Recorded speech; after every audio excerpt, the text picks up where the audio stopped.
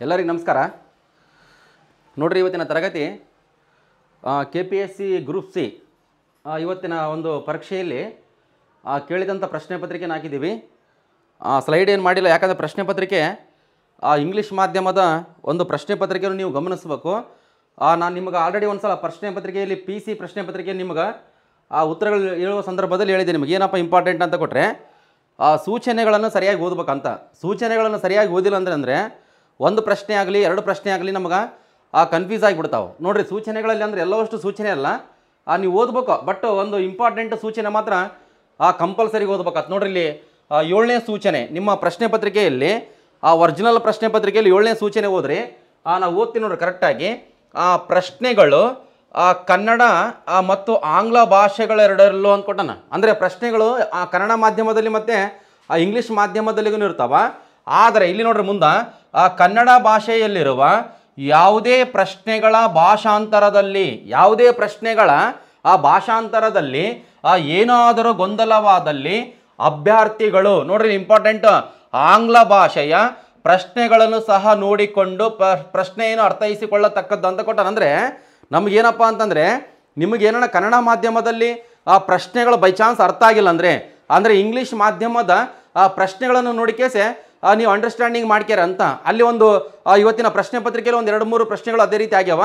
ಅದು ನೋಡೋಣ ಅಂತ. ಬಟ್ ಏನಂತ ಕೊಟ್ರೆಗಿನ ನಾವು ಮುಖ್ಯವಾಗಿ ಇಲ್ಲಿ ಏನು ಗಮನಿಸ್ಬೇಕಂತಂದರೆ, ನಾವು ನೆಕ್ಸ್ಟ್ ಆಯ್ತು ಇವತ್ತೊಂದೇನೋ ಎಕ್ಸಾಮ್ ಮುಗೀತು. ಮತ್ತು ಮುಂದಿನ ಒಂದು ಯಾವುದಾದ್ರೂ ಒಂದು ಪರೀಕ್ಷೆಗಳಲ್ಲಿ, ಅಂದರೆ ಪರೀಕ್ಷೆಗಳಲ್ಲಿ ನಾವು ಮುಖ್ಯವಾಗಿ, ಆ, ಕನ್ನಡ ಮಾಧ್ಯಮದ ಪ್ರಶ್ನೆಗಳು ಮತ್ತು ಇಂಗ್ಲೀಷ್ ಮಾಧ್ಯಮದ ಪ್ರಶ್ನೆಗಳು, ಎರಡು ಪ್ರಶ್ನೆಗಳನ್ನು ಸರಿಯಾಗಿ ನೋಡಿಕೇಸೇ ನಾವು ಟಿಕ್ ಹಾಕ್ಬೇಕಾಗ್ತದೆ. ಇಲ್ಲ ಅಂದ್ರೆಗಿನ ನಮಗೆ ಬಂದಂಥ ಆ ಉತ್ತರಗೂ ಒಂದೊಂದು ಸಲ ತಪ್ಪು ಮಾಡಿಬಿಡ್ತೀವಿ. ಆ ನಮನೆ ಆ ಒಂದು ಸಿಚುವೇಶನ್ ಕ್ರಿಯೇಟ್ ಆಗಿರ್ತದೆ ಕರೆಕ್ಟಾಗಿ ಅಪ್ಡೇಟ್ ಮಾಡ್ತೀರಿ ಮತ್ತು ಇನ್ನೊಂದು ಏನಂದ್ರಿಗಿನ ಆ ಪ್ರಶ್ನೆಗಳನ್ನು ನಾವು ಉತ್ತರಗಳು ಆ, ನಮಗೆ ಹೇಳ್ಕೊಂತ ಹೋಗ್ತೀನಿ ಎಕ್ಸ್ಪ್ಲೇಷನ್ ಏನಿಲ್ಲ. ಎಕ್ಸ್ಪ್ಲೇಷನ್ ಮಾಡ್ಕೊಂಡು ಕುಂದ್ರಿಗಿನ ಆ ಮಿನಿಮಮ್ ಮೂರು ತಾಸು ಆ ಟೈಮ್ ಹಿಡಿತದೆ. ಮತ್ತಿನ್ನು ಆ, ಒಂದು ಗಮನಿಸ್ಬೇಕು ನೀವು. ಇವತ್ತಿನ ಮತ್ತೆ ಆ ಪ್ರಶ್ನೆ ಪತ್ರಿಕೆಯಲ್ಲಿ ಆ ಮೆಂಟಲ್ ಎಬಿಲಿಟಿ ಮತ್ತು ಕೆಲವೊಂದು ಇಂಪಾರ್ಟೆಂಟ್ ಸೈನ್ಸಿಗೆ ಸಂಬಂಧಪಟ್ಟಂಥ ಪ್ರಶ್ನೆಗಳನ್ನು ನಮ್ಮ ಸುದರ್ಶನ್ ಅವರು ಡಿಸ್ಕಸ್ ಮಾಡ್ತಾರೆ. ನಮಗೆ ಇಂಪಾರ್ಟೆಂಟ್ ಏನಿದಾವಲ್ಲ ಅವು ಎಲ್ಲ ಹೇಳ್ತೀನಿ, ಉಳಿದಿದ್ವಲ್ಲ ನಮ್ಮ ಸುದರ್ಶನ್ ಅವರು ಪಾಠ ಮಾಡ್ತಾರೆ. ಬಟ್ ಏನು ಗಮನಿಸ್ಬೇಕಂತ ಕೊಟ್ರೆಗಿನ ಸರಿಯಾಗಿ ನೋಡ್ಬೇಕು ನೀವು. ನೋಡ್ಬೇಕು ಮತ್ತು ಇನ್ನೊಂದು ಏನು ಗಮನಿಸ್ಬೇಕಪ್ಪ ಅಂದ್ರೆ ಏನ ಆ ಇಂಗ್ಲೀಷ್ ಕ್ವಶನ್ಸ್ಗಳು ಕರೆಕ್ಟಾಗಿ ನೋಡ್ಕೋಬೇಕು ಇಂಗ್ಲೀಷ್ ಕ್ವಶನ್ಸ್ ನೋಡ್ಕೊಂಡಿಲ್ಲ ಅಂದ್ರೆಗಿನ ಒಂದು ಪ್ರಶ್ನೆ, ಎರಡು ಪ್ರಶ್ನೆ ಆ ಮಿಸ್ ಆತಾವ್. ಕಂಪಲ್ಸರಿ ಮಿಸ್ ಆತಾವ. ಯಾವುದೇ ಪ್ರಶ್ನೆ ಪತ್ರಿಕೆ ನೀವು ಚೆಕ್ ಮಾಡ್ರಿ. ಒಂದೆರಡು ಒಂಥರ ಆ ಗೊಂದಲಮಯ ಉಂಟಾಗಿರ್ತಾವೆ. ಕರೆಕ್ಟಾಗಿ ಅಪ್ಡೇಟ್ ಮಾಡ್ಕೇರಿ. ನೋಡ್ರಿ ಈಗ ಆ ಓನ್ಲಿ ಪ್ರಶ್ನೆ ಮತ್ತು ಉತ್ತರ ಆ ಕೆಳಗಿನವುಗಳನ್ನು ಪರಿಗಣಿಸಿ. ನೀವು ಒಂದು ತಿಳ್ಕೋಬೇಕು. ನೀವು ನೆಕ್ಸ್ಟ್ ಯಾವುದೇ ಆ ಕೆ ಎಸ್ ಆಗಲಿ ಇಲ್ಲ ಕೆ ಪಿ ಎಸ್ ಸಿ ಇಲ್ಲಾಂದ್ರೆ ಎಸ್ ಡಿ ಎಫ್ ಡಿ ಆಗಲಿ ಇಲ್ಲಾಂದ್ರೆ ಪಿ ಡಿ ಒ ಆಗಲಿ ಗ್ರಾಮ ಪಂಚಾಯತಿ ಆ ಕಾರ್ಯದರ್ಶಿ ಆಗಲಿ ಯಾವುದೇ ಆ, ನೀವು ಪ್ರಶ್ನೆ ಪತ್ರಿಕೆಯನ್ನು ಓದುವ ಸಂದರ್ಭದಲ್ಲಿ ಇಂಗ್ಲೀಷ್ನ ನೋಡಿಕೆಸೆ ನೀವು ರೆಡಿ ಆದ್ರಿಗಿನ ಇನ್ನೂ ಸ್ವಲ್ಪ ಕಾನ್ಫಿಡೆನ್ಸ್ ಲೆವೆಲ್ ಏನಂತ ಹೇಳ್ರಿ ಆ ಜಾಸ್ತಿ ಆಗ್ತದೆ ನೋಡ್ರಿ ಒಂದು ಒಂದನೇ ಪ್ರಶ್ನೆ ಆ, ನಮ್ಗೆ ಆ ಕೆಳಗಿನವುಗಳನ್ನು ಪರಿಗಣಿಸಿ ಅಂತ ಇದೆ ಒಂದೇದು ಇಂಪಾರ್ಟೆಂಟ್ ಆಪ್ಷನ್ಸ್ ಕೊಟ್ಟಿದ್ದಾನೆ. ಆಪ್ಷನ್ಸ್ ಎ ಆಸ್ಮಾನ್ ಯೋಜನೆ ಅಂತ ಐತೆ ಆಪ್ಷನ್ಸ್ ಎ ಆಮೇಲೆ ಆಪ್ಷನ್ಸ್ ಬಿ ಆ ಮೌಸಮ್ ಯೋಜನೆ ಅಂತ ಐತೆ ಆಮೇಲೆ ಆಪ್ಷನ್ ಸಿ ಆ ಮೇಘರಾಜ್ ಯೋಜನೆ ಅಂತ ಐತೆ ಮತ್ತೆ ಇಲ್ಲಿ ಆಪ್ಷನ್ಸ್ ಕೊಟ್ಟಾನ? ಆಪ್ಷನ್ಸಿಗೆ ತಕ್ಕಂತೆ ಆ ಕೆಳಗಡೆ ಒಂದು ಯಾವುದೋ ಒಂದು ಒಂದು ಸ್ಟೇಟ್ಮೆಂಟ್ ಕ್ರಿಯೇಟ್ ಮಾಡ್ಯಾನ. ಗಮ ಇಲ್ಲಿ ಗಮನಿಸ್ಬೇಕು ನೀವು. ಆ ಮೇಲಿನವುಗಳಲ್ಲಿ ಆ ಕ್ಲೌಡ್ ಕಂಪ್ಯೂಟಿಂಗ್ ಅಂತ ಐತೆ ಕ್ಲೌಡ್ ಕಂಪ್ಯೂಟಿಂಗ್ ಮೂಲಕ ಯಾವುದು ಈ ಆಡಳಿತವನ್ನು ಒಳಗೊಂಡಿದೆ. ನೋಡ್ರಿ ಇಂಪಾರ್ಟೆಂಟ್ ಆ ಕ್ಲೌಡ್ ಕಂಪ್ಯೂಟಿಂಗ್ ಮೂಲಕ ಯಾವುದು ಈ ಆಡಳಿತವನ್ನು ಒಳಗೊಂಡಿದೆ? ನೋಡ್ರಿ ಇಲ್ಲಿ ಇಲ್ಲಿ ಏನು ಗಮನಿಸ್ಬೇಕಂತ ಕೊಟ್ಟಗಿನ? ಮತ್ತೆ ಆಪ್ಷನ್ಸ್ ಕ್ರಿಯೇಟ್ ಮಾಡ್ಯಾನ. ಮತ್ತೆ ಆಪ್ಷನ್ಸ್ ಕ್ರಿಯೇಟ್ ಮಾಡ್ಕೇಸೆ ಒಂದು ಮತ್ತು ಎ ಮತ್ತು ಬಿ ಮಾತ್ರ ಸರಿಯಾಗಿವೆ ಅಂತ ಕೊಟ್ಟನ? ಆಮೇಲೆ ಬಿ ಮತ್ತು ಸಿ ಮಾತ್ರ ಸರಿಯಾಗಿವೆ? ಆಮೇಲೆ ಸಿ ಮಾತ್ರ ಸರಿಯಾಗಿದೆ? ಎ, ಬಿ ಸಿ ಸರಿಯಾಗಿ ಅಂತ ಕೊಟ್ಟಾನ? ಇಲ್ಲಿ ಉತ್ತರ ಕ್ಲೌಡ್ ಕಂಪ್ಯೂಟಿಂಗ್ ಅಂತ ಬಂದ್ರಗಿನ? ಅದಕ್ಕೆ ಉತ್ತರ ಏನಪ್ಪ ಅಂತ ಕೊಟ್ರೆಗಿನ ಆಪ್ಷನ್ಸ್ ಸಿ ಇದಕ್ಕೆ ಸರಿಯಾದ ಉತ್ತರ? ಭಾಳ ಇಂಪಾರ್ಟೆಂಟು ಒಂದು ಗಮನಿಸ್ಬೇಕು ನೀವು. ಆ ಮುಂದಿನ ಪರೀಕ್ಷೆಯಲ್ಲಿ ಮತ್ತೆ ರಿಪೀಟ್ ಆಗಂತ, ಆ ಚಾನ್ಸಸ್ ಇರ್ತಾವೆ. ಅದಕ್ಕೆ ಕರೆಕ್ಟಾಗಿ ಒಂದು ಕುಂತ್ಕೇಸೆ ಅಪ್ಡೇಟ್ ಮಾಡ್ಕೋಬೇಕು ಉತ್ತರಗಳು. ಮತ್ತೆ ನೀವು ಬೇಕಾದ್ರೆ, ಆ ಇಂಟರ್ನೆಟ್ ಎಲ್ಲ, ಆ ಚೆಕ್ ಮಾಡಿ ಗೂಗಲ್ಗೂ ನೀವು ಚೆಕ್ ಮಾಡೋದು ಕಲ್ತ್ರಿಗಿನ, ಆ, ನಿಮ್ಮ ಹತ್ರ ಇಂಗ್ಲೀಷ್ಗೂ ಏನಂತ ಹೇಳ್ರಿ ಆ ಡೆವಲಪ್ ಆಗ್ತದೆ ನಮ್ಗೆ, ಆ ಕ್ಲೌಡ್ ಕಂಪ್ಯೂಟಿಂಗ್ ಮೂಲಕ ಅಂತ ಕೊಟ್ಟರೆ ಅದು ಆ, ಮೇಘರಾಜ್ ಯೋಜನೆ. ಇದು ನಿಮಗೆ, ಆ, ಗೊತ್ತಿರಬೇಕು. ಮತ್ತೆ, ಆ, ಕೆಳಗಡೆ ಇನ್ನೊಂದು, ಆ, ಪಕ್ಕನೇ ಪ್ರಶ್ನೆ ಇದೆ ನೋಡ್ರಿ. ಮೂರನೇ ಪ್ರಶ್ನೆ, ಎರಡನೇ ಪ್ರಶ್ನೆ ಕೆಳಗಡೆ ಇದೆ. ಆ ಬಟ್ ಇಲ್ಲಿ, ಆ ಮೂರನೇ ಪ್ರಶ್ನೆ ಒಂದು ಇಲ್ಲಿ ಗಮನಿಸೋಣ ಅಂತ. ನಮಗಿಲ್ಲಿ ಆ ಮೂರನೇ ಪ್ರಶ್ನೆ ಇಲ್ಲಿ ನೋಡ್ರಿ ಆ ಬೀಜ್ ಬಚಾವೋ. ಇಲ್ಲಿ ಒಂದು ಆ, ನೋಡ್ಬೇಕು ನರ್ಮದಾ ಆ ಬಚಾವೋ ಆಂದೋಲನ ಮೇಧಾ ಪಾಟ್ಕರ್ ಅಂತ ಅವ್ರ ಹೆಸರೆಲ್ಲ ನಾವು ಕೇಳಿದ್ದೀವಿ ಹೌದಲ್ಲ? ಅದ್ರ ರಿಲೇಟೆಡ್ ಬೀಜ್ ಆ, ಬಚಾವೋ ಆಂದೋಲನದ ಆ, ಮುಖ್ಯ ಗುರಿ. ನಮಗ ಆ, ನೋಡ್ರಿ ಇಲ್ಲಿ ನಾವು ಚಿಪ್ಕೋ ಚಳವಳಿ ಅಂತ ಕೇಳಿದ್ದೀವಿ ಚಿಪ್ಕೋ ಚಳವಳಿ ಇಲ್ಲ ಅಪಿಕೋ ಚಳವಳಿ ಅದೇ ರೀತಿ. ಬಟ್ ಅಲ್ಲಿ ಚಿಪ್ಕೋ ಚಳವಳಿ ಮತ್ತು ಅಪಿಕೋ ಚಳವಳಿ ಅರಣ್ಯ ನಾಶವನ್ನು ತಡೆಗಟ್ಟುವುದಾಗಿತ್ತು. ಬಟ್ ಇದ್ರದ್ದು ಏನಪ್ಪ ಗುರಿ ಅಂತ ಕೊಟ್ಟ ಇಲ್ಲಿ ಯಾವ್ದಲ್ರಿ ಆ ಬೀಜ ಬಚಾವು ಬೀಜ ಬಚಾವು ಆಂದೋಲನದ ಗುರಿ ಕೊಟ್ಟಾಗಿನ?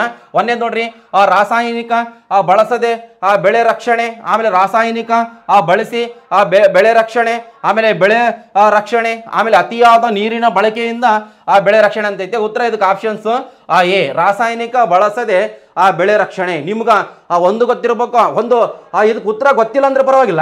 ಆ ನಾಲ್ಕು ಆಪ್ಷನ್ಸ್ ಓದಿಬಿಟ್ರಿಗಿನ ಆ ಆಟೋಮೆಟಿಕ್ ಆಗಿ, ಓ, ರಾಸಾಯನಿಕ ಬಳಸದೆ, ಆ ಬೆಳೆ ರಕ್ಷಣೆ. ಇದಕ್ಕೆ ಇದೆ ಅಂತ ನೀವು ಗೆಸ್ ಮಾಡ್ಬೋದು. ನೀವು ಕಾಮನ್ ಸ್ವಲ್ಪ ಒಂದು, ಆ ಒಂದು ಹತ್ತು ಸೆಕೆಂಡ್ ಇಪ್ಪತ್ತು ಸೆಕೆಂಡ್ ಆಲೋಚನೆ ಮಾಡಿದ್ರೆ, ಉತ್ತರ ಮಾತ್ರ ಅದಕ್ಕೆ ಆಪ್ಷನ್ ಸಿ ಇಷ್ಟು ನಿಮಗೆ, ಆ, ಗೊತ್ತಿರಲಿ. ಕೆಳಗಡೆ ಇನ್ನ ಐದೋ ದೊಡ್ಡ ದೊಡ್ಡ ಪ್ರಶ್ನೆಗಳಿದಾವ ದೊಡ್ಡ ಪ್ರಶ್ನೆಗಳು ಕರೆಕ್ಟಾಗಿ ಅಪ್ಡೇಟ್ ಮಾಡ್ಕೋಬೇಕು ನೋಡ್ರಿ, ಇಲ್ಲಿ ಒಂದು ಪ್ರಶ್ನೆ. ನಮಗೆ, ಆ ಸ್ವಲ್ಪ ಏನಂದ್ರೆ ಅಡ್ಜಸ್ಟ್ಮೆಂಟ್ ಮಾಡ್ಕೋಬೇಕು ಉತ್ತರಗಳು ಮಾತ್ರ, ಆ, ಸರಿಯಾದ ಉತ್ತರಗಳು. ನೈಂಟಿ ನೈನ್ ಪರ್ಸೆಂಟೇ ಸರಿಯಾದ ಉತ್ತರನೇ ಬಟ್ ಒಂದೊಂದು, ಒಂದೆರಡು, ಮೂರು ಚೇಂಜ್ ಆಗ್ಬೋದು. ನಿಮಗೆ ಚೇಂಜ್ ಆದ್ರಾಗ ಕೆ ಪಿ ಎಸ್ ಸಿಗೆ ಅಪ್ಡೇಟ್ ಮಾಡ್ಕೊಂಡ್ರೆ ಕರೆಕ್ಟಾಗಿ ಅಪ್ಡೇಟ್ ಮಾಡ್ಕೊಂಡು ನೋಡ್ರಿ, ಇಲ್ಲಿ ಭಾಳ ಇಂಪಾರ್ಟೆಂಟ್ ಒಂದು ತಳಿಗಳು, ತಳಿಗಳ ಬಗ್ಗೆ ನೋಡ್ಕೊಂಡು ಇಲ್ಲಿ ಪ್ರಶ್ನೆ.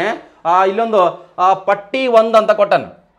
ನೀವು ಒಂದು ತಿಳ್ಕೊಬೇಕು. ಕ್ವಶನ್ ಪೇಪರ್ನ ನೀವು ಅನಾಲಿಸಿಸ್ ಮಾಡೋದು ಕಲ್ತ್ರಿಗಿನ ನೀವು ಯಾವ ರೀತಿ ಸಂವಿಧಾನ ಯಾವ ರೀತಿ ಓದ್ಬೇಕು, ಇತಿಹಾಸ ಹೆಂಗೆ ಓದ್ಬೇಕು ಎಕನಾಮಿಕ್ಸ್ ಹೆಂಗೆ ಓದ್ಬೇಕು ಜೋಗ್ರಫಿ ಹೆಂಗೆ ಓದ್ಬೇಕು ಅಂತ ನಿಮ್ಗೆ ಗೊತ್ತಾಗ್ಬಿಡ್ತಾವ. ಅದು ಗೊತ್ತಿರಲಿ. ಅದಕ್ಕೆ ನಾವು ಕ್ವಶನ್ ಕರೆಕ್ಟಾಗಿ ಓದ್ತೀನಿ. ಆ, ಪಟ್ಟಿ ಒಂದನ್ನು, ಆ, ಪಟ್ಟಿ ಎರಡರೊಂದಿಗೆ ಹೊಂದಿಸಿ ಹೊಂದಿಸಿ ಮತ್ತು ಕೆಳಗೆ ಕೊಟ್ಟಿರುವ ಸಂಕೇತಗಳನ್ನು ಉಪಯೋಗಿಸಿ ಸರಿಯಾದ ಉತ್ತರವನ್ನು ಆಯ್ಕೆ ಮಾಡಿ ಅಂತ ಕೊಟ್ಟ ನೋಡ್ರಿ ಜಾನುವಾರುಗಳ ಪಟ್ಟಿ ಅಂತ ಐತಿ. ಜಾನುವಾರುಗಳಂದ್ರೆ ಹಸುಗಳ ಪಟ್ಟಿ, ಮತ್ತೆ ಇಂಪಾರ್ಟೆಂಟ್ ಆ ತಾಯ್ನಾಡು ಅಂದ್ರೆ ಆ ದೇಶಗಳು ಕೊಟ್ಟನ.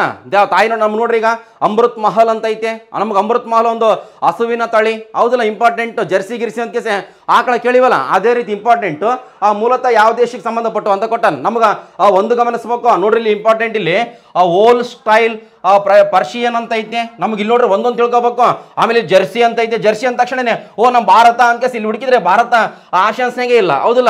ಆಮೇಲೆ ಇಂಪಾರ್ಟೆಂಟು ಐರ್ ಶೈರ್ ಅಂತ ಐತೆ. ಆಮೇಲೆ ಬ್ರೌನ್, ಆ, ಸ್ವಿಸ್ ಅಂತ ಐತೆ. ನಮಗಿಲ್ಲಿ ಆಟೋಮೆಟಿಕ್ ಬ್ರೌನ್, ಸ್ವಿಸ್ ಅಂದ್ರೆ ಅದು, ಆ, ಸ್ವಿಟ್ಜರ್ಲ್ಯಾಂಡ್ ಇರ್ತದ? ಬಟ್ ಏನು ಗೊತ್ತಾ? ನಮಗಿಲ್ಲಿ ಇಲ್ಲಿ ಏನು ಗಮನಿಸ್ಬೇಕಂತ ಕೊಟ್ರೆಗಿನ ಆ ಓಲ್ ಸ್ಟೈಲ್ ಅಂತ ಐತಲ್ಲಪ್ಪ, ಇಲ್ಲಿ ಇಂಪಾರ್ಟೆಂಟ್ ಅದು ಆ ನೆದರ್ಲ್ಯಾಂಡ್ ದೇಶಕ್ಕೆ ಸಂಬಂಧಪಟ್ಟಿದ್ದು. ಅಂದ್ರೆ ಆ ಒಂದನೇದಕ್ಕ ನಾಲ್ಕನೇದು. ಒಂದನೇದಕ್ಕೆ ನಾಲ್ಕನೇದು ಅಂದಮೇಲೆ ನಾವು ಆಪ್ಷನ್ಸ್ ಹುಡುಕ್ಬೇಕ. ಮತ್ತೆ ನೋಡ್ರಿ ಕೋಡ್ಸ್ ಅಂತ ಐತೆ. ಆಪ್ಷನ್ಸ್ ಒಂದನೇದಕ್ಕ, ಆ ನಾಲ್ಕನೇದು. ನೋಡ್ರಿ ಒಂದನೇದಕ್ಕೆ ನಾಲ್ಕನೇದು ಎಷ್ಟು ಆಪ್ಷನ್ಸ್ ಆಗೈತಪ್ಪ? ನಾವು ಒಂದು ಗಮನಿಸ್ಬೇಕ.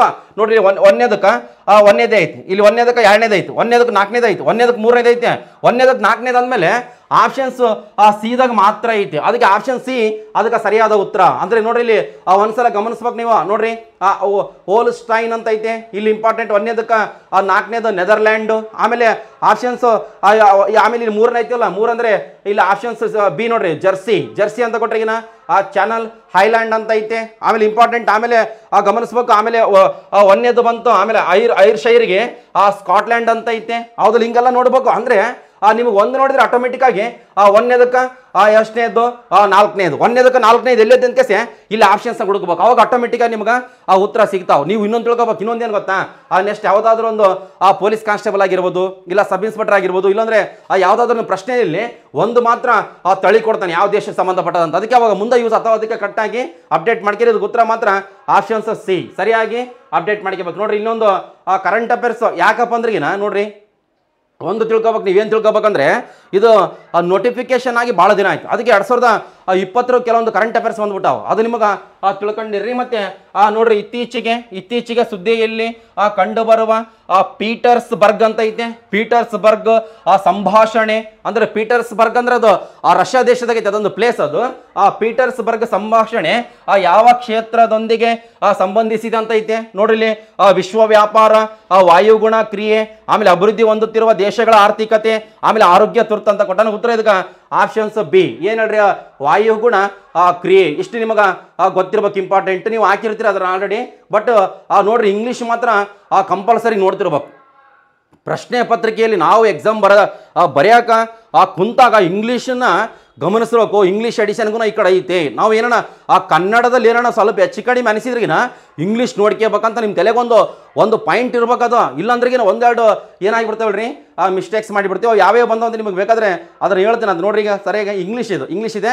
ನೆಕ್ಸ್ಟ್ ನೋಡಿರಿ ಕನ್ನಡದಲ್ಲಿ. ಕನ್ನಡದ ಕೆಲವೊಂದು ಭಾಳ ಆ ಸಿಂಪಲ್ ಪ್ರಶ್ನೆ ಬಂದವ್ರಿ. ನಾವು ಈಗ ಹಳೆಯ ಪ್ರಶ್ನೆ ಪತ್ರಿಕೆಯನ್ನು ಗಮನಿಸಿದಾಗ ನಮ್ಗೆ ಹಳೆಯ ಪ್ರಶ್ನೆ ಪತ್ರಿಕೆಯನ್ನು ಗಮನಿಸಿದಾಗ ಆ ಅಲ್ಲಿ ಹಳೆವು ಅಂದರೆ K P S C group six ಸಂಬಂಧಪಟ್ಟಂತೆ ಅವಾಗ ಟಫು ಭಾಳ ಟಫು. ಈಗ ಆ ಕೆಲವೊಂದು ಭಾಳ ಈಸಿ ಬಂದಾವ. ಕರೆಲ ಕೆಲವೊಂದು ರಿಪೀಟೆಡ್ ಆಗಿಬಿಟ್ಟ. ಪಿ ಸಿ ಎಕ್ಸಾಮಿಗೆ ಬಂದಂಥ ಆ ಕ್ವಶನ್ಸ್ಗಳು ರಿಪೀಟೆಡ್ ಆಗಿಬಿಟ್ಟ. ಕೆಲವೊಂದು ಇಂಪಾರ್ಟೆಂಟ್ ಕೆಲವೊಂದು ಆ, ಗೊಂದಲಮಯವಾಗಿಬಿಟ್ಟ ಕ್ವಶನ್ಸ್ಗಳು ಹಂಗೆ ಇದಾವೆ ಆ, ಇಲ್ಲಿ ನೋಡ್ರಿ ಇಲ್ಲಿ ಇಂಪಾರ್ಟೆಂಟ್ ಆ ಕಬ್ಬಿಣದ ಅದಿರಣ ಉತ್ಪಾದನೆಯ ಹಂಚಿಕೆಯಲ್ಲಿ ಆ ಯಾವ ರಾಜ್ಯ ಆ ಮೊದಲನೇ ಸ್ಥಾನದಲ್ಲಿ ಅಂತಿದೆ ಅಲ್ಲಿ ಗೂಗಲ್ನಾಗ ನೋಡಿದ್ರೆ ಆ ಒಡಿಸ್ಸಾ ಅಂತ ತೋರ್ಸಕತ್ತದ. ಬಟ್ ಒಡಿಸ್ಸಾ ಬಿಟ್ರೆ ನೆಕ್ಸ್ಟ್ ಆ ಕರ್ನಾಟಕನೇ ಐತೆ. ಬಟ್ ಇಲ್ಲಿ ಆಪ್ಷನ್ಸ್ ಹೇಳ್ರಿ ಆ ಒಡಿಸ್ಸಾ ಇಲ್ಲ. ಅದಕ್ಕೆ ಇಲ್ಲಿ ಆ ಕರ್ನಾಟಕ ಅಂತ ನಿಮ್ಗೆ ಆ ಇದು ಚೇಂಜ್ ಆಗಿ ಜಾರ್ಖಂಡ್ ಆಗ್ಬೋದು. ಹೇಳಕ್ ಬರೋದಲ್ಲ ಇದು.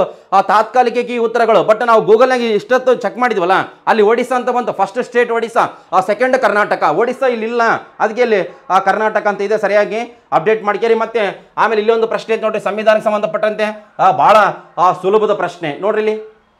ಸಂವಿಧಾನ ರಚನಾ ಸಭೆಯನ್ನು ಯಾವ ಪ್ರಸ್ತಾವನೆಯ ಅನುಗುಣವಾಗಿ ರಚಿಸಲಾಯಿತು ಸುಮ್ಮನೆ ಹೊಸ ಹೊಸ ಪದಗಳು ಕ್ರಿಯೇಟ್ ಮಾಡ್ತಾರೆ. ಅಂದ್ರೆ ಆ ಸಂವಿಧಾನ ರಚನಾ ಸಮಿತಿ ರಚನೆ ಆಯ್ತಲ್ಲ, ಆ ಯಾವ ಆಯೋಗದ ಶಿಫಾರಸಿನ ಮೇರೆಗೆ ಅಂತ ಹಳೆ ಪ್ರಶ್ನೆ ಪತ್ರಿಕೆದಾಗ ನಾವು ನೋಡಿದ್ದೀವಿ. ಬಟ್ ಇಲ್ಲಿ ಆ ಪ್ರಸ್ತಾವನೆಯ ಅಂತ ಕೊಟ್ಟನ. ಬಟ್ ನಮಗ ಏನನ್ನ ಕೊಡ್ಲಪ್ಪ, ಸಂವಿಧಾನ ರಚನಾ ಸಭೆಯನ್ನು ಯಾವ ಪ್ರಸ್ತಾವನೆಯ ಅನುಗುಣವಾಗಿ ರಚಿಸಲಾಯ್ತು ಅಂತ ಕೊಟ್ರೆ, ನೋಡ್ರಿ ಕ್ರಿಪ್ಸ್ ಆಯೋಗ ಅಂತ ಐತೆ, ಆ ಕ್ಯಾಬಿನೆಟ್ ಮಿಷನ್ ಅಂತ ಐತೆ, ಆಮೇಲೆ ಮೌಂಟ್ ಬ್ಯಾಟನ್ ಆಯೋಗ ಅಂತ ಐತೆ, ಆಮೇಲೆ ರಾಜಗೋಪಾಲಾಚಾರ್ಯ ಯೋಜನೆ ಅಂತ ಐತೆ.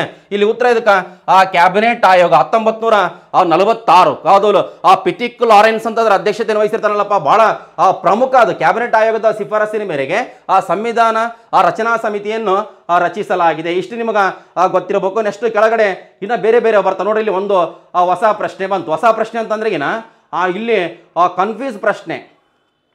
ತಿಳ್ಕೊಬೇಕ್ರಿ. ನೋಡ್ರಿ, ಇನ್ನೊಂದು ಗೊತ್ತಿರಲಿ. ನಿಮ್ಗೆ ಈಗ K P S C group C exam ಇವತ್ತು ಮುಗೀತು. ಇವತ್ತು ಮುಗೀತಾ? ಇವತ್ತು ಏ, ಮುಗಿತು, ನಡಿ. ನಡಿ ಅಂಕೆ ಕಡೆ ಬುಕ್ಕಗಳೆಲ್ಲ ಕಟ್ಟಿಡೋದಲ್ಲ ಮುಂದೆ ಯಾವಾಗ ಇನ್ನೂ ಒಂದು ವರ್ಷ ಬಿಟ್ಟು ಕರೀಲಿ? ಸ್ಟಡಿ ಮಾತ್ರ ನಿರಂತರವಾಗಿರ್ಬೇಕು. ಇನ್ನೊಂದು ಹತ್- ಹತ್ತೊಂಬತ್ತನೇ ತಾರೀಕು ಒಂದು ಎಕ್ಸಾಮ್ ಐತಿ. ಅದು ಅದು ಬಿಟ್ಟಾಗ ಮುಗಿದೋಯ್ತು, ಬೇಡ ಬೇಡ. ಅಲ್ಲ, ಬೇಡ ಬೇಡ ಅಲ್ಲ. ಓದ್ತಿರ್ಬೇಕು. ನಿರಂತರ ಶ್ರಮ ಇರಲ್ರಿ. ನಾವು, ಆ ಫೇಲ್ ಆಗಲಿ ಪಾಸ್ ಆಗಲಿ. ಕರೆಕ್ಟಾಗಿ ಓದಿರಿ ಒಂದಿನ, ಆ ಪಾಸ್ ಆಗೇ ಆತಿ. ಅದು ಗೊತ್ತಿರಲಿ. ನೋಡ್ರಿ ಹೊಸ ಒಂದು ಪ್ರಶ್ನೆ. ಅದು ಒಂಥರ, ಆ ಕನ್ಫ್ಯೂಸ್ ಮಾಡಿಬಿಟ್ಟ. ನೋಡ್ರಿ, ಈ, ಆ, ಕೆಳಗಿನವುಗಳಲ್ಲಿ ತನ್ನದೇ ಆದ ತನ್ನದೇ ಆದ ಹೈಕೋರ್ಟನ್ನು, ಅಂದರೆ ಉನ್ನತ ನ್ಯಾಯಾಲಯ ಹೊಂದಿರುವ ರಾಜ್ಯ ಅಂತ ಕೊಟ್ಟಾನೆ. ಅಂದರೆ ಏನು ಗೊತ್ತಾ? ಈ ಕೆಳಗಿನ ಯಾವ ರಾಜ್ಯ? ತನ್ನದೇ ತನ್ನದೇ ಆದ ಹೈಕೋರ್ಟ್ ಹೊಂದಿದೆ ಅದು ಇಂಗ್ಲೀಷ್ ಎಡಿಷನ್ ನೋಡ್ರಿ. ಇಂಗ್ಲೀಷ್ ಎಡಿಷನ್ಗೆ ಏನಂತ ಕೊಟ್ಟಾನ? ಕೆಳಗಡೆ ಇದೆ ಇಂಗ್ಲೀಷ್ ಎಡಿಷನ್ಗೆ ಏನಂತ ಕೊಟ್ಟ ನೋಡ್ರಿ? ಇಂಗ್ಲೀಷ್ ಎಡಿಷನ್ ಬೇಕಾದ್ರೆ ಅದನ್ನು ಗಮನಿಸೋಣ ಅಂತ. ಹತ್ತನೇ ಪ್ರಶ್ನೆ. ನೋಡ್ರಿ. ಅದು ನೋಡ್ಬೇಕಿದೆ ಎಲ್ಲ ನೀವು ನೋಡಿದ್ರೆ ಮಾತ್ರ ನೀವು ಅಪ್ಡೇಟ್ ಆಗೋದಿಲ್ಲ ಅಂದ್ರೆ ಹುಷಾರಾಗೋದಿಲ್ಲ. ಇಲ್ಲಾಂದ್ರೆ ಇನ್ನೊಬ್ಬರು ಎಪ್ಪ ಎಣ್ಣ ಅಂತ ಅನ್ಬೇಕಾಗ್ತದ. ಸರಿಯಾಗಿ ಗಮನಿಸಿ ನೋಡ್ರಿ ಇಲ್ಲಿ. ನಮ್ಗೆ which of the following states does not ಅಂತ ಕೊಟ್ಟ ನೋಡ್ರಿ. ಡಸ್ ನಾಟ್ ಅಂದ್ರೆ ಇಲ್ಲ ಅಂತ. ಈ ಕೆಳಕಂಡ ಯಾವ ರಾಜ್ಯದಲ್ಲಿ ಹೈಕೋರ್ಟ್ ಇಲ್ಲ ಅಂತ ಕೇಸಿ ಇಂಗ್ಲೀಷ್ ಅರ್ಥ ಇದು. Does not have a high court of it is own ಅಂತ ಕೊಟ್ಟಾನ. ಅಂದ್ರೆ ಸ್ವಂತ ಹೈಕೋರ್ಟ್ ಈ ಕೆಳಕಂಡ ಯಾವ ರಾಜ್ಯದಲ್ಲಿ ಇಲ್ಲ ಅಂತ ಕೊಟ್ಟಾನ. ಅಲ್ಲಿ ಆ ಕನ್ನಡದಲ್ಲಿ ಏನಾಗ್ಬಿಟ್ಟದ ಹೇಳ್ರಿ? ಭಾಷಾಂತರ ಮಾಡೋ ಸಂದರ್ಭದಲ್ಲಿ ಇದೆ ಅಂತ ಕೊಟ್ಟಾನ. ನೋಡ್ರಿ, ಇದೆ ಅಂತ ಕೊಟ್ಟಾನ ಈ ಕೆಳಕಂಡ. ಯಾವ ರಾಜ್ಯದಲ್ಲಿ ಇದೆ ಅಂತ ಕೊಟ್ಟಾನ? ಒಂದ್ಸಲ ಗಮನಿಸ್ಬೇಕು ನೀವು. ಯಾಕಂದ್ರೆ ಪ್ರಶ್ನೆ ಬಹಳ ಸಿಂಪಲ್ ಐತೆ ಬಟ್ ಕನ್ಫ್ಯೂಸ್ ಐತೆ. ನೋಡ್ರಿ, ಒಂದು ತಿಳ್ಕ ನೋಡ್ರಿ. ಈ ಕೆಳಗಿನವುಗಳಲ್ಲಿ ತನ್ನದೇ ಆದ ಹೈಕೋರ್ಟ್ಗಳ, ಹೈಕೋರ್ಟನ್ನು ಉನ್ನತ ನ್ಯಾಯಾಲಯ ಹೊಂದಿರುವ ರಾಜ್ಯ ನೋಡ್ರಿ, ಇಲ್ಲಿ ಸಿಕ್ಕಿಂ ಅಂತ ಇದೆ, ಇಲ್ಲಿ ಬಿಹಾರ್ ಅಂತ ಇದೆ, ಹಿಮಾಚಲ ಪ್ರದೇಶ ಅಂತ ಇದೆ, ಆ ಮಣಿಪುರ ಅಂತ ಇದೆ. ನಮಗೆ ನೋಡ್ರಿ, ನಿಮ್ಗೆ, ಆ ಸರ್ ನಮ್ಗೆ ಹೆಂಗೆ ಗೊತ್ತಾಗ್ಬೇಕು ಸರ್? ಇದು ಕ್ವಶನ್ ಡೌಟ್ ಐತೆ ಅಂತಂದ್ರೆಗಿನ ನೀವು ನೋಡ್ರಿ ಇಲ್ಲಿ ಪ್ರಶ್ನೆ, ಈ ಕೆಳಗಿನವುಗಳಲ್ಲಿ ತನ್ನದೇ ಆದ ಹೈಕೋರ್ಟ್ ಅನ್ನು ಹೊಂದಿರುವ ರಾಜ್ಯ, ನೀವು ನಾಲ್ಕು ಆಪ್ಷನ್ಸ್ ಓದ್ತೀರಿ. ಓ, ಹಿಮಾಚಲ ಪ್ರದೇಶನಾಗ ಐತಿ ಅಂತ ನಾನು ನೋಡಿದ್ದೆ. ಮತ್ತೆ ಮಣಿಪುರದಾಗೂ ಮೊನ್ನೆ ಎರಡ್ ಸಾವಿರದ ಹದಿಮೂರಾಗ ಆಗ್ಯದ. ಆ ಬಿಹಾರದಾಗೂ ಐತೆ. ಅವಾಗ ನಾವು ಏನಪ್ಪ ಇದು? ಹೆಂಗ ಇದಂಕೆಸೆ ಆ ಇಂಗ್ಲಿಷ್ ಪ್ರಶ್ನೆನ ಆ ಗಮನಿಸ್ಬೇಕು. ನೀವು ಇನ್ನೊಂದು ತಿಳ್ಕೊಬೇಕು. ನಮ್ಮ ಇಂಡಿಯಾದಾಗ ಟೋಟಲ್ ಇಪ್ಪತ್ತೈದು ಹೈಕೋರ್ಟ್ಗಳಿದಾವೆ. ಇಪ್ಪತ್ತೈದು ಹೈಕೋರ್ಟ್ ಅಂತ ಕೊಟ್ರೆಗಿನ ಸಿಕ್ಕಿಂನಾಗುನ ಹೈಕೋರ್ಟ್ ಐತೆ. ಅದು ತಿಳ್ಕೊರಿ ಸಿಕ್ಕಿಂನಾಗುನ ಆ ಸಿಕ್ಕಿಂ ಅದು ರಾಜ್ಯದ ಕ್ಯಾಪಿಟಲ್ ಸಿಟಿ ಐತಲ್ಲ, ಯಾವ್ದು ಹೇಳ್ರಿ? ಆ ಆ ಗ್ಯಾಂಗ್ ಟಾಕ್ ಅದ್ರಲ್ಲಿಗುನ ಹೈಕೋರ್ಟ್ ಐತೆ. ಗಮನಿಸೋಕೆ ಕರೆಕ್ಟಾಗಿ ಅಪ್ಡೇಟ್ ಮಾಡ್ಕೋಬೇಕು. ಓದ್ತಾ ಓದ್ತಾ ನಿಮಗೆ ಆ ತಿಳ್ಕೊಂತೀರಿ. ನಮಗೆ ಆ ಇಂಪಾರ್ಟೆಂಟ್ ಏನಂತ ಕೊಟ್ರೆಗಿನ ನೋಡ್ರಿ ಇಲ್ಲಿ ಆ ಗಮನಿಸೋದು ಏನಂತ ಕೊಟ್ರೆಗಿನ ಆ ಟೋಟಲ್ ಹೈಕೋರ್ಟ್ಗಳು.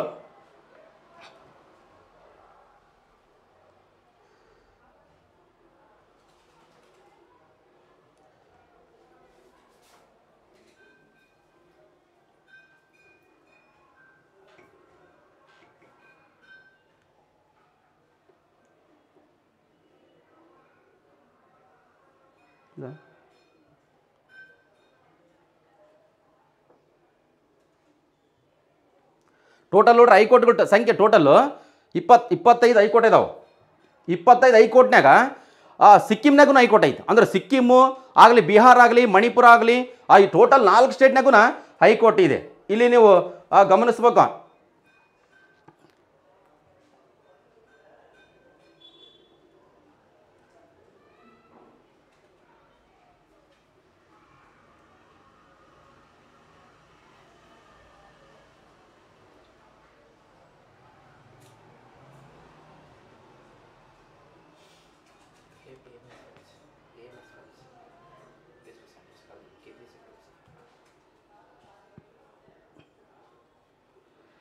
ಇಲ್ಲಿ ನೀವು ನೀವು ಏನೋ ಕಾಮನ್ ಆಗಿ ಏನಂತ ಹಾಕಿರ್ತೀರಿ ಹೇಳ್ರಿ? ಸಿಕ್ಕಿಂ ಅಂತ ಹಾಕಿರ್ತೀರಿ ಬಟ್ ಇಲ್ಲಿ ಸಿಕ್ಕಿಂನಾಗೂ ಹೈಕೋರ್ಟ್ ಇದೆ. ಒಂದು ತಿಳ್ಕೊಬೇಕು ನೀವು. ಏನಪ್ಪ ಅಂದ್ರೆ ಏನ ಇಲ್ಲಿ ನಾವು ಕನ್ಫ್ಯೂಸ್ ಮಾಡ್ಕೊಂಬಿಟ್ಟಿವಿ ಈಗ ನಾನು ಫಸ್ಟ್ ಪ್ರಶ್ನೆ ಪತ್ರಿಕೆ ನೋಡಿದ ತಕ್ಷಣನೇ ಸಿಕ್ಕಿಂ ಅಂತ ತಿಳ್ಕೊಂಡಿದ್ದೆ. ಬಟ್ ಸಿಕ್ಕಿಂನಲ್ಲಿ ಗುಣ ಹೈಕೋರ್ಟ್ ಐತೆ. ಬಟ್ ಈ ಕಳ್ಕೊಂಡು ಯಾವ ಹೈ, ಯಾವ ರಾಜ್ಯದ ಹೈಕೋರ್ಟ್ ಇದೆ ಅಂತ ಕೊಟ್ಟಾನ? ಸಿಕ್ಕಿಂನಲ್ಲಿ ಇದೆ ಆ ಬಿಹಾರದಾಗೂ ಐತೆ, ಹಿಮಾಚಲ ಪ್ರದೇಶ ಇದೆ ಮತ್ತೆ, ಆ ಮಣಿಪುರದಾಗೂ ಐತೆ. ಟೋಟಲ್ ಇಪ್ಪತ್ತೈದು ಹೈಕೋರ್ಟ್ದಲ್ಲಿ ಇವ ನಾಲ್ಕು ಹೈಕೋರ್ಟ್ಗೂ ಇದಾವೆ. ಅಂದ್ರೆ ಇದಕ್ಕೆ ಉತ್ತರ ಗ್ರೇಸ್ ಬರ್ತದೆ. ನಿಮಗೇನು, ಆ, ತಲೆ ಕೆಡ್ಸೋಣಕ್ಕೆ ಹೋಗ್ಬಿಟ್ಟು ಇದಕ್ಕೆ ಹಾಕಿದ್ರೆ ಹಾಕಿಲ್ಲೇನು ಆ ಗ್ರೇಸ್ ಬರ್ತದೆ ಸ್ವಲ್ಪ, ಆ ಗಮನಿಸ್ಬೇಕು. ಅಂದ್ರೆ ನೋಡ್ತಾ ನೋಡ್ತಾ ನಿಮಗೆ ಆಟೋಮೆಟಿಕ್ ಆಗಿ ತಿಳ್ಕೊಬೇಕ್ರಿ ನೆಕ್ಸ್ಟ್ ನೋಡ್ರಿ ಇಂಪಾರ್ಟೆಂಟ್ ಇದು ಹೊಸ ಪ್ರಶ್ನೆ ರಿಪೀಟೆಡ್ ಪ್ರಶ್ನೆ ಅಲ್ಲ, ಹೊಸ ಪ್ರಶ್ನೆ. ಇಲ್ಲಿ ಮೊಟ್ಟ ಮೊದಲ ಬಾರಿಗೆ ಅಭಿವೃದ್ಧಿ ಆಡಳಿತ ಅಂತ ಐತಿ. ಈ ಪದ ಇಂಪಾರ್ಟೆಂಟ್ ಈ ಪದ ಆಲ್ರೆಡಿ ಇದು ಹೊಸ ಪ್ರಶ್ನೆನೇ ಬಟ್ ಇದು ಯು ಪಿ ಎಸ್ ಸಿ ಎಕ್ಸಾಮ್ನಲ್ಲಿ ರಿಪೀಟ್ ಆಗ್ಯದ. U P S C repetition ಆಗ್ಯದ? ಅಭಿವೃದ್ಧಿ ಆಡಳಿತ ಎಂಬ ಪದವನ್ನು ಬಳಸಿದವರು ಯಾರಂತ ಕೊಟ್ಟರೆ ಎಫ್ ಡಬ್ಲ್ಯೂ ರಿಕ್ಸ್ ಅಂತಿದೆ.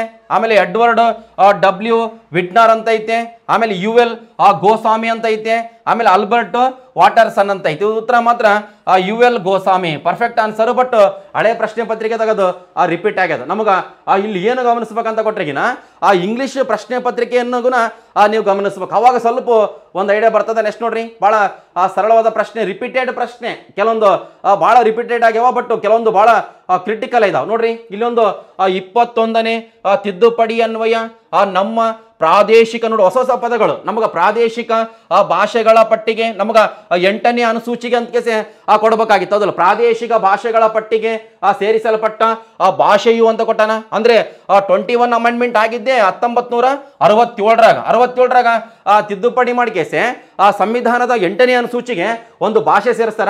ಅದೇ ಯಾವ್ದಂತ ಕೊಟ್ಟನ? ಇಲ್ಲಿ ಓರಿಯಾ ಅಂತ ಐತೆ ಆಮೇಲೆ ಕಾಶ್ಮೀರಿ ಅಂತ ಐತೆ ಆ ಸಿಂಧಿ ಅಂತ ಐತೆ ಆಸಾಮಿ ಅಂತ ಇಲ್ಲಿ ಏನಂತ ಕೊಟ್ಟರೆಗಿನ ಉತ್ತರ ಸಿಂಧಿ ಅದು. ಹತ್ತೊಂಬತ್ತು ನೂರ ಅರವತ್ತೇಳು ಇಪ್ಪತ್ತೊಂದನೇ ತಿದ್ದುಪಡಿ. ಟೋಟಲ್ ಹದಿನಾಲ್ಕು ಇದ್ದವ ಇದು ಹಾಕಿಸಿ ಹದಿನೈದು ಆಗ್ಯಾವ. ಈಗ ಸದ್ಯಕ್ಕೆ ಇಪ್ಪತ್ತೆರಡು ಇದಾವೆ. ಇದು ಈಸಿ ಪ್ರಶ್ನೆ ನಿಮ್ಗೆ ಆಲ್ರೆಡಿ ಗೊತ್ತಿರ್ತದ. ಮತ್ತು ಇದಕ್ಕೂ ರಿಪೀಟೆಡ್ ಈ ಕೆಳಗಿನವುಗಳಲ್ಲಿ ಯಾವುದು ಭಾರತದ ಪ್ರಧಾನ ಸಲಹಾ ವರ್ಗವಾಗಿದೆ? ನೀವು ಒಂದು ತಿಳ್ಕೊಬೇಕ್ರಿ. ಇಲ್ಲಿ ಪದಗಳು, ಕೆಲವೊಂದು ಹೊಸ ಪದಗಳು ಬಂದವ. ಹಳೆ ಪ್ರಶ್ನೆನೇ ಹಳೆ ಪ್ರಶ್ನೆನೇ ಹೊಸ ಪದಗಳು ಬಂದವ. ನೋಡ್ರಿ ಇಲ್ಲಿ. ನಮಗ ಈ ಕೆಳಗಿನವುಗಳಲ್ಲಿ ಯಾವುದು ಭಾರತದ ಪ್ರಧಾನ ಸಲಹಾ ವರ್ಗವಾಗಿದೆ. ಸಲಹಾ ಮಂಡಳಿ ನೋಡ್ರಿ ಆ ಒಂದು ಸಲಹಾ ಸಂಸ್ಥೆ ಥಿಂಕ್ ಟ್ಯಾಂಕ್ ಅಂತ ಕೇಸಿ ನಾವು ಆ ನೀತಿ ಆಯೋಗದ ಬಗ್ಗೆ ಆ ಸ್ಟಡಿ ಮಾಡಿವಲ್ಲಪ್ಪ. ನೋಡ್ರಿಲ್ಲಿ, ಆ ರೈಲ್ವೆ ಮಂಡಳಿ ಅಂತ ಐತೆ, ಆಮೇಲೆ ಕೇಂದ್ರ, ಆ ಮಾಲಿನ್ಯ ನಿಯಂತ್ರಣ ಮಂಡಳಿ ಅಂತ ಐತೆ, ಆಮೇಲೆ ನೀತಿ ಆಯೋಗ ಅಂತ ಐತೆ, ಆಮೇಲೆ ತೆರಿಗೆ ನೇರ ತೆರಿಗೆಗಳ ಕೇಂದ್ರ ಮಂಡಳಿ ಅಂತ. ಉತ್ತರ ಮಾತ್ರ ಆ ನೀತಿ ಆಯೋಗ. ಇಷ್ಟು ನಿಮಗೆ ಗೊತ್ತಿರ್ಬೇಕು. ಹಳೆ ಪ್ರಶ್ನೆ ಪತ್ರಿಕೆದಾಗ ಇದು ಇದೆ. ನೀವು ಹಾಕಿರ್ತೀರಿ. ಈಸಿ ಇದೆ. ಬಟ್ ಕೆಲವೊಂದಷ್ಟೇ ಏನಾಗಿ ಹೇಳ್ರಿ ಕನ್ಫ್ಯೂಸ್ ಆಗ್ಯಾವ. ಬಟ್ ಇಂಗ್ಲೀಷ್ ಮಾತ್ರ ಗಮನಿಸ್ಬೇಕು ನೀವು. ಇಲ್ಲ ಅಂತಂದ್ರೆ ಏನು ಕೆಲಸ ಆಗೋದಿಲ್ಲ. ನೋಡ್ತಾ ನೋಡ್ತಾ ನಿಮ್ಗೆ ಆಟೋಮೆಟಿಕ್ ಆಗಿ ಗೊತ್ತಾಗ್ಬೇಕು. ನೋಡ್ರಿ. ಹಳೆ ಪ್ರಶ್ನೆ ಪತ್ರಿಕೆ, ಇದು ಹೊಸ ಪ್ರಶ್ನೆ. ಹೊಸ ಹೊಸ ಪ್ರಶ್ನೆ ಅಂದರೆ ಹೊಸ ಪ್ರಶ್ನೆ. ಬಂತು ಒಂದು ಸಂವಿಧಾನಕ್ಕೆ ಸಂಬಂಧಪಟ್ಟಂತೆ. ಬಟ್ ಒಂದು ಏನು ಮಾಡ್ಬೇಕು ಹೊಸ ಪ್ರಶ್ನೆ ಬಂದರೆ ಬರಲಿ. ಹೊಸ ಪ್ರಶ್ನೆ ಬಂದರೆ ಏನ ಯೋ ಓ ಟಫ್ ಕೇಳಿದ ಟಫ್ ಕೇಳಿದ ಸಲ್ಲ. ಒಂದು, ಎರಡು, ಇಲ್ಲ ಹತ್ತು, ಇಲ್ಲ ಹದಿನೈದು ಇರ್ತಾವ ಅಂತಿಕಾರೆ ಅವ್ರನ್ನ ಅಪ್ಡೇಟ್ ಮಾಡ್ಕೊಬೇಕು ಉತ್ತರ ನಾವು ತಿಳ್ಕೊಂಡ್ಬಿಡೋಕೆ ಆಟೋಮೆಟಿಕ್ ಆಗಿ ತಲೆಗ, ಆ, ಸೇವ್ ಮಾಡ್ಕೋಬೇಕು ಇಲ್ಲಿ ನೋಡ್ರಿ ಇಲ್ಲಿ ಭಾರತ ಸಂವಿಧಾನದ ಈ ಕೆಳಗಿನ ಯಾವ ವಿಧಿಯು ಭಾರತದ ರಾಜ್ಯವನ್ನು ದಾವೆಗೆ. ನೋಡ್ರಿ ಹೊಸ ಹೊಸ ಪ್ರಶ್ನೆ ರೀ. ಇದುವರೆಗೆ ಇದು ರಿಪೀಟೇ ಆಗಿಲ್ಲ. ಭಾರತದ ರಾಜ್ಯವನ್ನು ದಾವೆಗೆ ಗುರಿ ಮಾಡುವುದಕ್ಕೆ ಸಂಬಂಧಿಸಿದೆ ಅಂತ ಕೊಟ್ಟಾನ. ಇಲ್ಲಿ ನೂರನೇ ವಿಧಿ ಇನ್ನೂರನೇ ವಿಧಿ ತ್ರಿ ಮುನ್ನೂರನೇ ವಿಧಿ, ಮುನ್ನೂರ ಮೂವತ್ತೊಂದು ಕೊಟ್ಟ ಉತ್ತರ ಇದಕ್ಕೆ. ಮುನ್ನೂರನೇ ವಿಧಿ. ನಿಮಗೆ ಇದ್ರ ಬಗ್ಗೆ ಕಾನ್ಸ್ಟಿಟ್ಯೂಷನ್ ಹೇಳೋ ಟೈಮಿಗೆ ಇದ್ರ ಬಗ್ಗೆ ಎಕ್ಸ್ಪ್ಲೇಷನ್ ಮಾಡ್ತೇನೆ ಅಂತ ಬಟ್ ಇದು ಉತ್ತರ ಮಾತ್ರ ಆರ್ಟಿಕಲ್ ತ್ರೀ ಹಂಡ್ರೆಡ್ ಗೊತ್ತಿರಬೇಕು. ಮತ್ತೆ ಈ ಸಂತಾನಮ್ ಐತಲ್ಲ already K P S C ಎಕ್ಸಾಮ್ನಾಗ repeat ಆಗ್ಯದ. ಸಂತಾನಮ್ ಕಮಿಟಿಯು ಈ ಕೆಳಗಿನ ಯಾವುದಕ್ಕೆ ಸಂಬಂಧಿಸಿದೆ ಅಂತ ಕೊಟ್ಟನ. ಅಂದ್ರೆ ಬಹಳ ಪ್ರಮುಖ ಒಂದು ಭ್ರಷ್ಟಾಚಾರ ನಿಯಂತ್ರಣ, ಇನ್ನೊಂದು ಚುನಾವಣಾ ಸುಧಾರಣೆ, ಇನ್ನೊಂದು ಕೇಂದ್ರ ಮತ್ತು ರಾಜ್ಯ ಸಂಬಂಧಗಳು ಬಹಳ ಆ, ನೋಡ್ರಿ ಒಂದು ತಿಳ್ಕರಿ. ನಮಗ ಆ ಕೇಂದ್ರ ಮತ್ತು ರಾಜ್ಯ ಸಂಬಂಧಗಳು ಬಂದ್ರಗಿನ ನಮಗ ಸರ್ಕಾರಿ ಆಯೋಗ ನೆನ್ಬರ್ಬೇಕು. ಸರ್ಕಾರಿ ಆಯೋಗ ಅಂತ ಅಂದ್ರಿಗಿನ ಕೇಂದ್ರ ಮತ್ತು ರಾಜ್ಯ ಆ ಸಂಬಂಧಗಳು ನಮಗ ಆಮೇಲೆ ಆ ನದಿ ನೀರಿನ ಹಂಚಿಕೆ ಅಂತ ಐತೆ. ಇದು ಉತ್ತರ ಮಾತ್ರ ಆ ಸಂತಾನಂ ಕಮಿಟಿಗೆ ಆ ಭ್ರಷ್ಟಾಚಾರ ಆ ನಿಯಂತ್ರಣ. ಇಷ್ಟು ನಿಮಗೆ ಗೊತ್ತಿರಬೇಕು. ಭಾಳ ಇಂಪಾರ್ಟೆಂಟ್ ನಿಮ್ಗೆ ಅದು ಹಾಕಿರ್ತೀರಿ. ಯಾಕಂದ್ರೆ ಪ್ರಶ್ನೆ ಆಲ್ರೆಡಿ ಕೇಳಿದ್ದಾನೆ ಕರೆಕ್ಟಾಗಿ ಅಪ್ಡೇಟ್ ಮಾಡ್ತೀನಿ ಅಷ್ಟು ನೋಡ್ರಿ ಭಾಳ ನೋಡ್ರಿ ಇನ್ನೊಂದು ತಿಳ್ಕೊಬೇಕು. ಇನ್ನೊಂದೇನು ಗೊತ್ತಾ? ಕಾನ್ಸ್ಟಿಟ್ಯೂಷನ್ಗೆ ಸಂಬಂಧಪಟ್ಟಂತೆ ಒಂದೆರಡು ಪ್ರಶ್ನೆ ಹೊಸವು ಬಂದ್ಬಿಟ್ಟಾವು. ಹೊಸ ಅಂದ್ರೆ ಇದೇ ಫಸ್ಟ್ ಬಂದಿದೆ ಎಲ್ಲಿ? ರಿಪೀಟ್ ಆಗಿಲ್ಲ. ಅದ್ರಾಗ ಇಲ್ಲಿ ಇಲ್ಲೊಂದು ಪ್ರಶ್ನೆ ಐತೆ ನೋಡ್ರಿ. ಭಾರತ ಸಂವಿಧಾನದ ಎಷ್ಟನೇ ತಿದ್ದುಪಡಿಯು ಆಡಳಿತಾತ್ಮಕ ನ್ಯಾಯಾಲಯಗಳ ಸ್ಥಾಪನೆಗೆ ಅವಕಾಶ ಮಾಡಿಕೊಟ್ಟಿದೆ ಅಂತ ಇಲ್ಲಿ ನಲವತ್ತನೇ ತಿದ್ದುಪಡಿ, ನಲವತ್ತೆರಡನೇ, ನಲವತ್ನಾಲ್ಕನೇ ತಿದ್ದುಪಡಿ, ನಲವತ್ತೆರಡನೇ ತಿದ್ದುಪಡಿ, ನಲವತ್ತೆಂಟನೇ ತಿದ್ದುಪಡಿ ಅಂತ ಐತೆ. ನಮಗೇನು ಗೊತ್ತಿಲ್ಲಪ್ಪ ಅಂತಂದ್ರೆ ಇನ್ನು ನಾವೇನಂತ ಹಾಕ್ಬೇಕು ಹೇಳ್ರಿ? ಫಾರ್ಟಿ ಸೆಕೆಂಡ್ ಹಾಕ್ಬೇಕು. ಯಾಕಂದ್ರೆ ಇದನ್ನ ಆ ಮಿನಿ ಸಂವಿಧಾನ ಅಂತ ಕರೀತಾರೆ ಚಿಕ್ಕ ಸಂವಿಧಾನ ಅಂತ ಕರೀತಾರೆ ಪುಟ್ಟ ಸಂವಿಧಾನ ಅಂತ ಕರೀತಾರೆ. ಬಹಳಷ್ಟು ತಿದ್ದುಪಡಿಗಳನ್ನು ಆದಂಥ ಯಾವುದಾದ್ರೂ ಒಂದು ತಿದ್ದುಪಡಿ ಇದ್ರಿಗಿನ ಅದು ನಲವತ್ತೆರಡನೇ ತಿದ್ದುಪಡಿ ಹತ್ತೊಂಬತ್ತು ನೂರ ಉತ್ತರ ಇದಕ್ಕೆ? ಆ ಫಾರ್ಟಿ ಸೆಕೆಂಡ್ ಅಮೆಂಡ್ಮೆಂಟ್ ಗೊತ್ತಿರಲಿ. ಮತ್ತಿದು ಆ, ತುಂಬಾ ಸುಲಭದ ಪ್ರಶ್ನೆ. ನೋಡ್ರಿ ಆ, ಪ್ರಸ್ತುತ ಸಾರ್ಕಿನ ಆ, ಸದಸ್ಯ ರಾಷ್ಟ್ರಗಳ ಸಂಖ್ಯೆ ಎಷ್ಟು ಅಂತ ಐತೆ ಇಲ್ಲಿ ಐದು ಇಲ್ಲಿ ಆರು ಆಮೇಲೆ ಹನ್ನೆರಡು ಆ ಎಂಟು ಅಂತ ಉತ್ತರ ಎಂಟು ಇದು. ನಮ್ಗೆ ಸಾರ್ಕ್ ಅಂದ್ರೆ ಹತ್ತೊಂಬತ್ತು ನೂರ ನಮಗೆ ಎಂಬತ್ತೈದು ಡಿಸೆಂಬರ್ ಎಂಟನೇ ತಾರೀಕಿಗೆ ಹೌದಲ್ಲ? ಸಾರ್ಕ್ನ ಕೇಂದ್ರ ಕಚೇರಿ ಆ ನೇಪಾಳದ ಆ ಕಟ್ಮಂಡು ಸಾರ್ಕ್ನ ಮೊದಲ ಶೃಂಗಸಭೆ ನಿಮ್ಗೆ ಆ ಬಾಂಗ್ಲಾದೇಶದ ಡಾಕಾ ಅವೆಲ್ಲ ನಿಮ್ಗೆ ಆ, ಗೊತ್ತಿದೆ. ನೆಕ್ಸ್ಟ್ ನೋಡ್ರಿ ಇಂಪಾರ್ಟೆಂಟು ಒಂದೊಂದೇ ತಿಳ್ಕೊಬೇಕ್ರಿ. ಅಂದ್ರೆ ಒಂದು ನೀವು ನೆನ್ಪಿಟ್ಕೋಬೇಕು. ಏನು ಗೊತ್ತಾ? ಪ್ರಶ್ನೆಗಳು ಮಾತ್ರ ಬಹಳ ಸುಲಭ ಇದಾವೆ. ಕೆಲವೊಂದು ಏನಾಗಿ ಹೇಳ್ರಿ, ಆ ಕನ್ಫ್ಯೂಸ್ ಇದಾವೆ. ಇಷ್ಟು ಇಂಪಾರ್ಟೆಂಟ್ ಐತೆ. ನಮಗಿಲ್ಲಿ, ಆ ಮಿಷನ್ ಆ, ಕರ್ಮಯೋಗಿ ಅಂತ ಐತಿ. ಇದಕ್ಕೂ ಒಂಥರ ಆ, ಯೋಜನೆನೇ ಹಳೇದು. ಅಂದ್ರೆ, ಹಳೇದಂದ್ರೆ ಒಂದು ಎರಡ್ ಸಾವಿರದ ಇಪ್ಪತ್ತರಗಳದ್ದು ಬಟ್ ಅಪ್ಡೇಟ್ ಮಾಡ್ಕೋಬೇಕು. ಅಂದ್ರೆ ಇನ್ನೊಂದೇನು ಗೊತ್ತಾ? ಆ ಕಾಲ್ಫಾರ್ಮ್ ಆಗಿ ಭಾಳ ದಿನ ಆಯ್ತಲ್ಲ. ಅದಕ್ಕೆ ಒಂದು ಹಳೆ ಪ್ರ, ಇವು ಕರೆಂಟ್ ಅಫೇರ್ಸ್ ಬಂದವ. ಇರ್ಲಿ ನೆನ್ಪಿಟ್ಗಾರ ಅಷ್ಟೇ ನಮಗ, ಆ ಮಿಷನ್ ಕರ್ಮಯೋಗಿ ಕಾರ್ಯಕ್ರಮದ ಉದ್ದೇಶ ಅಂತ ಕೊಟ್ರಿಗಿನ ನೋಡ್ರಿ ಇಲ್ಲಿ ನಾಗರಿಕ ಸೇವೆಯ ಸಾಮರ್ಥ್ಯ ವೃದ್ಧಿಯ ರಾಷ್ಟ್ರೀಯ ಕಾರ್ಯಕ್ರಮ, ಆಮೇಲೆ ಆ ಸಾಮಾನ್ಯ ಜನರ, ಆ ಸಾಮರ್ಥ್ಯ ವೃದ್ಧಿಯ ರಾಷ್ಟ್ರೀಯ ಕಾರ್ಯಕ್ರಮ, ಆಮೇಲೆ ರೈತ ಸಾಮರ್ಥ್ಯದ, ರೈತರ ಸಾಮರ್ಥ್ಯದ ವೃದ್ಧಿಯ ರಾಷ್ಟ್ರೀಯ ಕಾರ್ಯಕ್ರಮ, ಆಮೇಲೆ ಕಾರ್ಮಿಕ, ಕಾರ್ಮಿಕರ ಸಾಮರ್ಥ್ಯದ ವೃದ್ಧಿಯ ರಾಷ್ಟ್ರೀಯ ಕಾರ್ಯಕ್ರಮ ಅಂತ ಐತೆ. ಉತ್ತರ ಮಾತ್ರ ಆಪ್ಷನ್ ಸಿ, ನಾಗರಿಕ ಸೇವೆಯ ಸಾಮರ್ಥ್ಯ ವೃದ್ಧಿಯ ರಾಷ್ಟ್ರೀಯ ಕಾರ್ಯಕ್ರಮ. ನೋಡ್ರಿ ನಿಮ್ಗೆ, ಆ ಸಿವಿಲ್ ಸರ್ವಿಸಿಗೆ ಸಂಬಂಧಪಟ್ಟಂತೆ, ಓ ಮಿಷನ್ ಕಾರ್ಯಕ್ರಮ ಮಿಷನ್ ಆ ಕರ್ಮಯೋಗಿ ಅಂತ ಒಂದು ಸ್ಕೀಮ್ ಐತೆ. ಅನ್ಕಸ್ ನೀವು ಅಪ್ಡೇಟ್ ಮಾಡ್ಕೋಬೇಕು ಇಂಥ ಸ್ಕೀಮ್ ಇಂಥ ಉದ್ದೇಶ ಐತೆ ಅನ್ಕಸ್ ಅವಾಗ ನಿಮ್ಗೆ ಮುಂದಿನ ಒಂದು ಯಾವುದಾದ್ರೂ ಒಂದು ಎಕ್ಸಾಮ್ನಾಗ ಏನೋ ರಿಪೀಟ್ ಆದ್ರಿಗಿನ ಹಾಕಂತ ಕೆಪಾಸಿಟಿ ಡೆವಲಪ್ ಆಗ್ತದ. ನೆಕ್ಸ್ಟ್ ನೋಡ್ರಿ ಇಂಪಾರ್ಟೆಂಟ್ ಇನ್ನೊಂದು ಬಹಳ ಸುಲಭದ ಪ್ರಶ್ನೆ. ನಿಮಗೆ ಹೈಕೋರ್ಟ್ ಬಗ್ಗೆ ಓದುವ ಸಂದರ್ಭದಲ್ಲಿ ಓದಿರ್ತೀರಿ.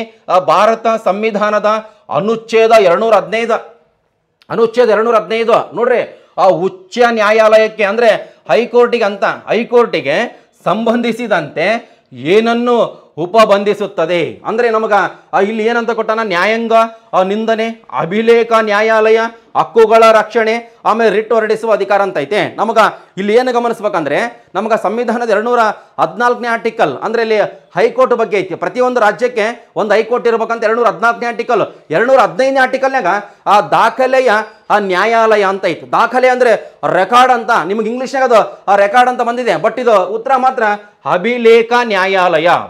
ಆ, ಪ್ರಮುಖ ನೋಡ್ರಿ ಅಭಿಲೇಖ ನ್ಯಾಯಾಲಯ ಸಂವಿಧಾನದ ಆ ಎರಡ್ನೂರ ಹದಿನೈದನೇ ವಿಧಿ. ಅದಕ್ಕೆ ಉತ್ತರ ಮಾತ್ರ ಆಪ್ಷನ್ಸ್ ಎರಡು ಆಪ್ಷನ್ಸ್ ಬಿ ಸರಿಯಾದ ಉತ್ತರ. ನೋಡ್ರಿ, ಬೇಕಾದ್ರೆ ಆಟೋಮೆಟಿಕ್ ಇಂಗ್ಲೀಷ್ ನಿಮ್ಗೆ ಗೊತ್ತಾಗಿ ಬಿಡ್ತಾವೆ ಇಂಗ್ಲೀಷ್ ನೋಡ್ತಾ ನೋಡ್ತಾ ನಿಮ್ಗೆ ಆಟೋಮೆಟಿಕ್ ನಾಲೆಜ್ ಬರ್ತದ. ಬಟ್ ನಿಮ್ಗೆ ಇದ್ರ ಬಗ್ಗೆ ಮುಂದಿನ ಒಂದು ತರಗತಿಯಲ್ಲಿ ನೋಡೋಣ. ನೆಕ್ಸ್ಟ್ ಇದೆ. ನೆಕ್ಸ್ಟ್ ಪ್ರಶ್ನೆ ಇದೆ. ಮತ್ತೆ ಒಂದೊಂದು ಹೊಸವು ನೋಡ್ರಿ. ಹೊಸ ಒಂದು ಪುಸ್ತಕಗಳು ಕೇಳೋಣ. ಹೊಸ ಪುಸ್ತಕಗಳನ್ನ ನಾವು ಅದನ್ನ ನೋಡ್ಕೊಂಡು ಇಟ್ಕೊಂಡಿರ್ಬೇಕಂತ. ನೋಡ್ರಿ ಇಲ್ಲಿ ಹೆಂಗಿದೆ? ಪ್ರಶ್ನೆ ಯಾವ ರೀತಿ ಇದಾವ? ನೋಡ್ರಿ, ಇದು ಇದಂತರೂ ಭಾಳ ಫೇಮಸ್ ಇತ್ತೀಚೆಗೆ ಆ, ಕೇಶವಾನಂದ ಭಾರತಿ. ಅಂದ್ರೆ ಇತ್ತೀಚೆಗೆ ಆ ಕೇಶವಾನಂದ ಭಾರತಿ ಕೇಸ್ ಅಂತ ಅಂದ್ರೆ ವರ್ಸಸ್ ಕೇರಳ ಹತ್ತೊಂಬತ್ತು ನೂರ ಎಪ್ಪತ್ಮೂರು. ಅದಾದಲ್ಲ ಅದು ಓದಿದೀವಲ್ಲಪ್ಪ ಅದರಂಗೆ ಇಲ್ಲಿ ನಮಗ ಕೇಶವಾನಂದ ಭಾರತಿ ರೀಸೆಂಟ್ ಆಗಿ ಅವರು ಡೆತ್ ಆದ್ರು ನಿಧನರಾದರು. ಇವರು ಸುಪ್ರೀಂ ಕೋರ್ಟಿನ ಈ ಹೇಳಿಕೆ ಈ ಕೆಳಗಿನ ಯಾವ ನಿರ್ಧಾರಗಳಿಗೆ ಅರ್ಜಿದಾರರಾಗಿದ್ದಾರಂತ. ಐತಿ ನಮಗಿಲ್ಲಿ ಒಂದನೇದು ನೋಡ್ರಿ ಆ, ಮೂಲಭೂತ ಹಕ್ಕುಗಳು ಆ, ಸ್ವತಂತ್ರವಾಗಿವೆ. ಆಮೇಲೆ ಎರಡನೇದು ಆ, ಸಂವಿಧಾನದ ಮೂಲ ರಚನೆಗೆ ಆ, ರಚನೆಯನ್ನು ತಿದ್ದುಪಡಿ ಮಾಡಲಾಗುವುದು. ಆಮೇಲೆ ಮಾಡಲಾಗದು ಮತ್ತೆ ಮಾಡಲಾಗುವುದಲ್ಲ ಮಾಡಲಾಗದು. ಆಮೇಲೆ ಮಾಹಿತಿ ಹಕ್ಕು ಆಮೇಲೆ ಸಂಸತ್ತು. ಆ, ಶ್ರೇಷ್ಠವಾದದ್ದು ಅಂತ ಐತೆ. ನಮಗೆ ಒಂದು ತಿಳ್ಕೋಬೇಕು. ನಮಗೇನ ಆ ಕೇಶವಾನಂದ ಭಾರತಿ ವರ್ಸಸ್ ಆ ಕೇರಳ ಸರ್ಕಾರ ಹತ್ತೊಂಬತ್ತು ನೂರ ಅಂತ ಬಂದ್ರೆ ಅಲ್ಲಿ ಇಂಪಾರ್ಟೆಂಟ್ ಒಂದು ಪದ. ಯಾವ ಪದ ಅಂತ ಕೊಟ್ರೆಗಿನ ಮೂಲ ಸಂರಕ್ಷಣೆ. ನಮಗ ಆ ಬೇಸಿಕ್ ಸ್ಟ್ರಕ್ಚರ್ ಎಂಬ ಪದ ಐತಲ್ಲ ಆ ಒಂದು ಪದ ಆ ಒಂದು ಈ ಕೇಸಿಗೆ ಸಂಬಂಧಪಟ್ಟಿದ್ದು. ಯಾವ ಕೇಸಿಗಳ್ರಿ? ಆ ಕೇಶವಾನಂದ ಭಾರತಿ ಆ ವರ್ಸಸ್ ಕೇರಳ ಸರ್ಕಾರ. ಬಹಳ ಫೇಮಸ್ ಬಟ್ ಅದಕ್ಕೆ ಉತ್ತರ ಮಾತ್ರ ಏನಂತ ಕೊಟ್ಟರೆ ಆಪ್ಷನ್ಸ್ ಬಿ ಎಚ್ ನೋಡ್ರಿ. ಅಂದ್ರೆ ಸಂವಿಧಾನದ ಮೂಲ ಸಂರಚನೆಯನ್ನು ತಿದ್ದುಪಡಿ ಮಾಡಲಾಗದು. ಇದು ಇಂಪಾರ್ಟೆಂಟ್ ನಿಮ್ಗೆ ಆಲ್ರೆಡಿ ಗೊತ್ತಿದ್ದ ವಿಚಾರಣೆ ಬಟ್ ಇನ್ನೊಂದು ಹೊಸದು ಒಂದು ಇಂಪಾರ್ಟೆಂಟ್ ಪುಸ್ತಕ ಬಂತು ನೋಡಪ್ಪ. ನೀತಿ ಸಾರ ಸಂಗ್ರಹ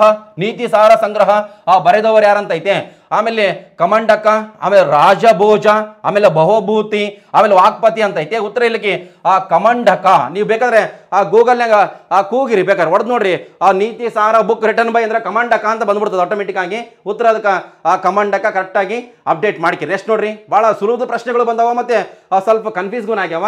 ಆ, ನೋಡ್ಕೇಸೆ ಅಪ್ಡೇಟ್ ಮಾಡ್ಕಿ. ನೋಡ್ರಿ ಇಪ್ಪತ್ತು ಎರಡನೇ ಪ್ರಶ್ನೆ ಇಪ್ಪತ್ತೆರಡನೇ ಪ್ರಶ್ನೆ. ನೋಡ್ರಿ ಇಪ್ಪತ್ತೆರಡನೇ ಪ್ರಶ್ನೆ ಸ್ವಲ್ಪ ಏನಂದ್ರಗಿನ ಕನ್ಫ್ಯೂಸ್ ಐತಿ ನೋಡ್ರಿ ನಮಗೆ ಇಪ್ಪತ್ತೆರಡನೇದ್ದು, ಉತ್ತರ ವೇದದ ಸಾಹಿತ್ಯದ ಬರವಣಿಗೆ ಇರುವುದು ಅಂತ ಕೊಟ್ಟಾನ. ಉತ್ತರ, ವೇದದ ಸಾಹಿತ್ಯದ ಬರವಣಿಗೆ ಇರುವುದು. ನೋಡ್ರಿ ಅರಣ್ಯಕಗಳಲ್ಲಿ ಮತ್ತು ಉಪನಿಷತ್ತುಗಳಲ್ಲಿ, ಆಮೇಲೆ, ಆ ಬ್ರಾಹ್ಮಣಗಳಲ್ಲಿ ಬ್ರಾಹ್ಮಣಗಳಲ್ಲಿ ಮತ್ತು ಆ ಸೂತ್ರಗಳಲ್ಲಿ, ಆಮೇಲೆ ಸೂತ್ರಗಳಲ್ಲಿ ಮತ್ತು ಸ್ಮೃತಿಗಳಲ್ಲಿ. ನಾಲ್ಕನೇದು, ಮೇಲಿನ ಎಲ್ಲವು. ನಮಗೇನೋ ಬೈ ಚಾನ್ಸ್ ಗೊತ್ತಾಗಿಲ್ಲ ಅಂದರೆ, ಆ ಮೇಲಿನ ಎಲ್ಲವು. ಅದು ಉತ್ತರ ಮಾತ್ರ ನೈಂಟಿ ನೈನ್ ಪರ್ಸೆಂಟೇಜ್ ಆಗಿರ್ತದೆ, ಉತ್ತರ ಇದೆ. ಯಾವ್ದು ಹೇಳ್ರಿ? ಆ ಮೇಲಿನ, ಆ ಎಲ್ಲವು ಮತ್ತು ಇನ್ನೊಂದು ಹೊಸ ಪ್ರಶ್ನೆ ಮತ್ತು ಈಸಿ ಪ್ರಶ್ನೆ. ಎಲ್ಲರಿಗೆ ಗೊತ್ತಿರೋಂಥ ವಿಚಾರ. ಕನ್ನಡದ ಪಂಚತಂತ್ರ ಕೃತಿಯ ಕರ್ತು ನೋಡಿ ರಣರಾಜ. ನೋಡ್ರಿ ಆ ರಣರಾಜ ಹಾಕಿರಿ ಅಂತೀನಿ? ಹೌದಲ್ಲ, ರಣರಾಜ, ಆಮೇಲೆ ಎರಡನೇ, ಆ ವಿಕ್ರಮಾದಿತ್ಯ, ಆಮೇಲೆ ಆ ದುರ್ಗಾಸಿಂಹ, ಆಮೇಲೆ ಆ ವಿನಯದಿತ್ತ. ಉತ್ತರ ಇದಕ್ಕೆ ಆ ದುರ್ಗಾಸಿಂಹ ಗೊತ್ತಿದೆ ಆಲ್ರೆಡಿ ಪ್ರಶ್ನೆ ಪತ್ರಿಕೆ ಎಸ್ ಡಿ ಎಫ್ ಆ ಭಾಳ ಸಲ ಅದು, ಆ ಬಂದದ ಹೌದಲ್ಲ, ನಿಮ್ಗೆ ಆಲ್ರೆಡಿ ಇದು,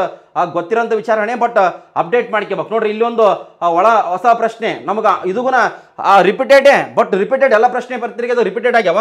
ಮೌರ್ಯರ ಕಾಲದಲ್ಲಿದ್ದ ಆಡಳಿತ ಭಾಷೆ ಯಾವುದು? ಮೌರ್ಯರ ಕಾಲದಲ್ಲಿ, ನೋಡ್ರಿ, ಪ್ರಾಕೃತ, ಆ ಪ್ರಾಕೃತ ಅಂತ ಐತೆ, ಸಂಸ್ಕೃತ ಅಂತ ಐತೆ, ಅರ್ಧ ಮಗಾದಿ ಅಂತ ಐತೆ, ಕರೋಷ್ಠಿ ಅಂತ ಐತಿ. ಉತ್ತರ ಇಲ್ಲಿ ಅರ್ಧ ಮಗಾದಿ. ನಮ್ಗೆ ಅರ್ಧ ಮಗಾಡಿ ಅಂದ್ರೆ ಒಂದೇ, ಅರ್ಧ ಆ ಮಗಾದಿ ಅಂದ್ರೆ ಒಂದೇ. ಅಂದ್ರೆ ಆ ಮೌರ್ಯರ ಕಾಲದಲ್ಲಿ ಆಡಳಿತ ಭಾಷೆ ಯಾವುದು ಅಂತ ಕೊಟ್ಟ ನೋಡಿಕೆಸೆ ಅರ್ಧ ಮಗಾದಿ. ಆಲ್ರೆಡಿ ಆ ಪ್ರಶ್ನೆ ಪತ್ರಿಕೆ ಇದಗುನ ರಿಪೀಟೆಡ್ ಗೊತ್ತಿರಲಿ? ಮತ್ತೆ ಆ ಕೃಷ್ಣದೇವರಾಯನು ರಾಜನೀತಿ ಬಗ್ಗೆ, ಅಂದ್ರೆ ಆ ರಾಜ್ಯಾಡಳಿತದ ಬಗ್ಗೆ ರಾಜ್ಯಾಡಳಿತದ ಬಗ್ಗೆ ರಚಿಸಿದ ಗ್ರಂಥ ಯಾವುದಂತೈತೆ? ನೋಡ್ರಿ, ಜಾಂಬವನ ಆಗ್ಯದ. ಜಾಂಬಾವತಿ ಕಲ್ಯಾಣ ಆಗ್ಬೇಕಾಗಿತ್ತು.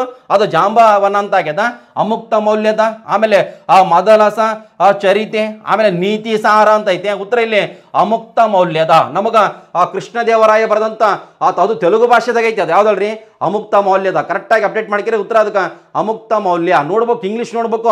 ನಮಗೆ ಕನ್ನಡಕ್ಕಿಂತ ಇಂಪಾರ್ಟೆಂಟ್ ಒಂದೊಂದು ಎರಡೆರಡು ಕ್ವಶನ್ಸ್ ಮಿಸ್ ಆಯ್ತು ಅಂದ್ರೆಗಿನ, ಆ, ಮುಗಿಯುತ್ತೆ ಕತೆ ಯಾವುದಿಲ್ಲ ನೋಡ್ಕೇಸೆ ಅಪ್ಡೇಟ್ ಮಾಡ್ಕೇರಿ. ಕೆಲವೊಂದು ಉತ್ತರಗಳು ಏನಾಗ್ತಾವಲ್ರಿ ಆ ಚೇಂಜ್ಗೂ ಆಗ್ಬೋದು. ಕೆ ಪಿ ಎಸ್ ಅವ್ರು ಬಿಡ್ತಾರೆ ನೋಡ್ಕೊಂತ್ರಿ ಬಟ್ ನಿಮ್ದೊಂದು ಸಮಾಧಾನ, ಹುಡು ಹುಡುಕ್ತಿರ್ತಾರಲ್ಲ, ಅಲ್ಲಿ, ಇಲ್ಲಿ, ಅಲ್ಲಿ, ಅದೆಲ್ಲ, ಆ, ಸಮಾಧಾನ ಆಗಲ್ಲ ಅಂತ. ಕೆಸೆ ಎಷ್ಟು ನೋಡ್ರಿ, ಆ, ಕೀರ್ತಿ ನಾರಾಯಣ ದೇವಾಲಯ ಆ, ಎಲ್ಲಿದೆ ಅಂತ ಐತೆ? ಹಳೆಬೀಡು ಹಳೆಬೀಡ್ದಾಗ ಇಲ್ಲ, ಹೌದಿಲ್ಲಪ್ಪ ಹಳೆಬೀಡು ಆಮೇಲೆ, ಆ, ತಲಕಾಡು. ತಲಕಾಡಿನಾಗಿರೋದು ಯಾವ್ದಳ್ರಿ? ಆ, ಕೀರ್ತಿ ನಾರಾಯಣ ದೇವಾಲಯ. ನಮಗ ಇಲ್ಲಿ ಸೋಮನಾಥದ, ಆ ಸೋಮನಾಥಪುರ ಅಂತ ಐತೆ, ಸೋಮನಾಥಪುರದಾಗ ಆ ಕೇಶವ ದೇವಾಲಯ, ಹಳೆಬೀಡಿನ ಆ ಹೊಯ್ಸಳೇಶ್ವರ ದೇವಾಲಯ, ಬೇಲೂರಿನ ಆ ಚೆನ್ನಕೇಶವ ದೇವಾಲಯ ಅಂತ ನಾವು ಸ್ಟಡಿ ಮಾಡಿವಲ್ಲ, ನಮಗ ಆ ಕೀರ್ತಿ ನಾರಾಯಣ ದೇವಾಲಯ, ಎಲ್ಲೈತೆ ಅಂತ ಕೊಟ್ಟರೆ ಆ ತಲಕಾಡು ಎಂಟನೇ ಕ್ಲಾಸು ಆ ಸಮಾಜ ವಿಜ್ಞಾನ ಪುಸ್ತಕದಲ್ಲಿ ಇದು, ಆ ಕೊಟ್ಟಿದ್ದಾನೆ ಕರೆಕ್ಟಾಗಿ ನೋಡಿಕೆರಿ ಮತ್ತೆ ಎರಡನೇ, ಆ ತರಾಯನ ಕದನ ನಡೆದ ವರ್ಷ ಹನ್ನೊಂದೂರ ತೊಂಬತ್ತೆರಡು ಹನ್ನೊಂದೂರ ತೊಂಬತ್ತೊಂದು ಹನ್ನೊಂದೂರ ತೊಂಬತ್ಮೂರು ಹನ್ನೊಂದೂರ ತೊಂಬತ್ತು ನಾಲ್ಕು ಹನ್ನೊಂದೂರ ತೊಂಬತ್ತೊಂದರಾಗ ಪ್ರಥಮ ತರಾಯಣ್ ಕದನ ಹನ್ನೊಂದು ನೂರ ತೊಂಬತ್ತೆರಡರಾಗ, ಆ ಎರಡನೇ, ಆ ತರಾಯಣ್ ಕದನ. ಎರಡನೇ ತರಾಯಣ್ ಕದನ ಅಂತ ಕೊಟ್ಟಾನ ಇದು ಹನ್ನೊಂದೂರ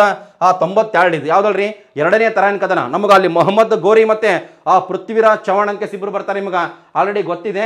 ಕರೆಕ್ಟಾಗಿ ಅಪ್ಡೇಟ್ ಮಾಡ್ಕಿರಿ ಮತ್ತೆ. ನೋಡ್ರಿ ಇತಿಹಾಸದ ಗುಣ ಎಷ್ಟು ರಿಪೀಟೆಡ್ ಆಗ್ಯಾವ. ಮತ್ತೆ ಹೈಸ್ಕೂಲ್ ಬುಕ್ದ ಗುಣ ಇವು, ಆ ಬಂದಾವ. ನೋಡ್ರಿ ಬಿಜಾಪುರದ ಅಂತ ಐತೆ. ಬಿಜಾಪುರದ ಆ ಗೋಲ ಗುಮ್ಮಟದ ಆ ನಿರ್ಮಾಪಕರು ಬಿಜಾಪುರದಾಗ ಆ ಗೋಲ್ ಗುಂಬಾಸ್ ಐತಲ್ಲ, ಅದನ್ನ ಯಾರು ಕಟ್ಟಿಸ್ಯಾರ ಅಂತ ಕೊಟ್ಟಾನ? ನೋಡ್ರಿ, ಮೊಹಮ್ಮದ್ ಗೋರಿ. ಮೊಹಮ್ಮದ್ ಗೋರಿ ಯಾಕೆ ಕಟ್ಸ ಹೌದಲ್ಲ, ಮೊಹಮ್ಮದ್ ಗೋರಿ ಹಾಕಿರಿ ಮತ್ತೆ.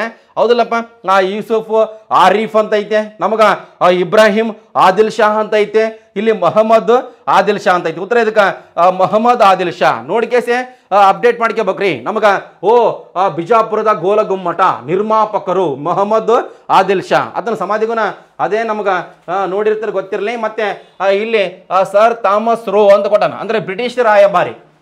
ಅಂದ್ರೆ, ಆ, ಸರ್ ಥಾಮಸ್ ರೋ ಆ ಬ್ರಿಟಿಷ್ ರಾಯಭಾರಿ ಇಂಗ್ಲೆಂಡ್ ದೇಶದಿಂದ ಬಂದಂತ ಆ ರಾಯಭಾರಿ ಅಂಬಾಸಡರ್ ಅಂತ ಅರ್ಥ ನಮಗ ಸರ್ ಥಾಮಸ್ರು ಕೆಳಕಂಡ ಯಾವ ಮೊಘಲ್ ದೊರೆಯ ಆಸ್ಥಾನಕ್ಕೆ ಭೇಟಿ ನೀಡಿದ್ದನು. ನಮಗಿಲ್ಲಿ ಹುಮಾಯಿನ್ ಅಂತ ಐತೆ ಆಮೇಲೆ ಅಕ್ಬರು, ಜಹಾಂಗೀರು, ಆ, ಶಹಜಾನ್ ಅಂತ ಕೊಟ್ಟನ. ನಿಮಗೆ ಆಲ್ರೆಡಿ ಇದು ರಿಪೀಟೆಡ್ ಹೌದಲ್ಲ, ಎಷ್ಟು ಸಲ ರಿಪೀಟ್ ಆಗಿಲ್ಲ ಇದು? ಯಾವ್ದಲ್ರಿ? ಆ, ಜಹಾಂಗೀರ್, ಜಹಾಂಗೀರ್ನ ಮೊದಲ ಹೆಸರೇ, ಆ, ಸಲೀಂ, ಹೌದಲ್ಲಪ್ಪ? ಆ, ಚಿತ್ರಕಲೆಗೆ ಬಹಳ ಫೇಮಸ್ ಆಗಿದ್ದ. ಹೌದಲ್ಲ, ಅಕ್ಬರ್ ಅತ್ಯಂತ ಪ್ರಮುಖ ಅರಸ. ಹುಮಾಯಿನ್ ಅಂದ್ರೆ ಅದೃಷ್ಟವಂತ, ಹೌದಲ್ಲ? ಆಮೇಲೆ ಶಹಜಾನ್ ಆ ನಮಗೆ ಆ ತಾಜ್ಮಹಲ್ ನಿರ್ಮಾಪಕ ನಿಮಗೆ ಆಲ್ರೆಡಿ ಆ ಗೊತ್ತಿದೆ ಕರೆಕ್ಟಾಗಿ ಅಪ್ಡೇಟ್ ಮಾಡಬೇಕು ಮತ್ತೆ ಓದ್ಬೇಕು. ಕೆಲವೊಂದು, ಆ ಕ್ವಶನ್ಗಳು ಏನಾಗಿರ್ತಾವಲ್ರಿ? ಟಫ್ ಆಗಿರ್ತಾವೆ. ಕೆಲವೊಂದು ಕ್ವಶನ್ಗಳು ಆಗಿರ್ತಾವೆ. ಕೆಲವೊಂದು ಕ್ವಶನ್ಗಳು ಕನ್ಫ್ಯೂಸ್ ಇರ್ತಾವೆ. ನೋಡ್ಬೇಕು ಅಷ್ಟೇ. ನಮಗೆ ಏನಂತ ಅಂದು ಕೊಟ್ರೆ, ಏನ ಹಿಂಗೆ Kannada question paper English question paper ನೋಡಿಕೆಸೆ ಸ್ವಲ್ಪ ತಾಳ್ಮೆ, ಸ್ವಲ್ಪ ಪೇಷನ್ಸ್ ಉಳಿಸ್ಕೊಂಡ್ಕೆಸೆ ಆ ಓ ಎಂ ಆರ್ ಸೀಟ್ನಾಗ ಆ ಟಿಕ್ ಹಾಕ್ಬೇಕು. ಕೆಲವೊಬ್ರು ಏನು ರೀ ಎ ಹಾಕಲ್ಲಿ ಬಿ ಹಾಕಿರ್ತೀರಿ, ಬಿ ಹಾಕಲ್ಲಿ ಸಿ ಹಾಕಿರ್ತೀರಿ, ಕೆಲವೊಬ್ರು ಸಿ ಹಾಕಲ್ಲಿ ಡಿ ಹಾಕಿರ್ತೀರಿ, ಕೆಲವೊಬ್ರು ಅಪ್ಲಿಕೇಶನ್ ನಂಬರ್ ಹಾಕಲ್ಲಿ ರೂಲ್ ನಂಬರ್ ಹಾಕಿರ್ತೀರಿ ರೂಲ್ ನಂಬರ್ ಹಾಕಲ್ಲಿ ಅಪ್ಲಿಕೇಶನ್ ನಂಬರ್ ಹಾಕಿರ್ತೀರಿ. ಹಿಂಗ ಕನ್ಫ್ಯೂಸ್ ಆಗಿಬಿಟ್ಟಿರ್ತಾವ. ಬಟ್ ನಿಮ್ ತಪ್ಪಲ್ಲ. ಅದೇನಂದ್ರೆ ಆ ಸಿಚುವೇಶನ್ ಹಂಗಿರ್ತದ ಮುಂದೆ ನೀವು, ಆ ತಿದ್ದಿಕೇಬೇಕ್ರಿ ಮುಂದಿನ ಪರೀಕ್ಷೆಗಳಲ್ಲಿ ಆಟೋಮೆಟಿಕ್ ಏನು ಮಾಡ್ಕೋಬೇಕಲ್ರಿ? ನೀವು ಸುಧಾರಣೆ ಮಾಡ್ಕೋಬೇಕು. ಅದು ಬಿಟ್ಟು ನಾನು ಇಲ್ಲ, ಹಂಗೆ ಮಾಡಿದೆ, ಹಿಂಗೆ ಮಾಡಿದೆ, ಅವೆಲ್ಲ ಬೇಡ. ಬಿಟ್ರೆ ಇವತ್ತು ಎಕ್ಸಾಮ್ ಮುಗಿದ ಮುಗಿದ್ ನೆಕ್ಸ್ಟ್ ಆ ಸ್ಟಡಿ ಸ್ಟಾರ್ಟ್ ಅಂತ. ಮತ್ತೆ ಓದ್ತಾ ಓದ್ತಾ ನಿಮ್ಗೆ ಆಟೋಮೆಟಿಕ್ ಆಗಿ ಆ ಗೊತ್ತಾಗಬೇಕು. ಅದು ಬಿಟ್ಟಿಗೆಸೆ ಆ ಫೀಲ್ ಆಗಕ್ಕೆ ಹೋಗ್ಬಾರ್ದು. ಅದು ನಿಮ್ಗೆ ಗೊತ್ತಿರಲಿ ನೆಕ್ಸ್ಟ್ ಇಪ್ಪತ್ತೊಂಬತ್ತನೇ ಪ್ರಶ್ನೆ. ಮೈಸೂರು ಸಿವಿಲ್ ಸರ್ವಿಸ್ ಪರೀಕ್ಷೆಯನ್ನು ಪರಿಚಯಿಸಿದವರು. ಪಿ ಸಿ ಎಕ್ಸಾಮ್ನ ಕೊಟ್ಟಾನ. ಬೇಕಾದ್ರೆ ಆ ಕ್ವಶನ್ ಪೇಪರ್ಗಳನ್ನ ಚೆಕ್ ಮಾಡ್ರಿ. ಆ ಮೈಸೂರು ಸಿವಿಲ್ ಸರ್ವಿಸ್ ಪರೀಕ್ಷೆಯನ್ನು ಪರಿಚಯಿಸಿದ್ರು ಯಾರು ಕೊಟ್ರಿ? C Rangacharlu T Anand Rao K Sheshadri Iyer, ಆಮೇಲೆ ಸರ್ ಎಂ ವಿಶ್ವೇಶ್ವರಯ್ಯ ಅಂತ ಇದೆ. ಉತ್ತರ ಇದಕ್ಕೆ ನಿಮ್ಗೆ ಗೊತ್ತಿದೆ? ದಿವಾನ್ ಕೆ ಶೇಷಾದ್ರಿ ಅಯ್ಯರ್. ಅದು ನಿಮಗೆ, ಅದು ಗೊತ್ತಿದೆ ಆಲ್ರೆಡಿ ಗೊತ್ತಿದೆ ನಿಮಗೆ ಪ್ರಶ್ನೆ. ನಾವು ಆಮೇಲೆ ಎಷ್ಟು ನೋಡ್ರಿ, ಮೈಸೂರು ಚಲೋ ಚಳುವಳಿಯ, ಆ ಸಂದರ್ಭದಲ್ಲಿ ಮೈಸೂರು ರಾಜ್ಯದ ದಿವಾನರು ಯಾರಾಗಿದ್ದರು ಅಂತ ಇದೆ. ನಮಗೆ ಮೈಸೂರು ಚಲೋ ಚಳವಳಿ ಹತ್ತೊಂಬತ್ ನೂರ ನಲವತ್ತೇಳು ಮೈಸೂರು ಚಲೋ ಚಳವಳಿಯ ಕೇಂದ್ರ, ಬೆಂಗಳೂರಿನ ಬನ್ನಪ್ಪ ಪಾರ್ಕ್, ಅಲ್ಲಿ ಜವಾಬ್ದಾರಿತ ಸರ್ಕಾರಕ್ಕಾಗಿ ಮೈಸೂರು ಗೊತ್ತರಲ್ಲ ಬೆಂಗಳೂರು ಮೈಸೂರು, ಅವಾಗ ಮೈಸೂರಿನ, ಆ ಯಾರಾಗಿದ್ದಾರೆ ಅಂತ ಕೊಟ್ಟಾನ? ಇಲ್ಲಿ ಸರ್ ಮಿರ್ಜಾ ಇಸ್ಮಾಯಿಲ್, ಆಮೇಲೆ ಕಾಂತರಾಜ್ ಅರಸ್, ಆಮೇಲೆ ಅರ್ಕಟ್ ರಾಮಸ್ವಾಮಿ, ಆ ಮೊದಲಿಯರ್, ಆಮೇಲೆ ಸರ್ ಆಲ್ಬಿಯನ್ ಆ ಬ್ಯಾನರ್ಜಿ ಅಂತ ಇದೆ. ಉತ್ತರ ಇದಕ್ಕ? ಸರ್ ಅರ್ಕಟ್ ರಾಮಸ್ವಾಮಿ ಮೊದಲಿಯರ್. ನೋಡ್ಕೆಸೆ ಅಪ್ಡೇಟ್ ಮಾಡ್ಕೇರಿ ಒಂದು, ಒಂದೊಂದು ಹೆಚ್ಚು ಕಡೆ ಮಾತಿರ್ತಾವೆ ನೋಡ್ಕೇಸ್ ಅದನ್ನ ಏನು ಮಾಡ್ಕೋಬೇಕಲ್ರಿ? ಆ, ಸರಿಪಡಿಸ್ಕೋಬೇಕ್ರಿ. ಇನ್ನು ನಿಮಗೆ ಕೆ ಪಿ ಎಸ್ ಆರ್ ಉತ್ತರಗಳು ಆಟೋಮೆಟಿಕ್ ಆಗಿ ಇವತ್ತಿಲ್ಲ ನಾಳೆ ಬಿಡ್ತಾರೆ ನೋಡಿದಾಗ ಇನ್ನೊಂದ್ಸಲ ಏನಾರ ಚೇಂಜಸ್ ಆದರೆ ಆ ಚೇಂಜ್ ಮಾಡೋಣ ಅಂತ. ಕರೆಕ್ಟಾಗಿ ಅಪ್ಡೇಟ್ ಮಾಡ್ಕೇರಿ ಓದ್ರಿ. ಓದ್ತಾ ಓದ್ತಾ ನಿಮಗೆ ಆಟೋಮೆಟಿಕ್ ಆಗಿ ನಿಮಗೆ ಗೊತ್ತಾಗಿ ಬಿಡಬೇಕು ತಿಳ್ಕೊಬೇಕ್ರಿ. ತಿಳ್ಕೊಂತ ತಿಳ್ಕೊಂತ ನಿಮಗೆ ಏನಂತಂದ್ರಗಿನ ಒಂದು ನಾಲೆಜ್ ಇನ್ಕ್ರೀಸ್ ಆಗ್ಬೇಕು ನಿಮಗೆ. ಬರ್ತಾ ಬರ್ತಾ ಆ ಶಾಣೆ ಹೋಗ್ಬೇಕು ಬರ್ತಾ ಬರ್ತಾ ಆ ದಡ್ಡ್ರಾಗದಲ್ಲ ನಮಗೆ ಅವ್ರು ಇವ್ರು ಹೇಳ್ತಿರ್ತಾರ ತಲೆ ಕೆಡಿಸ್ಬಾರ್ದವೆಲ್ಲ ಅದು ಸುಮ್ಮನೆ ಮುಂದೆ ನೋಡಿ ಸ್ಟಡಿ ಮಾಡ್ತಿರ್ಬೇಕು ನಾವು. ಅದು ನಿಮಗೆ ತಿಳ್ಕರಿ ಮತ್ತೆ ಈ ಕೆಳಗಿನ, ಆ, ಕದಂಬ ಅರಸರನ್ನು ಕಾಲಾನುಕ್ರಮದಲ್ಲಿ ಬರೀರಿ ಅಂತ ಐತಿ. ನಿಮ್ಗೆ ಆವಾಗ ಎಕ್ಸಾಮ್ ಮುಗಿದ ತಕ್ಷಣ ನಿಮ್ಗೆ ಒಂದು ನಮ್ಮ ಟೆಲಿಗ್ರಾಮ್ ಗ್ರೂಪ್ನಾಗ ಆ ಒಂದು ಆ ರಾಜ್ಯರದ್ದು ಒಂದು ಒಂದು ಇದಾಗಿದೆ. ಒಂದು ಏನಂದ್ರೆ ಕಾಲಾನುಕ್ರಮದಲ್ಲಿ ಎಷ್ಟು ಜನ ಯಾರ್ಯಾರು ಬರ್ತಾರೆ ಅಂತ ಕೇಸೆ ಅದರಲ್ಲಿ important Mayura Sharma first correct ಇದ್ದ ಪ್ರಮುಖ ರಾಜ, ಮತ್ತೆ ಕದಂಬರ ಸ್ಥಾಪಕ. ಆದ ಅದಾದ್ಮೇಲೆ ಇಂಪಾರ್ಟೆಂಟು ಭಗೀರಥ. ಭಗೀರಥ ಬರ್ತಾನ? ಭಗೀರಥ ನಮಗೆ ಇಂಪಾರ್ಟೆಂಟ್ ಅಲ್ಲ ಯಾವ ಪುಸ್ತಕದಲ್ಲಿ ಕೊಟ್ಟಿಲ್ಲ ಬಟ್ ಆ ವಿಕಿಪೀಡಿಯಾದಾಗ ಐತಿ ಅದು. ಹೌದು, ನಮ್ಗೆ, ಆ, ಭಗೀರಥ, ಆಮೇಲೆ ಕಾಕುಸ್ತ ವರ್ಮ, ಆಮೇಲೆ, ಆ, ಭಗೀರಥ ಆದ್ಮೇಲೆ ಕಾಕುಸ್ತ ವರ್ಮ, ಆಮೇಲೆ, ಆ, ಶಾಂತಿ ವರ್ಮ. ಅಂದ್ರೆ ಇವರು ಅನುಕ್ರಮವಾಗಿನೇ ಇದೆ. ಒಂದು, ಎರಡು, ಮೂರು ನಾಲ್ಕನೇ ಸರಿ. ನೋಡ್ರಿ, ಒಂದು, ಎರಡು, ಮೂರು, ನಾಲ್ಕು ಅಂದ್ರೆ ಆ ಸರಿಯಾದ ಉತ್ತರ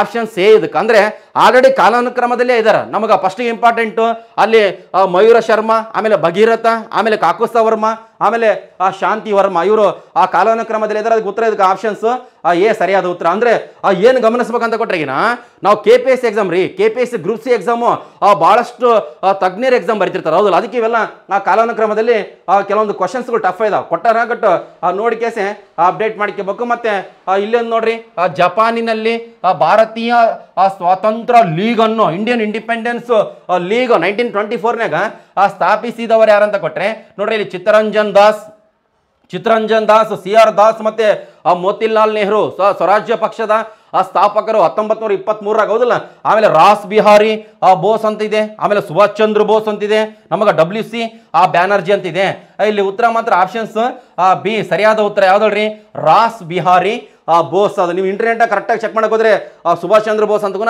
ಆ, ತೋರಿಸ್ತದ. ಬಟ್ ಉತ್ತರ ಅದಕ್ಕೆ, ಆ, ರಾಸ್ ಬಿಹಾರಿ, ಆ, ಬೋಸ್. ಉತ್ತರ ನೋಡಮ್ಮ ಏನು ಕೊಡ್ತಾರೆ ಅಂತ ಕೇಸೆ ಆಟೋಮೆಟಿಕಾಗಿ ನಿಮಗೆ ಗೊತ್ತಾಗಬೇಕು. ನೋಡ್ರಿ ನೆಕ್ಸ್ಟ್ ಈಗ, ಆ, ಮೂವತ್ತೇಳನೇ ಪ್ರಶ್ನೆ. ನಮಗೆ ಇದ್ರನ್ನ ಎದಕ್ಕಪ್ಪ ಸ್ಲೈಡ್ ಮಾಡಿಲ್ಲ ಅಂತ ಕೊಟ್ಟರೆ ಇನ್ನು ನೋಡ್ರಿ ಇದೊಂದು ತಿಳ್ಕೊಬೇಕು ನೀವು. ಸ್ಲೈಡ್ ಎದಕ್ಕೆ ಮಾಡಿಲ್ಲ ಅಂತಂದ್ರೆ ಟೈಮ್ ಇಲ್ಲ ಈಗ. ಹೌದಲ್ಲ, ಅದಕ್ಕೆ ಸ್ಲೈಡ್ ಮಾಡಿಲ್ಲ, ಮತ್ತೆ ಇನ್ನೊಂದೇನಂತಂದ್ರೆ ಈಗ ಕ್ವಶನ್ ಪೇಪರ್ ನೋಡ್ಬೇಕ್ರಿ ನೀವು. ಕ್ವಶನ್ ಪೇಪರ್ ನೋಡ್ಬೇಕು.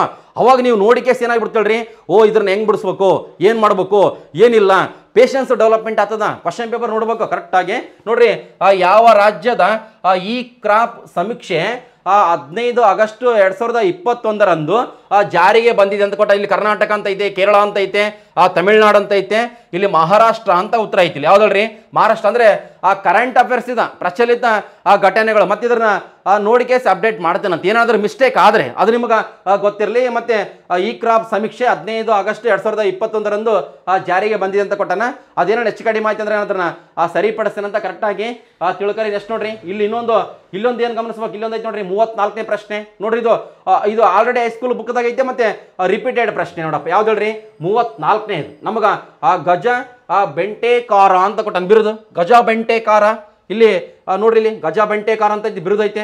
ನಮಗಿಲ್ಲಿ ಏನು ಗಮನಿಸ್ಬೇಕಂತ ಕೊಟ್ರೆಗಿನ ಆ ವಿಜಯನಗರ ಸಾಮ್ರಾಜ್ಯಕ್ಕೆ ಸಂಬಂಧಪಟ್ಟಂತೆ ಒಂದೊಂದು ಪ್ರಶ್ನೆಗಳು ಬಂದಾವ. ವಿಜಯನಗರ ಆ ಸಾಮ್ರಾಜ್ಯಕ್ಕೆ ಆ ಸಂಬಂಧಪಟ್ಟಂತೆ. ನೋಡ್ತಾ ನೋಡ್ತಾ ಆಟೋಮೆಟಿಕ್ ಆಗಿ ನಿಮ್ಗೆ ಏನಾಗ್ಬೇಕು ಹೇಳ್ರಿ ತಿಳ್ಕೊಬೇಕು. ಇಲ್ಲಿ ಆ ಗಜ ಬೆಂಟೆಕಾರ ಇಲ್ಲಿ ನೋಡ್ರಿ.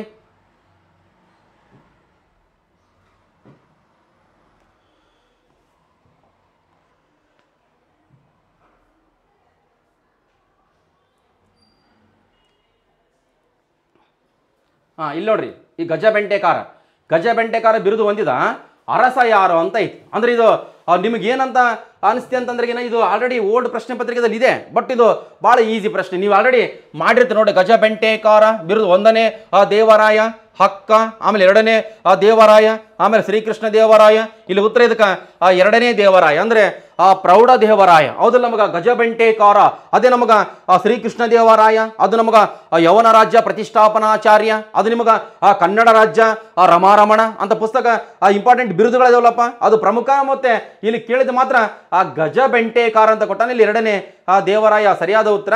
ಮತ್ತು ಇನ್ನೊಂದು ಕರೆಂಟ್ ಅಫೇರ್ಸಿಗೆ ಸಂಬಂಧಪಟ್ಟಂತೆ ಕರೆಂಟ್ ಅಫೇರ್ಸ್ ಸಂಬಂಧಪಟ್ಟಂತೆ, ಆ ಕೋವಿಡ್ ನೈನ್ಟೀನ್ ಬಗ್ಗೆ ಕೊಟ್ಟ ನೋಡ್ರಿ. ಕೋವಿಡ್ ನೈನ್ಟೀನ್ ಬಗ್ಗೆ ನಮಗ ಇದು ಆಲ್ರೆಡಿ ಇದ್ರ ಬಗ್ಗೆ ಉತ್ತರ ನಿಮಗೆ ಗೊತ್ತಾಗಿರ್ತದ. ಬಟ್ ಇನ್ನೊಂದ್ಸಲ ಗಮನಿಸ್ರಿ. ಆ ಕೋವಿಡ್ ನೈನ್ಟೀನ್ ಅಂದ್ರೆ ಹತ್ತೊಂಬತ್ತರ ರೋಗಿಗಳಿಗೆ ಸಹಾಯ ಮಾಡಲು ಭಾರತೀಯ ರೈಲಿನ ಅಂದ್ರೆ ಭಾರತೀಯ ರೈಲಿನ ದೂರ ನಿಯಂತ್ರಿತ ವೈದ್ಯಕೀಯ ಟ್ರಾಲಿಯ ಹೆಸರೇನಂತ ಕೊಟ್ಟನ? ಇದು ಕರೆಂಟ್ ಅಫೇರ್ಸ್ ಬಟ್ ಇದು ನೋಡ್ಕೋಬೇಕಾದ್ರೆ ಆ ಕೋವಿಡ್ ನೈನ್ಟೀನ್ಗೆ ಸಂಬಂಧಪಟ್ಟಂತೆ ನಮಗೆ ಭಾರತೀಯ ರೈಲಿನ ದೂರ ನಿಯಂತ್ರಿತ ವೈದ್ಯಕೀಯ ಟ್ರಾಲಿಯ ಹೆಸರೇನಂತ ಕೊಟ್ರಿಗಿನ ನೋಡ್ರಿ ಇಲ್ಲಿ M E D B O T med met bot ಅಂತ ಐತೆ. ಆಮೇಲೆ ಇಲ್ಲಿ ಒಂದು ಕೆಳಗಡೆ ರೈಲ್ ಮೆಡ್ ಅಂತ ಐತೆ. ಮತ್ತೆ ರೈಲು ರೈಲ್ ಅಂದ್ರೆ ಹಿಂದಗಡೆಗೆ. ಆಮೇಲೆ ಇಂಪಾರ್ಟೆಂಟ್ ಉತ್ತರ ಇದಕ್ಕೆ ಆಪ್ಷನ್ಸ್ ಏನೇ ಆ ಸರಿಯಾದ ಉತ್ತರ. ಕರೆಂಟ್ ಅಫೇರ್ಸ್ಗಳು ಕೆಲವೊಂದು ಇನ್ನೂ ಅಪ್ಡೇಟ್ ಮಾಡ್ಕೋಬೇಕ್ರಿ. ಅಂದರೆ ಹಳೆಯ ಕೊಟ್ಟಾನ ಪೂರ್ತಿ ಹಳೆಯ ಕೊಟ್ಟಾನ ಯಾಕಂದ್ರೆ ಭಾಳ ದಿನ ಆಗಿತ್ತಲ್ಲ ಕಾಲ್ಫಾರ್ಮ್ ಮಾಡಿ ಅದಕ್ಕೆ ಹಳೆವು ಬಂದಿರಬೇಕು ಬಟ್ ಬಂದರೆ ಬರಲಿ ಏನಾಯ್ತು ಹೌದಿಲ್ಲ ನಾವು ಕೆ ಪಿ ಎಸ್ ಎಕ್ಸಾಮ್ನ ನಾವು ಕರೆಕ್ಟಾಗಿ ಕ್ರ್ಯಾಕ್ ಮಾಡ್ಬೇಕಂದ್ರೆ ಕರೆಕ್ಟಾಗಿ ಪೇಪರ್ನ ಸರಿಯಾಗಿ ಓದಬೇಕು ನಾವು ಕರೆಕ್ಟಾಗಿ ಓದಿ ಎಲ್ಲ ನೋಟ್ಸ್ ಮಾಡಿ ಇಟ್ಕೊಂಡಿರ್ಬೇಕು. ಅವಾಗ ನಿಮಗೊಂದು ಆ ನಾಲೆಜ್ ಏನಂತ ಹೇಳ್ರಿ ಆ ಕ್ರಿಯೇಟ್ ಆಗ್ತದೆ. ಭಾಳ ಆ ಸುಲಭದ ಪ್ರಶ್ನೆ ಪತ್ರಿಕೆ ಮತ್ತು ಇನ್ನೊಂದು ಏನಂತ ಕೊಟ್ರಿಗಿನ ಒಂದು ಸ್ವಲ್ಪ ಕನ್ಫ್ಯೂಸ್ ಇದಾವೆ. ಕನ್ಫ್ಯೂಸ್ಗೆ ಅದು ತಿಳ್ಕೊಬೇಕು. ಇಲ್ಲಿ ನೋಡ್ರಿ ಕನ್ಫ್ಯೂಸ್ ಬಂತು ನೋಡಪ್ಪ ಇಲ್ಲಿ ನಮಗಿಲ್ಲಿ ಆ, ನೋಡ್ರಿ ಒಂದು ಗಮನಿಸ್ಬೇಕು ನಾನು ಏನಂತ ಏನಂತ ಹೇಳಕತ್ತೀನಿ ನಾವು ಯಾವಾಗಲೂ ಕನ್ನಡ ಕ್ವಶನ್ ಪೇಪರ್ ಜೊತೆಗೆ ಇಂಗ್ಲೀಷ್ ಕ್ವಶನ್ ಪೇಪರ್ ಅಂದರೆ ಪರೀಕ್ಷೆಯಲ್ಲಿ ನಾವು ಕುಂತಾಗ ಕನ್ನಡದಲ್ಲಿ ಡೌಟ್ ಬಂದರೆ ಇಂಗ್ಲೀಷ್ನಾಗ ನೋಡಲೇಬೇಕು ನಾವು. ಅದು ತಿಳ್ಕೊವ್ರಿ ಅದು ಅರ್ಜೆಂಟ್ ಅರ್ಜೆಂಟ್ನಾಗ ಬಿಡು ಅವ್ರದ್ದೇನೈತೆ ಅಂತ ಹಾಕಿಬಿಟ್ರಿ ಈಗ ನಮ್ಮ ಜೀವನನೇ ಲಾಸ್ ಆಗೋದು. ಅದಕ್ಕೆ ನೀವು ನೋಡ್ರಿ ಇಲ್ಲಿ ಇಲ್ಲಿ ಕೊಟ್ಟ ನೋಡ್ರಿ. ನೋಡಿ ವಿಶ್ವ ಸಂತೋಷ ವರದಿ. ಅಂದರೆ ವರ್ಡ್ ಹ್ಯಾಪಿನೆಸ್ ಅಂತೀವಲ್ಲ, ಆ ವರ್ಡ್ ಹ್ಯಾಪಿನೆಸ್ ರಿಪೋರ್ಟ್ ಐತಲ್ಲ, ಆ ಟ್ವೆಂಟಿ ಟ್ವೆಂಟಿ ಒನ್ನು ಪ್ರಕಾರ ಪ್ರಕಾರ ಜಗತ್ತಿನ ಅತ್ಯಂತ ಸಂತೋಷದ ರಾಷ್ಟ್ರ ಯಾವುದು ಅಂತ ಕೊಟ್ಟಾನ. ಅಂದ್ರೆ ಆ ಟೂ ತೌಸಂಡ್ ಟ್ವೆಂಟಿ ಒನ್ ಐತಲ್ಲಪ್ಪ, ಆ two thousand twenty one world happiness report ಐತಲ್ಲ, ಆ ರಿಪೋರ್ಟಿನ ಪ್ರಕಾರ ಅತ್ಯಂತ ಹ್ಯಾಪಿನೆಸ್ ದೇಶ ಯಾವ್ದು ಅಂತ ಕೊಟ್ಟಾನ. ನೋಡ್ರಿ ಇಲ್ಲಿ ಕೆಳಗಡೆ ಆಪ್ಷನ್ಸ್ ಏನೈತೆ? ಐಸ್ಲ್ಯಾಂಡ್ ಅಂತ ಐತೆ, ನಮಗೆ ಇಂಪಾರ್ಟೆಂಟು ಆಮೇಲೆ ಜರ್ಮನಿ ಅಂತ ಐತೆ, ಆಮೇಲೆ ನಾರ್ವೆ ಅಂತ ಐತೆ, ಭಾರತ ಅಂತ ಐತೆ. ನೀವು ನೋಡಿದ್ರಿ, ನೀವೇನಂತ ಕೊಟ್ರಿಗಿನ ಆ ನೀವು ಯಾವ್ದಾನ ಒಂದು, ಆ ನ್ಯೂಸ್ ಪೇಪರ್ ನೋಡಿರ್ತೀರಿ. ಇಲ್ಲಾಂದ್ರೆ ನ್ಯೂಸ್ನ ಕೇಳಿರ್ತೀರಿ. ನಮಗ ವಿಶ್ವದ ಅತ್ಯಂತ ಸಂತೋಷದ ದೇಶ, ಇಂಥ ದೇಶಪ್ಪ, ಆ ಫಿನ್ಲ್ಯಾಂಡ್ ದೇಶ ಪ್ರಥಮ ಅಂತ ಕೇಸೆ ನೀವು ಬಟ್ ಇಲ್ಲಿ ಆಪ್ಷನ್ಸ್ ನೋಡಿದ್ರೆ ಅದು, ಆ ಫಿನ್ಲ್ಯಾಂಡ್ ಇರಂಗಿಲ್ಲ. ಅಂತ ಸಂದರ್ಭದಲ್ಲಿ ನಾವೇನು ಗಮನಿಸ್ಬೇಕು ಹೇಳ್ರಿ ಪ್ರಶ್ನೆ ಪತ್ರಿಕೆ ನೋಡ್ರಿ ಆಪ್ಷನ್ಸ್ ಇಲ್ಲಿ ಎಲ್ಲಿ ಆ ಫಿನ್ಲ್ಯಾಂಡ್ ಇಲ್ಲ. ನೋಡ್ರಿ, ಐಸ್ಲ್ಯಾಂಡ್ ಇದೆ, ಜರ್ಮನಿ ಇದೆ, ನಾರ್ವೆ ಇದೆ, ಭಾರತ ಇದೆ. ನಿಮಗೆ ಉತ್ತರ ಏನಂತ ಗೊತ್ತಾಗ್ಯದ? ಆ ಫಿನ್ಲ್ಯಾಂಡ್ ಅಂತ ಕೇಸ ನೀವೆಲ್ಲ ಸ್ಟಡಿ ಮಾಡಿರಿ. ನಮಗ ಹೈಯೆಸ್ಟ್ ಹ್ಯಾಪಿನೆಸ್ ಇದು ವರ್ಲ್ಡ್ನಾಗ ಅಂದ್ರೆ ಟ್ವೆಂಟಿ ಟ್ವೆಂಟಿ ಒನ್ ರಿಪೋರ್ಟ್ನಾಗ ಪ್ರಥಮ ದೇಶ ಫಿನ್ಲ್ಯಾಂಡ್ ಅಂತ ಕೇಸ್ ನಿಮ್ಗೆ ಗೊತ್ತೈತೆ ಬಟ್ ಇಲ್ಲಿ ಆಪ್ಷನ್ಸ್ನಾಗ ಇಲ್ಲ. ಅದಕ್ಕೆ ನೀವೇನು ನೋಡ್ಕೊಳ್ರಿ ಮೂವತ್ತೊಂಬತ್ತನೇ ಪ್ರಶ್ನೆ. ನಾವು ಇಂಗ್ಲೀಷ್ನ ನೋಡ್ಕೋಬೇಕು. ನೋಡ್ರಿ ಇಂಗ್ಲೀಷ್ನಾಗ ಇದ್ರ ಸಂಬಂಧ ನಾವೆಲ್ಲ ಅದು ಸ್ಲೈಡ್ ಮಾಡ್ಲಾರ್ದು ಹಾಕಿದ್ ನೋಡ್ರಿ, ಮೂವತ್ತೊಂಬತ್ತನೇ ಪ್ರಶ್ನೆ. ಇಲ್ಲಿ ಗಮನಿಸ್ಬೇಕು ಇಲ್ಲಿ ಆ, ಗಮನಿಸಿ ನೋಡ್ರಿ ನಮಗಿಲ್ಲಿ which a country is recognised as world happiest country as per world happiness in report twenty twenty one ಅಂತ ಐತೆ ಇಲ್ಲಿ ನೋಡ್ರಿ ಐಸ್ಲ್ಯಾಂಡ್ ಅಂತ ಐತೆ ಅಲ್ಲಿ ಕನ್ನಡದ ಐಸ್ಲ್ಯಾಂಡ್ ಅಂತ ಐತೆ ಇಲ್ಲಿ ಜರ್ಮನಿ ಅಂತ ಐತೆ ಅಲ್ಲಿ ಕನ್ನಡದ ಜರ್ಮನಿ ಅಂತ ಐತೆ ಇಲ್ಲಿ ನಾರ್ವೆ ಅಂತ ಐತೆ ಅಲ್ಲಿಗೂ ನಾರ್ವೆ ಐತೆ ನೋಡ್ರಿ, ಇಲ್ಲಿ ಫಿನ್ಲ್ಯಾಂಡ್ ಐತೆ ನೋಡಿ ನಾಲ್ಕನೇದ್ಗ ಎಲ್ಲಿ ಅಲ್ಲಿ ನೋಡಿದ್ರೆ ಭಾರತ ಕೊಟ್ಟಾನ. ಅಲ್ಲಿ ಎಲ್ಲಿ ಹೇಳ್ರಿ ಆಪ್ಷನ್ಸ್ ಭಾರತ ಐತಿ, ನಾಲ್ಕನೇ ಆಪ್ಷನ್ಸ್ ಕನ್ನಡದಾಗ. ಇಲ್ಲಿ ನೋಡಿದ್ರೆ ಫಿನ್ಲ್ಯಾಂಡ್ ಕೊಟ್ಟಾನ. ಅವಾಗ ನಿಮ್ಗೆ ಏನತ್ತ ಓ, ಇದು ಉತ್ತರ. ಆಪ್ಷನ್ಸ್ ಡಿ ಅಂತಕೇಸೆ ಹಾಕುವಂಥ ಕೆಪಾಸಿಟಿ ಬರುತ್ತೆ ಗ್ರೇಸ್ ಕೊಟ್ಟರೆ ಕೊಡ್ಬೋದು. ಹೇಳೋಕ್ಕೆ ಬರೋದಲ್ಲ, ನಮ್ಗೆ ಯಾಕೆ ಬೇಕಪ್ಪ? ನೋಡ್ಕೇಸೆ ಕನ್ನಡ ಮತ್ತು ಇಂಗ್ಲೀಷ್ ನೋಡ್ಕೇಸ್ ಹಾಕೋದು ಒಳ್ಳೇದು ಒಳ್ಳೇದಂತ. ಹೌದು, ನೀವು ಅನ್ಕೊಂಡ್ಬೇಕು. ಓ, ಹಿಂಗೆ ಕೊಟ್ಟ ನೋಡಪ್ಪ. ಆ, ವಿಶ್ವ ಸಂತೋಷದ ವರದಿ ಟ್ವೆಂಟಿ ಒನ್ ಟ್ವೆಂಟಿ ಒನ್ ಪ್ರಕಾರ, ಆ ಟ್ವೆಂಟಿ ಟ್ವೆಂಟಿ ಒನ್ ಪ್ರಕಾರ ಪ್ರಥಮ ಸ್ಥಾನ ಯಾವುದು? ಫಿನ್ಲ್ಯಾಂಡ್ ಅಂತ ಓದಿವಿ ನಾವು. ಆಪ್ಷನ್ಸ್ ಆಗಿಲ್ಲ. ನಾವೇನು ಮಾಡ್ಬೇಕು? ಇಂಗ್ಲೀಷ್ನಾಗ ನೋಡ್ಕೋಬೇಕು ಅಲ್ಲಿ ಆಪ್ಷನ್ಸ್ನಾಗ ಯಾವುದು ಕೊಟ್ಟನ ಅದನ್ನ ಹಾಕ್ಬೇಕು. ಆಪ್ಷನ್ಸ್ ಇದಕ್ಕೆ ಡಿ ಸರಿಯಾದ ಉತ್ತರ. ಕನ್ನಡದಾಗ ಮಾತ್ರ ಅಲ್ಲಿ ಏನಂತ ಕೊಟ್ಟ ಹೇಳ್ರಿ ಭಾರತ ಅಂತ ಐತೆ. ಭಾರತ ಅಲ್ಲ ಅದು ಆಪ್ಷನ್ಸ್ ಯಾವ್ದಲ್ರಿ? ಆ ಫಿನ್ಲ್ಯಾಂಡ್ ನೋಡ್ಕೇಸೆ ಅಪ್ಡೇಟ್ ಮಾಡ್ಕೋಬೇಕ್ರಿ. ತಿಳ್ಕೊಂತ ನೀವು ಆಟೋಮೆಟಿಕ್ಕಾಗಿ ಆ ಇನ್ನೊಬ್ಬರಿಗೆ ಹೇಳಂತ ಆ ಕೆಪಾಸಿಟಿನ ಡೆವಲಪ್ ಮಾಡ್ಕೋಬೇಕು. ಅದಕ್ಕೆ ನಾವು ಯಾವತ್ತು ಆ ಕ್ವಶನ್ ಪೇಪರ್ ಪ್ರಕಾರ ಸ್ಟಡಿ ಮಾಡ್ತಾ ಎಲ್ಲ ಹೈಸ್ಕೂಲ್ ಬುಕ್ಸ್ ಓದ್ತಾ ನ್ಯೂಸ್ ಪೇಪರ್ನ ಸರಿಯಾಗಿ ಓದ್ತಿರ್ಬೇಕು. ಅವಾಗ ಒಂದು ಆ, ಒಂದೇನಂದ್ರೆ ಟ್ರಿಕ್ಸ್ಗಳು ಕ್ರಿಯೇಟ್ ಆಗ್ತಾವ. ಇನ್ನೊಂದೇನಂದ್ರೆ ಪೇಷನ್ಸ್ ಏನಂತೇಳ್ರಿ ಆ ಡೆವಲಪ್ಮೆಂಟ್ ಮಾಡ್ಕೋಬೇಕು. ತಿಳ್ಕರಿ ನೆಕ್ಸ್ಟ್ ಇದು ಈಸಿ ಐತಿ. ಹೌದಲ್ಲ ಆಲಮಟ್ಟಿ ಅಣೆಕಟ್ಟಿನ ಹೆಸರೇ ಏನು? ಮಹಾತ್ಮ ಗಾಂಧಿ ಅಣೆಕಟ್ಟು ಹಾಕಿರ್ತಾರೆ ಕೆಲವ್ರು ಹೇಳಕ್ ಬರೋದಿಲ್ಲ. ಆಮೇಲೆ ಎರಡನೇ ಲಾಲ್ ಬಹದ್ದೂರ್ ಶಾಸ್ತ್ರಿ ಅಣೆಕಟ್ಟು ಅಂತ ಐತೆ. ಆ ಜವಾಹರ್ಲಾಲ್ ನೆಹರು ಅಣೆಕಟ್ಟು ಅಂತ ಐತೆ. ಆ ಕುವೆಂಪು ಅಣೆಕಟ್ಟು ಅಂತ ಐತೆ. ಉತ್ತರ ಇದಕ್ಕೆ ಆ ಲಾಲ್ ಬಹದ್ದೂರ್ ಶಾಸ್ತ್ರಿ ಅಣೆಕಟ್ಟು ಅಲ್ಲ ಆಲಮಟ್ಟಿ ಅಣೆಕಟ್ಟಿನ ಹೆಸರು ಅದು ಗೊತ್ತಿದೆ. ಬಿಜಾಪುರದಾಗ ಐತಲ್ಲಪ್ಪ ಕೃಷ್ಣಾ ನದಿಗೆ. ಸಂಬಂಧಿಸಿದ್ದು. ನಿಮಗೆ ಆಲ್ರೆಡಿ ಭಾಳ ಪರ್ಫೆಕ್ಟಾಗಿ ಗೊತ್ತಿದೆ. ಬಟ್ ನೋಡಿ ಕೇಸೆ ಅಪ್ಡೇಟ್ ಮಾಡ್ಕೋಬೇಕು. ನೋಡ್ರಿ, ಇಲ್ಲಿ ಇನ್ನೊಂದು ಪ್ರಮುಖ, ನಮಗೆ ಇಲ್ಲಿ ಮಕ್ಕಳಿಗೆ ಸಂಬಂಧಪಟ್ಟಂತೆ ಯಾವ್ದಾನ ಬಂದ್ರೆ ದೇಶ ಚೀನಾನೇ ಅದು. ಹೌದಲ್ಲ? ಒಂದು ಮಕ್ಕಳು ಸಾಕು, ಎರಡು ಮಕ್ಕಳು ಸಾಕು ಮೂರು ಮಕ್ಕಳು ಸಾಕು ಅಂತಕೇಸೆ ಆ ಹೇಳೋ ದೇಶ ಯಾವ್ದಾನಿದ್ರೆ ಅದು ಆ, ಚೀನಾ ಇರ್ತದೆ. ನೋಡ್ರಿ, ಇಲ್ಲಿ ಯಾವ ರಾಷ್ಟ್ರವು ಮೂರು ಮಕ್ಕಳ ನೀತಿಯನ್ನು ತನ್ನ ಕುಟುಂಬ ಯೋಜನೆಯಲ್ಲಿ ಜಾರಿಗೆ ತಂದಿದೆ. ಮೊದಲು ಒಬ್ಬರಿದ್ರೆ ಸಾಕಂದ್ರು, ಆಮೇಲೆ ಇಬ್ಬರಿದ್ರೆ ಸಾಕು. ಈ ಮೂರು ಅಂತಕೇಸೆ ಆ ಸಡಿಲಿಕೆ ಮಾಡಿದ ಯಾವ್ದಳ್ರಿ? ಆ ಚೀನಾ ದೇಶದ ಯಾವ ದೇಶ ಅಂತ ಕೊಟ್ಟದ ಚೀನಾ. ಆಮೇಲೆ ಪಾಕಿಸ್ತಾನ. ಪಾಕಿಸ್ತಾನದಾಗ ಇಲ್ಲ ಹೌದಿಲ್ಲ ಎಷ್ಟನ ಆಗ್ಲಿ ಅಂತಾರೆ ಅವರು. ಬಾಂಗ್ಲಾದೇಶ, ಆಮೇಲೆ ಭಾರತವನ್ನ ಅಷ್ಟೇ. ಉತ್ತರ ಇದಕ್ಕೆ, ಆ, ಚೀನಾ. ಚೀನಾದಾಗ ಮೂವರಕ್ಕಿಂತ, ಆ, ಜಾಸ್ತಿ ಇರಬಾರ್ದು ಅಂತ ರೂಲ್ ಮಾಡ್ಯಾರ ಅವ್ರು. ಅದಕ್ಕೆ, ಆ, ಚೀನಾ ಕರೆಂಟ್ ಅಫೇರ್ಸ್ನಾಗ ಐತೆ. ಅದು ನಮ್ಗೆ ಯಾಕೆ ಬೇಕು? ಹೌದಿಲ್ಲ. ನಮ್ಗೆ ಅಲ್ಲಿ, ಆ ಪಾಪ್ಯುಲೇಷನ್ ಭಾಳ ಆಗ್ಯದ ಮತ್ತೆ ಅವ್ರೇನ, ಆ ರೂಲ್ಸ್ ಮಾಡ್ಕೊಂಡಾರ. ನೆಕ್ಸ್ಟ್ ನೋಡ್ರಿ ಆ, ಕೇಂದ್ರ, ಆ ಬಜೆಟ್ ಇಪ್ಪತ್ತು ಇಪ್ಪತ್ತು ಎರಡ್ ಸಾವಿರದ ಇಪ್ಪತ್ತು, ಎರಡ್ ಸಾವಿರದ ಇಪ್ಪತ್ತೊಂದರಲ್ಲಿ, ಆ, ಕೇಂದ್ರ, ಆ, ಸರ್ಕಾರಕ್ಕೆ ಅತಿ ದೊಡ್ಡ ಆದಾಯದ ಮೂಲ ಯಾವುದಂತ ಐತಿ. ನಮಗೀಗ ಸದ್ಯಕ್ಕೆ ಒಂದೊಂದು ಇದರಲ್ಲಿ ಒಂದೊಂದು ಇದೆ. ನಮಗೆ ಜಿ ಎಸ್ ಟಿನೇ ಅದು ಕರೆಕ್ಟ್ ಅದು. ಇಪ್ಪತ್ತೆಂಟು ಪರ್ಸೆಂಟೇಜ್ ಇದೆ. ಬಟ್ ಬೆಲೆ ಎಲ್ಲ ಇಪ್ಪತ್ತು, ಇಪ್ಪತ್ತೆರಡು ಐತೆ. ಬಟ್ ಗೂಗಲ್ನಾಗ ನೋಡಿದ್ರೆ ಇದು ತೋರಿಸ್ತದೆ. ಯಾವ್ದಲ್ರಿ ಸಾಲ ಮತ್ತು ಇತರ ಹೊಣೆಗಾರಿಕೆಗಳಂತ ಕೆಸೆ. ಬಟ್ ಇನ್ನೊಂದ್ಸಲ ಗೂಗಲ್ನಾಗ ಚೆಕ್ ಮಾಡಿದ್ರೆ ಒಂದ್ಸಲ ಆ ಸರಕು ಮತ್ತು, ಆ ಸೇವಾ ತೆರಿಗೆ ಅಂತ ತೋರ್ಸಕತ್ತದ. ಅಂದ್ರೆ ಟ್ವೆಂಟಿ ಏಟ್ ಪರ್ಸೆಂಟೇಜ್ ಅಂತ ಐತೆ. ಅದ್ರ ಬಗ್ಗೆ ಇನ್ನೊಂದ್ಸಲ ಕ್ಲಾರಿಫೈ ಮಾಡ್ತೀನಂತ ಬಟ್ ಉತ್ತರ ಮಾತ್ರ ಈ ಸದ್ಯದಲ್ಲಿ ಆ ಸರಕು ಮತ್ತೆ, ಆ ಸೇವಾ ತೆರಿಗೆ. ಬಟ್ ಇದ್ರಾಗ, ಆ ಗೂಗಲ್ನಾಗ ನೀವು ಹೊಡೆದ್ರೆ, ಒಂದ್ಸಲ ಹೊಡೆದ್ರೆ ಆ ಸರಕು ಮತ್ತು ಸೇವಾ ತೆರಿಗೆ ಅಂತ ತೋರಿಸ್ತದ. ಇನ್ನೊಂದ್ಸಲ ಹೊಡೆದ್ರೆ ಆ ಸಾಲ ಮತ್ತು ಇತರ ಹೊಣೆಗಾರಿಕೆಗಳನ್ನು ತೋರಿಸ್ತದೆ. ಅದು ನಿಮ್ಗೆ ಗೊತ್ತಿರಲಿ ಬಟ್ ಸರಕು ಮತ್ತು ಸೇವಾ ತೆರಿಗೆ, ತಜ್ಞರು ಕೇಳಿದೆ. ಒಂದು ನಾಲ್ಕೈದು ಜನ ತಜ್ಞರಿಗೆ ಕೇಳಿಕೆ ಡಿಸ್ಕಸ್ ಮಾಡೀನಿ ಇದನ್ನ ಸರಕು ಮತ್ತು ಸೇವಾ ತೆರಿಗೆ ಅಂತ ಹಾಕತ್ತೀವಿ ಕರೆಕ್ಟಾಗಿ ನೋಡ್ಕೇರಿ, ಅದೇನೇ ಚೇಂಜ್ ಮಾಡಂದ್ರೆ ಚೇಂಜ್ ಮಾಡಮ್. ನೀವು ಆಗಿ ಬಂದುಬಿಟ್ಟಿರ್ತೀರ, ಹೌದಲ್ಲ? ಈಗ ಓ ಎಂ ಆರ್ ಸಿಟ್ಟಾಗ ಅಂದ್ರೆ ಚೇಂಜ್ ಮಾಡೋಕ್ಕಾಗೋದಿಲ್ಲ ನೋಡ್ಕೇಸೆ ಕೇಸೆ ತಿಳ್ಕರಿ. ನೋಡ್ರಿ ಇಂಪಾರ್ಟೆಂಟ್ ನಮಗೆ ಭಾಳ ಸುಲಭ ಪ್ರಶ್ನೆ. ಈಸಿ ನೋಡ್ರಿ ಇದು. ಎಷ್ಟು ಕರ್ನಾಟಕದಲ್ಲಿ ಎಷ್ಟು ರಾಷ್ಟ್ರೀಯ ಉದ್ಯಾನವನಗಳಿವೆ? ಇಪ್ಪತ್ತಂತ ಹಾಕಿರಿ ಹಿಂದಗಡೆಗೆ. ಅಯ್ಯೋ, ಇಪ್ಪತ್ತಿದ್ರೆ ಇರ್ಬೋದು ಬಿಡಿ ಎಲ್ಲಿ ಬೇಕಲ್ಲಿ ನೋಡಿ ನಾನು ಅಂತ ಅಲ್ಲ. ನಮಗ, ಆಮೇಲೆ ಹದಿನೈದು ಅಂತ ಐತೆ ಆಮೇಲೆ ಹತ್ತು ಅಂತ ಐತೆ ಐದು ಇರೋದು, ಐದೇ ಇರೋದು ಟೋಟಲ್ ಐದು ರಾಷ್ಟ್ರೀಯ ಉದ್ಯಾನವನಗಳು. ಅತ್ಯಂತ ದೊಡ್ಡ ರಾಷ್ಟ್ರೀಯ ಉದ್ಯಾನವನ, ಆ, ಬಂಡೀಪುರ ರಾಷ್ಟ್ರೀಯ ಉದ್ಯಾನವನ, ಆಮೇಲೆ ಚಿಕ್ಕದ ಕೊಟ್ರೆ, ಆ, ಬನ್ನೇರುಘಟ್ಟ ರಾಷ್ಟ್ರೀಯ ಉದ್ಯಾನವನ, ಆಮೇಲೆ ಕುದುರೆಮುಖ, ಆ, ರಾಷ್ಟ್ರೀಯ ಉದ್ಯಾನವನ ಐದೋಲಪ್ಪ ಅವೆಲ್ಲ, ಆ, ತಿಳ್ಕೊಂಡಿರ್ತೀರಿ, ಅಂಶಿ ರಾಷ್ಟ್ರೀಯ ಉದ್ಯಾನವನ, ಆಮೇಲೆ ನಾಗರಾವಳಿ ಅಥವಾ, ಆ, ಬಂಡಿ, ಇದು ಅದು ರಾಜೀವ್ ಗಾಂಧಿ ರಾಷ್ಟ್ರೀಯ ಉದ್ಯಾನವನ ಟೋಟಲ್ ಕರ್ನಾಟಕ ಇರೋದೇ ಐದು ರಾಷ್ಟ್ರೀಯ ಉದ್ಯಾನವನಗಳು ಯಾವ್ಯಾವ ಜಿಲ್ಲೆದಾಗ ಇದೆ ಅಂತ ನಿಮ್ಗೆ ಆಲ್ರೆಡಿ ಹೇಳಿದ್ದೀನಿ. ಬಟ್ ನೆಕ್ಸ್ಟ್ ನೋಡ್ರಿ, ಕೆಳಗಿನ ಯಾವ ಸಂಸ್ಥೆ, ಕೆಳಗಿನ ಮತ್ತು ಮೇಲಿನ ಸಂಸ್ಥೆಗೆ ಲಿಂಕ್ ಆಗಿ ಸೇವೆ ಸಲ್ಲಿಸುತ್ತೇವೆ ಅಂತ ಕೊಟ್ಟನ. ಇಲ್ಲಿ ಗ್ರಾಮ ಪಂಚಾಯಿತಿ ಜಿಲ್ಲಾ ಪರಿಷತ್ತು, ಪಂಚಾಯಿತಿ ಸಮಿತಿ, ಇಲ್ಲಿ ಉತ್ತರ ಇದಕ್ಕೆ ಮೇಲಿನ ಎಲ್ಲ ಸಂಸ್ಥೆಗಳು ಇದಕ್ಕೆ ಸರಿಯಾದ ಉತ್ತರ. ಗ್ರಾಮ ಪಂಚಾಯತಿ ಬಗ್ಗೆ ಯಾಕೆ ಪ್ರಶ್ನೆಗಳು ಒಂದು ಎರಡು ಮೂರು ಪ್ರಶ್ನೆಗಳು ಬಂದಾವು. ಬಟ್ ಅದನ್ನ ನೀವು ಹಾಕಿರ್ತೀರಿ. ಭಾಳ ಸರಳವಾದ ಪ್ರಶ್ನೆ. ಈಗ ನೆಕ್ಸ್ಟ್ ಆ, ಗ್ರಾಮ ಪಂಚಾಯತಿ ಕಾರ್ಯದರ್ಶಿ ಗ್ರೇಡ್ ಒನ್ ಗ್ರೇಡ್ ಟು ಕರೆದ್ರಿನ ಯೂಸ್ಫುಲ್ ಆಗ್ತಾವೆ ಕರೆಕ್ಟಾಗಿ ಅಪ್ಡೇಟ್ ಮಾಡ್ಕೋಬೇಕು. K P S C group ಸಿನೇ K P S C ಎಕ್ಸಾಮ್ನಾಗ ಭಾಳ ಟಫ್ ಪ್ರಶ್ನೆ ಪತ್ರಿಕೆಯಲ್ಲಿ ಇದೊಂದು ಒಂದು. ಬಟ್ ಏನೋ ಅದೃಷ್ಟಕ್ಕೆ ಏನಂದ್ರೆ ಸುಲಭ ಬಂದವ ಕೆಲವೊಂದು. ನೋಡಿ ನೋಡ್ಕೇಸೆ ಅಪ್ಡೇಟ್ ಮಾಡ್ಕೋಬೇಕು. ಯಾಕಂದ್ರೆ ಇದು ಒಂದೊಂದು ಸಲ ಕ್ವಶನೇ ಓದಕ್ಕೆ ಬರೋದಿಲ್ಲ. ಆ ನಮನೆ ಆ ಕ್ವಶನ್ಸ್ಗಳು ನಾನು ನೋಡಿದ್ದೀನಿ ನಾನು. ನೋಡಿರಲಿ ನೆಕ್ಸ್ಟ್ ಈ ಕೆಳಗಿನ ಯಾವ ಹೇಳಿಕೆಗಳು ಸರಿಯಾಗಿಲ್ಲ ಅಂತ ಈ ಕೆಳಗಿನ ಯಾವ ಹೇಳಿಕೆಗಳು ಸರಿಯಾಗಿಲ್ಲ? ಸರಿಯಾಗಿಲ್ಲ ಅಂತಂದ್ರಿಗಿನ ಆ ಆಪ್ಷನ್ಸ್ ಮೇಲೆ ಡಿಪೆಂಡ್ ನಾಲ್ಕು ಆಪ್ಷನ್ಸ್ ಕೊಟ್ಟಾನ, ಮತ್ತೆ ಕೆಳಗೆ ಆಪ್ಷನ್ಸ್ ಕ್ರಿಯೇಟ್ ಮಾಡಿದ್ರೆ ಇನ್ನ ಕಿರಿಕಿರಿ ಹೌದಿಲ್ಲ. ಕೆಳಗೇನು ಆಪ್ಷನ್ಸ್ ಕ್ರಿಯೇಟ್ ಮಾಡಿಲ್ಲ, ಬರೀ ನಾಲ್ಕು ಆಪ್ಷನ್ಸ್ ಕೊಟ್ಟಾನ. ನೀವು ಬೇಕಾದ್ರೆ ಒಂದ್ಸಲ ಗಮನಿಸಿ ನೋಡ್ರಿ ಒಂದೇ ಆಪ್ಷನ್ಸ್ ಏನು ಕೊಟ್ಟಾನ? ಐ ಎಂ ಎಫ್ ಅಂತ ಐತಿ. ಇಂಟರ್ನ್ಯಾಷನಲ್ ಮಾನಿಟರಿ ಫಂಡ್ ನೂರ ತೊಂಬತ್ತು ಆ, ದೇಶಗಳಿದಾವ. I M F Gita Gopinathan ಕೇಳಿರಲ್ಲಪ್ಪ?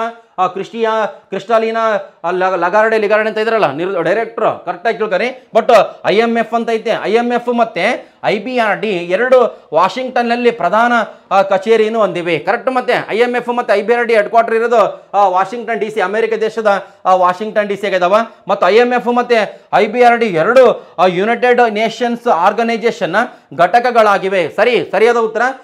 ಮತ್ತು ಇನ್ನೊಂದು ಆಪ್ಷನ್ಸ್ ಸಿ ನೋಡ್ರಿ. ಆಪ್ಷನ್ಸ್ ಸಿ ಏನಂದ್ರೆ ಐ ಬಿ ಆರ್ ಡಿ ಅನ್ನು ಆ, ವಿಶ್ವ ಬ್ಯಾಂಕ್ ಎಂತಲೂ ಕರೆಯುತ್ತಾರೆ. ಎರಡು ಸಾವಿರದ ಆರು ಪಿ ಸಿ ಪ್ರಶ್ನೆ ಪತ್ರಿಕೆ ನೂರ ಇಪ್ಪತ್ತೈದು ಕ್ವಶನ್ಸ್ ಬಂದಿದ್ದು ಎರಡು ಸಾವಿರದ ಆರು ಪಿ ಸಿ ಪ್ರಶ್ನೆ ಪತ್ರಿಕೆದಾಗ. ಇದು ಇದು ಈ ಒಂದು ಲೈನ್ ಐತಿ. ಅಂದ್ರೆ ಈ ಕೆಳಕಂಡ ಯಾವ ಬ್ಯಾಂಕನ್ನು ವಿಶ್ವ ಬ್ಯಾಂಕ್ ಎಂತಲೂ ಕರೆಯುತ್ತಾರೆ. ಇದಕ್ಕೆ ಐ ಬಿ ಆರ್ ಡಿಗೆ ವಿಶ್ವ ಬ್ಯಾಂಕ್ ಅಂತ ಅಂತಗುನ ಕರೀತಾರೆ. ನಮ್ಗೆ ಒಂದು ಎರಡು ಮೂರು ಸರಿ ಬಟ್ ನಾಲ್ಕನೇದು ಮಾತ್ರ ತಪ್ಪೈತೆ. ಅಂತಾರಾಷ್ಟ್ರೀಯ ಹಣಕಾಸು ನಿಧಿಯಲ್ಲಿ ಭಾರತದ ಮತ್ತ ಪಾಲು ಹತ್ತು ಪರ್ಸೆಂಟೇಜ್ ಅಂತ ಐತೆ? ಅದು ಟೂ ಪಾಯಿಂಟ್ ಸಿಕ್ಸ್ ತ್ರೀ ಐತೆ. ಅದು ಪಾಲು ಎಷ್ಟೈತೆ ಅಂದ್ರೆ two point six three but ಇಲ್ಲಿ ಟೆನ್ ಪರ್ಸೆಂಟೇಜ್ ಕೊಟ್ಟಾನೆ ಉತ್ತರ ಇದಕ್ಕೆ. ಆಪ್ಷನ್ಸ್ ಡಿ ಸರಿಯಾದ ಉತ್ತರ. ಅಂದ್ರೆ ಆಪ್ಷನ್ಸ್ ಡಿ ಏನಾಗಿದಲ್ರಿ?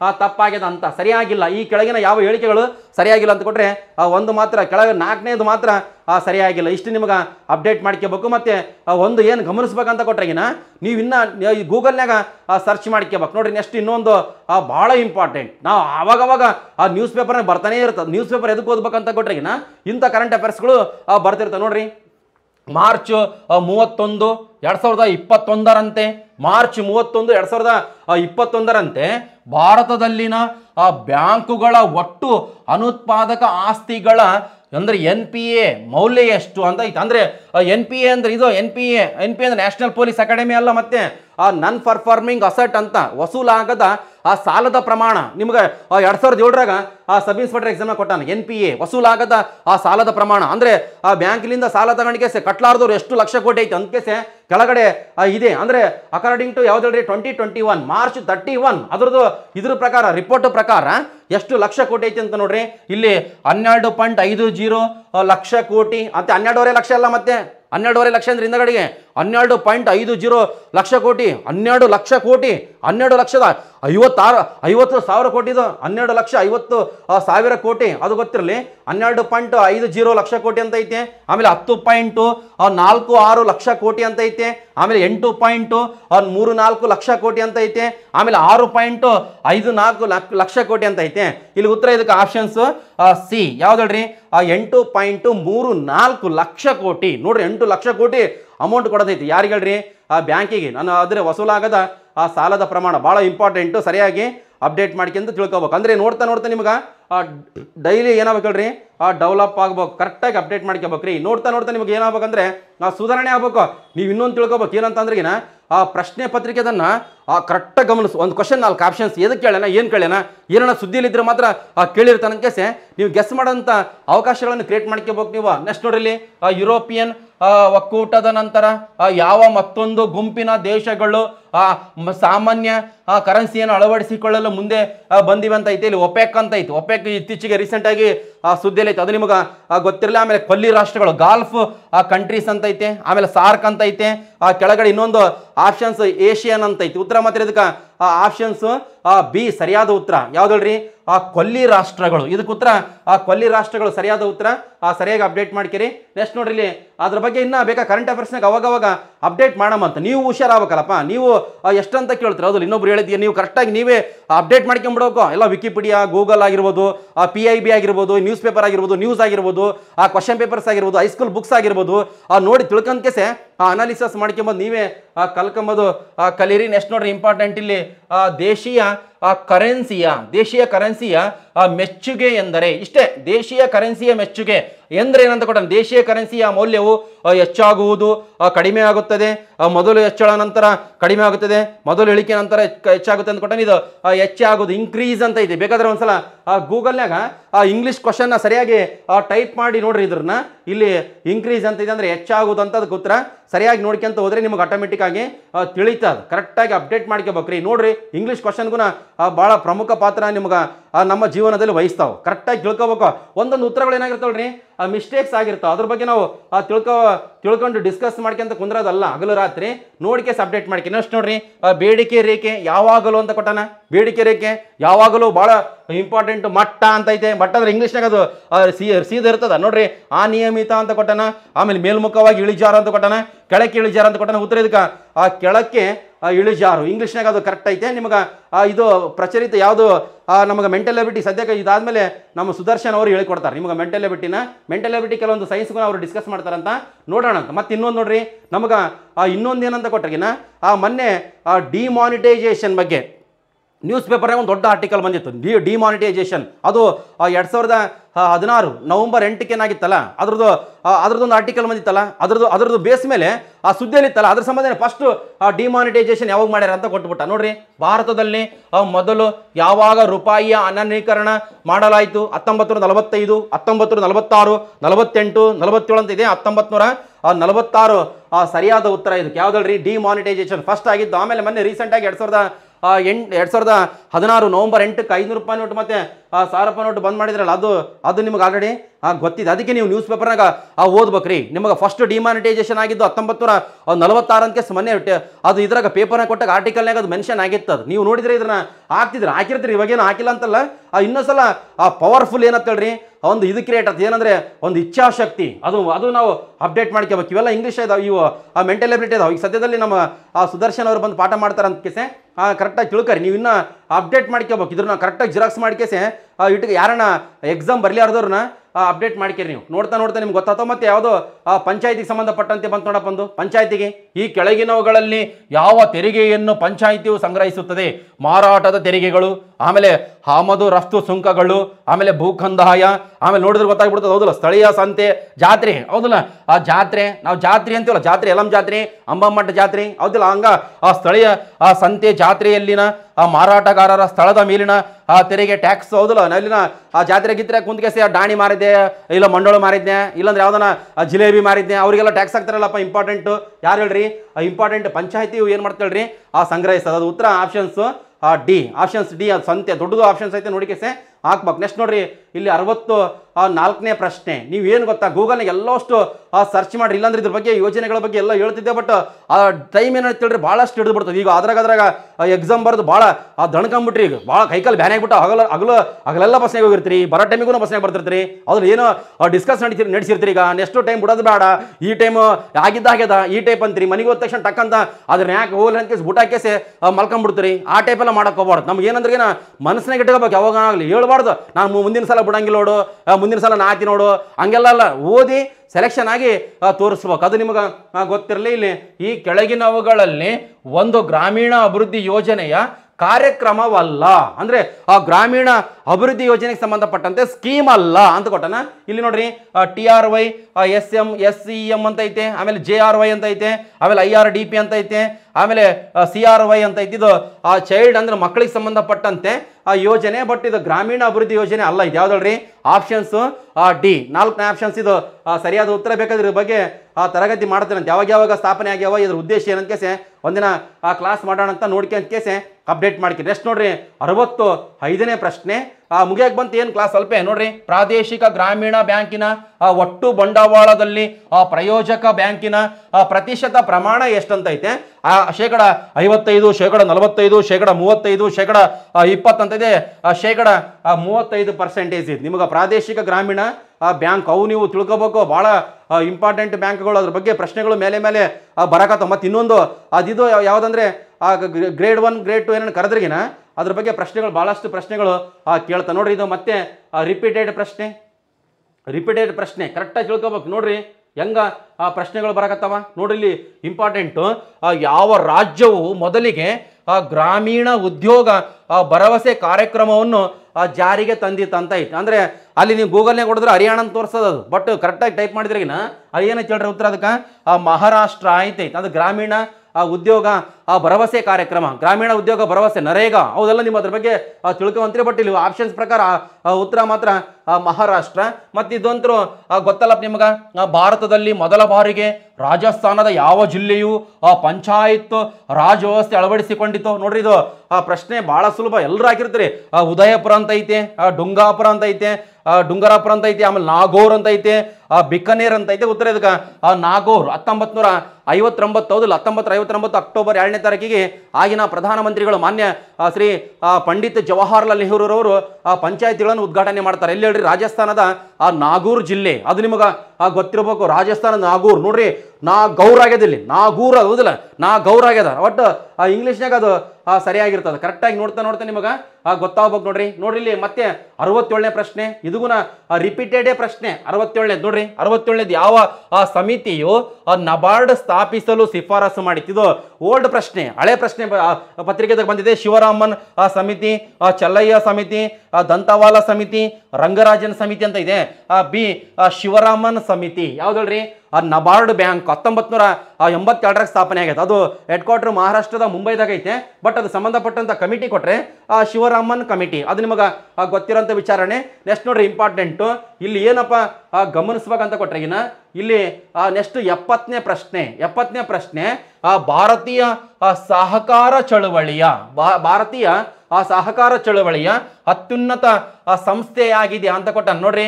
ಇಲ್ಲಿ N C C F I ಅಂತ ಐತೆ, ಆಮೇಲೆ I F F C O ಅಂತ ಐತೆ, ಆಮೇಲೆ ಐ ಸಿ ಎಂ ಅಂತ ಐತೆ, ಆಮೇಲೆ ಎನ್ ಸಿ ಯು ಐ ಅಂತ ಐತೆ. ಉತ್ತರ ಇದಕ್ಕೆ ಎನ್ ಸಿ ಯು ಐ ನಮಗೆ ಇಂಪಾರ್ಟೆಂಟ್ ಸಹಕಾರ ಆ ಚಳುವಳಿ ಬಗ್ಗೆ, ಸಹಕಾರ, ಆ ಸಂಘಟನೆಗಳ ಬಗ್ಗೆ, ಆ, ನಿಮ್ಗೆ ಒಂದಿನ ಕ್ಲಾಸ್ ಮಾಡೋಣ. ಯಾಕಂದ್ರೆ ಅದು, ಆ ಪ್ರಶ್ನೆ, ಎರಡು, ಮೂರು ಪ್ರಶ್ನೆಗಳು, ಆ, ಬಂದಾವು. ಸರಿಯಾಗಿ ಅಪ್ಡೇಟ್ ಮಾಡ್ಕೋಬೇಕು. ನೋಡ್ತಾ ನೋಡ್ತಾ ನಿಮಗೆ ಗೊತ್ತಾಗ್ತದ? ಭಾಳ ಇಂಪಾರ್ಟೆಂಟು ಮತ್ತು ಇನ್ನೊಂದೇನಂದ್ರೆ, ಅರವತ್ತೆಂಟನೇ ಪ್ರಶ್ನೆ, ಆ, ಸಹಕಾರಿ ಸಂಘವು, ಆ, ಗದಗ ಜಿಲ್ಲೆಯ, ಆ, ಕಣಗಿನಾಳದಲ್ಲಿ ಪ್ರಾರಂಭವಾಗಿದ್ದು ಅದು. ಅದೊಂದು ಕೊಟ್ಟನ. ನಮಗೆ ಪ್ರಶ್ನೆ ಪತ್ರಿಕೆದಾಗ ಯಾವಾಗಲೂ ಭಾರತದ ಮೊದಲ ಸಹಕಾರ, ಆ, ಸಂಘ ಎಲ್ಲಿ ಸ್ಥಾಪನೆ ಆಯ್ತು ಅಂತ ಕೇಸಿ ಭಾಳಷ್ಟು ಪ್ರಶ್ನೆ ಪತ್ರಿಕೆಯಲ್ಲಿ ರಿಪೀಟ್ ಆಗ್ಯದ. ಬಟ್ ಗೂಗಲ್ ಹೆಂಗೆ ನೋಡಿದ್ರೆ ಅದು ಏಷ್ಯಾ ಖಂಡ ತೋರಿಸದ, ಒಂದ್ಸಲ ಭಾರತದಲ್ಲಿ ಮೊದಲು ಅಂತ ತೋರಿಸದ.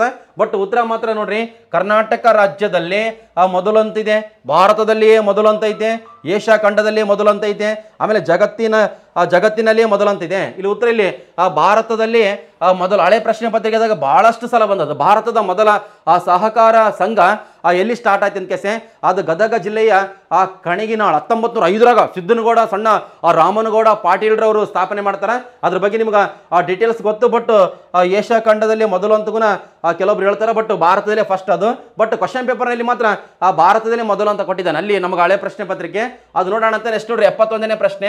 ಕರ್ನಾಟಕದಲ್ಲಿ ಆ ಜಿಲ್ಲಾ ಪರಿಷತ್ತು ಅಸ್ತಿತ್ವಕ್ಕೆ ಬಂದ ವರ್ಷ ಅಂತ ಐತೆ. ಅಂದ್ರೆ ಆ ಒಂದು ಗಮನಿಸ್ಬೇಕು ನೀವು. ಏನಪ್ಪ ಅಂತ ಕೊಟ್ರೆಗಿನ ಇಲ್ಲಿ ಏಪ್ರಿಲು ಹತ್ತೊಂಬತ್ತು ನೂರ ಎಂಬತ್ತೇಳು ಅಂತ ಐತೆ. ನೋಡ್ರಿ, ಜೂನು ಹತ್ತೊಂಬತ್ತು ನೂರ ಎಂಬತ್ತೇಳು ಅಂತ ಐತೆ. ನೋಡು ಹತ್ತೊಂಬತ್ತು ಎಂಬತ್ತೇಳು ಎರಡು ಇದಾವೆ. ಆಮೇಲೆ ಏಪ್ರಿಲ್ ಹತ್ತೊಂಬತ್ತು ತೊಂಬತ್ಮೂರು ಅಂತ ಐತೆ. ಆಮೇಲೆ ಜೂನು ಹತ್ತೊಂಬತ್ತು ನೂರ ತೊಂಬತ್ಮೂರು ಅಂತ ಐತೆ. ನಮಗೇನಪ್ಪ ಇಲ್ಲಿ ಪ್ರಮುಖ ಅಂತ ಕೊಟ್ರೆಗಿನ ನೀವು ಗೂಗಲ್ನಾಗ ಸರ್ಚ್ ಮಾಡ್ರಿ ಹತ್ತೊಂಬತ್ತು ತೊಂಬತ್ತೇಳು ಮಾರ್ಚ್ ಅಂತ್ಯದಲ್ಲಿ ಅಂತ ಐತೆ. ಮಾರ್ಚ್ ಅಂತ್ಯ.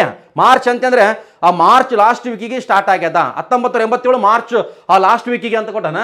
ಬಟ್ ಇಲ್ಲಿ ಮಾರ್ಚ್ ಇಲ್ಲ. ಮಾರ್ಚ್ ಆದ್ಮೇಲೆ ಯಾವ್ದು ಬರ್ತ ಹೇಳ್ರಿ? ಏಪ್ರಿಲ್ ಅದಕ್ಕೆ ಉತ್ತರ ಇದಕ್ಕೆ, ಆ ಒಂದನೇ ಆಪ್ಷನ್ಸೇ ಆ ಸರಿಯಾದ ಉತ್ತರ. ಸರಿಯಾಗಿ ಅಪ್ಡೇಟ್ ಮಾಡ್ಕೋಬೇಕು ನೀವು. ಹತ್ತೊಂಬತ್ತು ಎಂಬತ್ತೇಳು ಏಪ್ರಿಲ್ನಾಗ ಅದು ಸ್ಟಾರ್ಟ್ ಆಗ್ಯದ. ನೋಡಿಕೆಸೆ ತಿಳ್ಕರಿ. ಯಾಕಂದ್ರೆ ಕನ್ಫ್ಯೂಸ್ ಮಾಡ್ಕೋಬಾರ್ದು. ಕನ್ಫ್ಯೂಸ್ ಮಾಡ್ಕೊಂಬಿಟ್ರಿಗಿನ ಏನಾಗ್ತದೆ? ಏನಾಗೋದಿಲ್ಲ. ಬಟ್ ಅಪ್ಡೇಟ್ ಮಾಡ್ತಾ ಅಪ್ಡೇಟ್ ಮಾಡ್ತಾ ನಿಮ್ಗೆ ಗೊತ್ತಾಗಿ ಬಿಡ್ತದೆ ಹೌದಿಲ್ಲಪ್ಪ. ಭಾಳ ಪ್ರಮುಖ ಸರಿಯಾಗಿ ಓದ್ಕೋಬೇಕು. ನಮಗೆ ಇದ್ರ ಬಗ್ಗೆ ಇದು ಯಾವುದು ಅರ್ಥರ್ ಲೂಯಿಸ್ ಅವರ ಕೊಡುಗೆ ಪ್ರಸಿದ್ಧಿ ಆಗಲು ಅವರು ನೀಡಿರುವ ಅಂತ ಕೊಟ್ಟಾನ ಇದ್ರ ಬಗ್ಗೆ ಡೀಟೇಲ್ಸ್ ಆಗಿ ನಮ್ಮ ಇವ್ರು ಹೇಳ್ತು ಅಂತ ಹೇಳಿ ಯಾರು ಹೇಳ್ರಿ? ಆ, ಸುದರ್ಶನ್ ಅವರು ಇದ್ರ ಬಗ್ಗೆ ಪಾಠ ಮಾಡ್ತಾರ?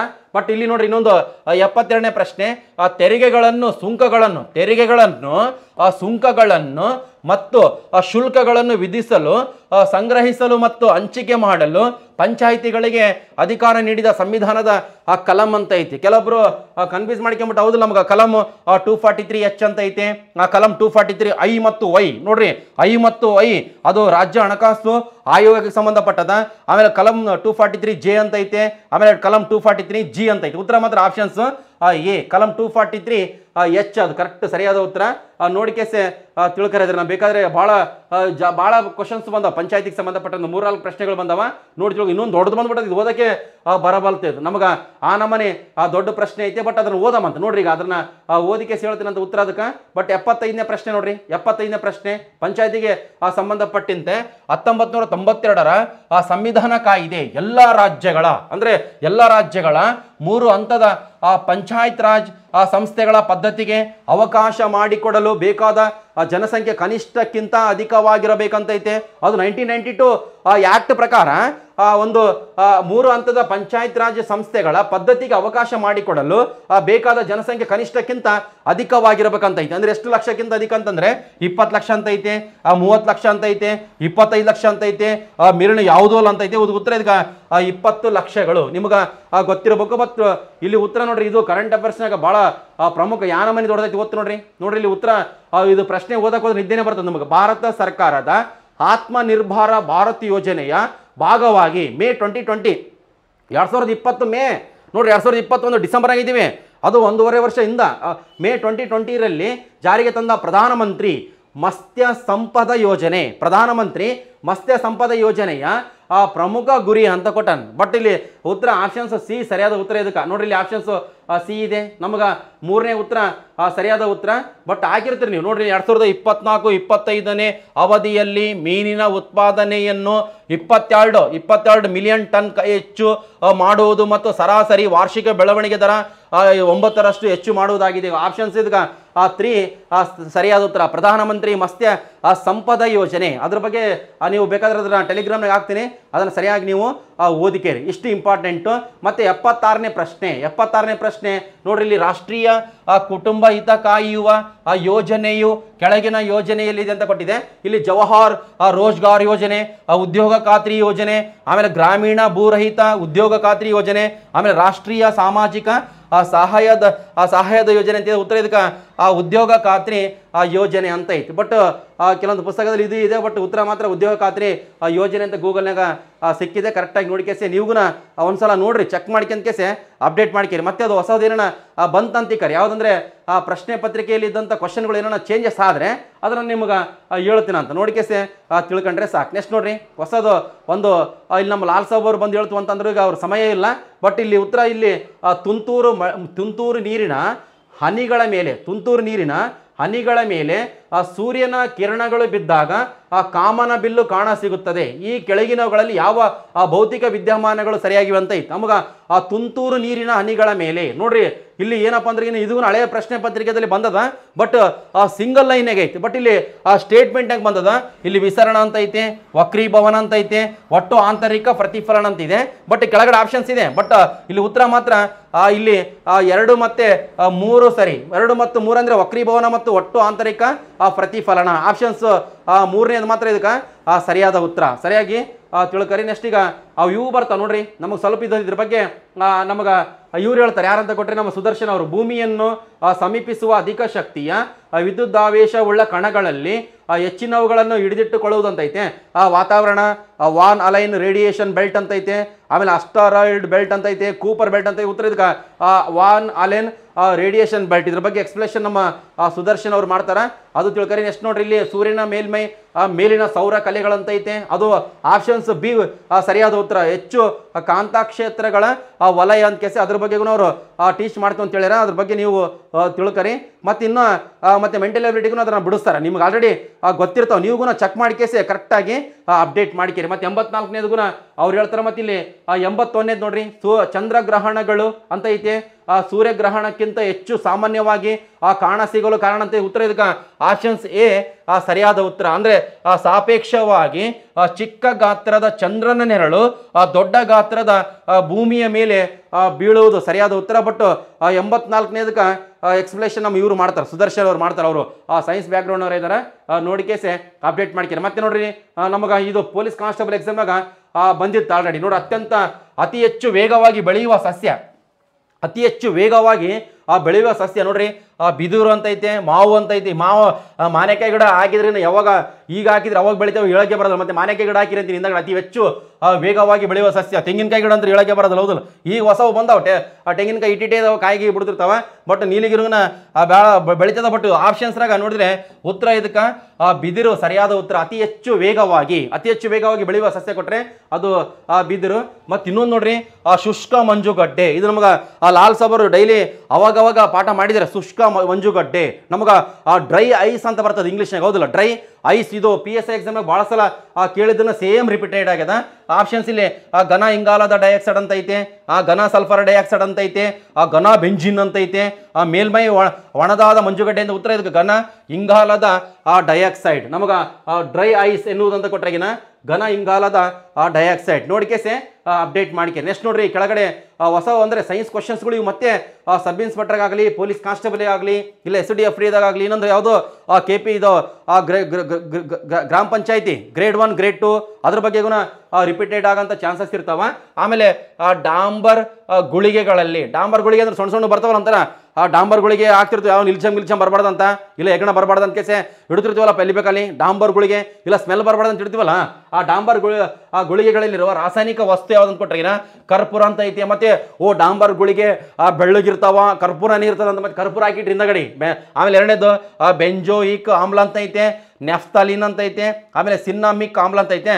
ಅದು ನೆಫ್ತಾಲಿನ್ ಅಂದ್ರೆ ಡಾಂಬರ್ ಗುಳಿಗೆಗಳಿರೋ ರಾಸಾಯನಿಕ ಕೊಟ್ಟರೆಗಿನ ಅದು ನೆಫ್ತಾಲಿನ್ ಮತ್ತೆ ಇನ್ನೊಂದು ನೋಡ್ರಿ, ಹಸಿರು ಗೊಬ್ಬರಕ್ಕಾಗಿ ಈ ಕೆಳಗಿನ ಯಾವ ಸಸ್ಯವನ್ನು ಬಳಸಲಾಗುತ್ತದೆ. ಇನ್ನೊಂದು ಸೆಣಬು ಅಂತ ಐತೆ, ಹತ್ತಿ ಅಂತ ಐತೆ ಗೋಧಿ ಅಂತ ಐತೆ, ಹಕ್ಕಿ ಅಂತ ಐತೆ. ಉತ್ತರ ಅದಕ್ಕೆ ಸೆಣಬು ಸರಿಯಾದ ಉತ್ತರ. ನೋಡಿಕೆಸೆ ಅಪ್ಡೇಟ್ ಮಾಡ್ಕೀರಿ. ಅಂದರೆ ನಿಮಗೆ ಗೊತ್ತಾಗಿರ್ತದೆ ಆಲ್ರೆಡಿ ಉತ್ತರಗಳು ಮತ್ತು ನೀವು ನಿನ್ನ ಸಲ ಚೆಕ್ ಮಾಡ್ಕೊಂಡು ನೆನ್ಪಿಟ್ಕೊಂಡ್ಬಿಡ್ಬೇಕು ರೀ ಕರೆಕ್ಟಾಗಿ ನೆನ್ಪಿಟ್ಕೊಂಬಿಟ್ರಿಗಿನ ಅದು ಹೆಂಗೆ ಗೊತ್ತಾಗಲಿ. ಇಲ್ಲಿ ನೋಡ್ರಿ ಇಲ್ಲಿ ಸಂತರ ಕನ್ಫ್ಯೂಸ್ ಆಯ್ತು ನಮಗೆ ಇಲ್ಲಿ ಇಂಪಾರ್ಟೆಂಟು ಈ ಕೆಳಗಿನವುಗಳಲ್ಲಿ ಮಾರ್ಪಡಿಸಿದ ಕಾಂಡ ಯಾವುದು ಅಂತ ಐತೆ ಮಾರ್ಪಡಿಸಿದ. ನಮಗೆ ಇಂಗ್ಲೀಷ್ನ ನೋಡೋಕೆ ಹೋದ್ರಿಗಿನ ಅದನ್ನ ಹೊಡೆದ್ರಿಗಿನ ನೋಡ್ರಿ ಈರುಳ್ಳಿ ಅಂತ ಐತೆ ಬೆಳ್ಳುಳ್ಳಿ ಅಂತ ಐತೆ ಆಲೂಗಡ್ಡೆ ಅಂತ ಐತೆ ಟೊಮೊಟೊ ಅಂತ ಐತೆ. ಬಟ್ ಇಲ್ಲಿ ಗೂಗಲ್ನಾಗ ಯಾವ ತೋರ್ಸಕತ್ತದ ಹೇಳ್ರಿ? ಆಲೂಗಡ್ಡೆ ಅಂತ ಐತೆ. ಅಂದ್ರೆ, ಆ, ನಮಗೆ ಈರುಳ್ಳಿ ಬಗ್ಗೆಗೂ ಓದಿ ನಾವು. ಹೌದಿಲ್ಲ, ಕಾಂಡದ ರೂಪಾಂತರ ಅಂತ ಕೇಸೆ ಬಟ್ ಇಲ್ಲಿ ಗೂಗಲ್ನಾಗ ಆಲೂಗಡ್ಡೆ ತೋರ್ಸಕತ್ತದ. ಆ, ಉತ್ತರ ಏನು ಕೊಡ್ತಾನಂತ ಕೇಸೆ ಆ ಕೆ ಪಿ ಎಸ್ ಅವ್ರ ಬಗ್ಗೆ ಅದು ನೋಡೋಣ ಅಂತ ಬಿಟ್ಟಾಗ ನೀವೇನು ತಲೆ ಕೆಡ್ಸೋಣಕ್ಕೆ ಹೋಗ್ಬೇಡಿ, ಈರುಳ್ಳಿ ಹಾಕ್ಬಿಟ್ಟೆ ಸರ್, ಇಲ್ಲ ಆಲೂಗಡ್ಡೆ ಹಾಕ್ಬಿಟ್ಟೆ ಸರ್, ಇಲ್ಲ ಬೆಳ್ಳುಳ್ಳಿ ಬೆಳ್ಳುಳ್ಳಿ ಹಾಕ್ಬಿಟ್ಟೆ ಸರ್. ಹಾಕಿದ್ರೆ ಆಗ್ಲ, ಹಾಕಿದ್ಮೇಲೆ ಏನು ಮಾಡೋಕ್ಕೆ ಹೌದು ಚೇಂಜ್ ಮಾಡಕತ್ತದ ಆ, ಸುಮ್ಕಿರ್ಬೇಕಪ್ಪ, ನೋಡಿ, ಆ, ಮುಂದಿನ ಸಲ ನೋಡಮ್ಮ ಅಂತ. ಹೌದಿಲ್ಲ? ಕೊಟ್ಟರೆ ನಿಮ್ಮ ಅದೃಷ್ಟಕ್ಕೆ ಈರುಳ್ಳಿ ಕೊಡ್ಬೋದು, ಇಲ್ಲಾಂದರೆ ಆಲೂಗಡ್ಡೆ ಕೊಡ್ಬೋದು. ಕೆಲವೊಬ್ಬ ಅದೃಷ್ಟ ಕೆಲವೊಂದು, ಆ, ಟಮಟೆ ಹಣ್ಣು ಹಾಕಿರ್ತಾವೆ, ಟಮಟೆ ಹಣ್ಣು ಕೊಟ್ಟರೆ ಕೊಟ್ಟ ಹೇಳಕ್ಕೆ ಬರೋದಿಲ್ಲ, ಹೌದಲ್ಲ? ಈಗ ಕೊಡಂಗಿಲ್ಲ ಸಾಧ್ಯ ಇಲ್ಲ. ಬಟ್ ಆದ್ರೂ ನೋಡ್ರಿ ನೆಕ್ಸ್ಟ್ ಈಗ ತೊಂಬತ್ತನೇ ಪ್ರಶ್ನೆ, ನಮಗೆ, ನೋಡ್ರಿ, ಇಲ್ಲಿ ಸಣ್ಣದು ಒಂದಿಸಿ ಬೇರೆ ಐತೆ. ಒಂದಿಸಿ ಬೇರೆ ಅಂದ್ರಿಗಿನ ಇಲ್ಲಿ ಒಂದು ಗಮನಿಸ್ಬೇಕು. ಇಂಗ್ಲೀಷ್ ವರ್ಡ್ಗಳು ಬಂದ ಬರೀ. ಇಂಗ್ಲೀಷ್ ವರ್ಡ್ಗಳು ಅಂತ ಕೊಟ್ಟರೆಗಿನ ಇಲ್ಲಿ ಹಳೆಯ ಪ್ರಶ್ನೆ ಪತ್ರಿಕೆದಾಗ ಆಲ್ರೆಡಿ ಬಂದಿದ್ವೇ, ಒಂದಿಸ್ ಬೇರೆದಾಗ ಮಾಡ್ಯಾನ. ನೋಡ್ರಿಲ್ಲಿ, ನಮಗಿಲ್ಲಿ ಪಟ್ಟಿ ಒಂದು ಮತ್ತು ಪಟ್ಟಿ ಎರಡನ್ನು ಸರಿಹೊಂದಿಸಿ ಹಾಗೂ ಈ ಕೆಳಗೆ ನೀಡಲಾದ ಸಂಕೇತವನ್ನು ಉಪಯೋಗಿಸಿಕೊಂಡು ಸರಿಯಾದ ಉತ್ತರವನ್ನು ಆಯ್ಕೆ ಮಾಡಿ. ನಾವು ಇದನ್ನ ಸರಿಯಾಗಿ ಓದೋದಿಲ್ಲ.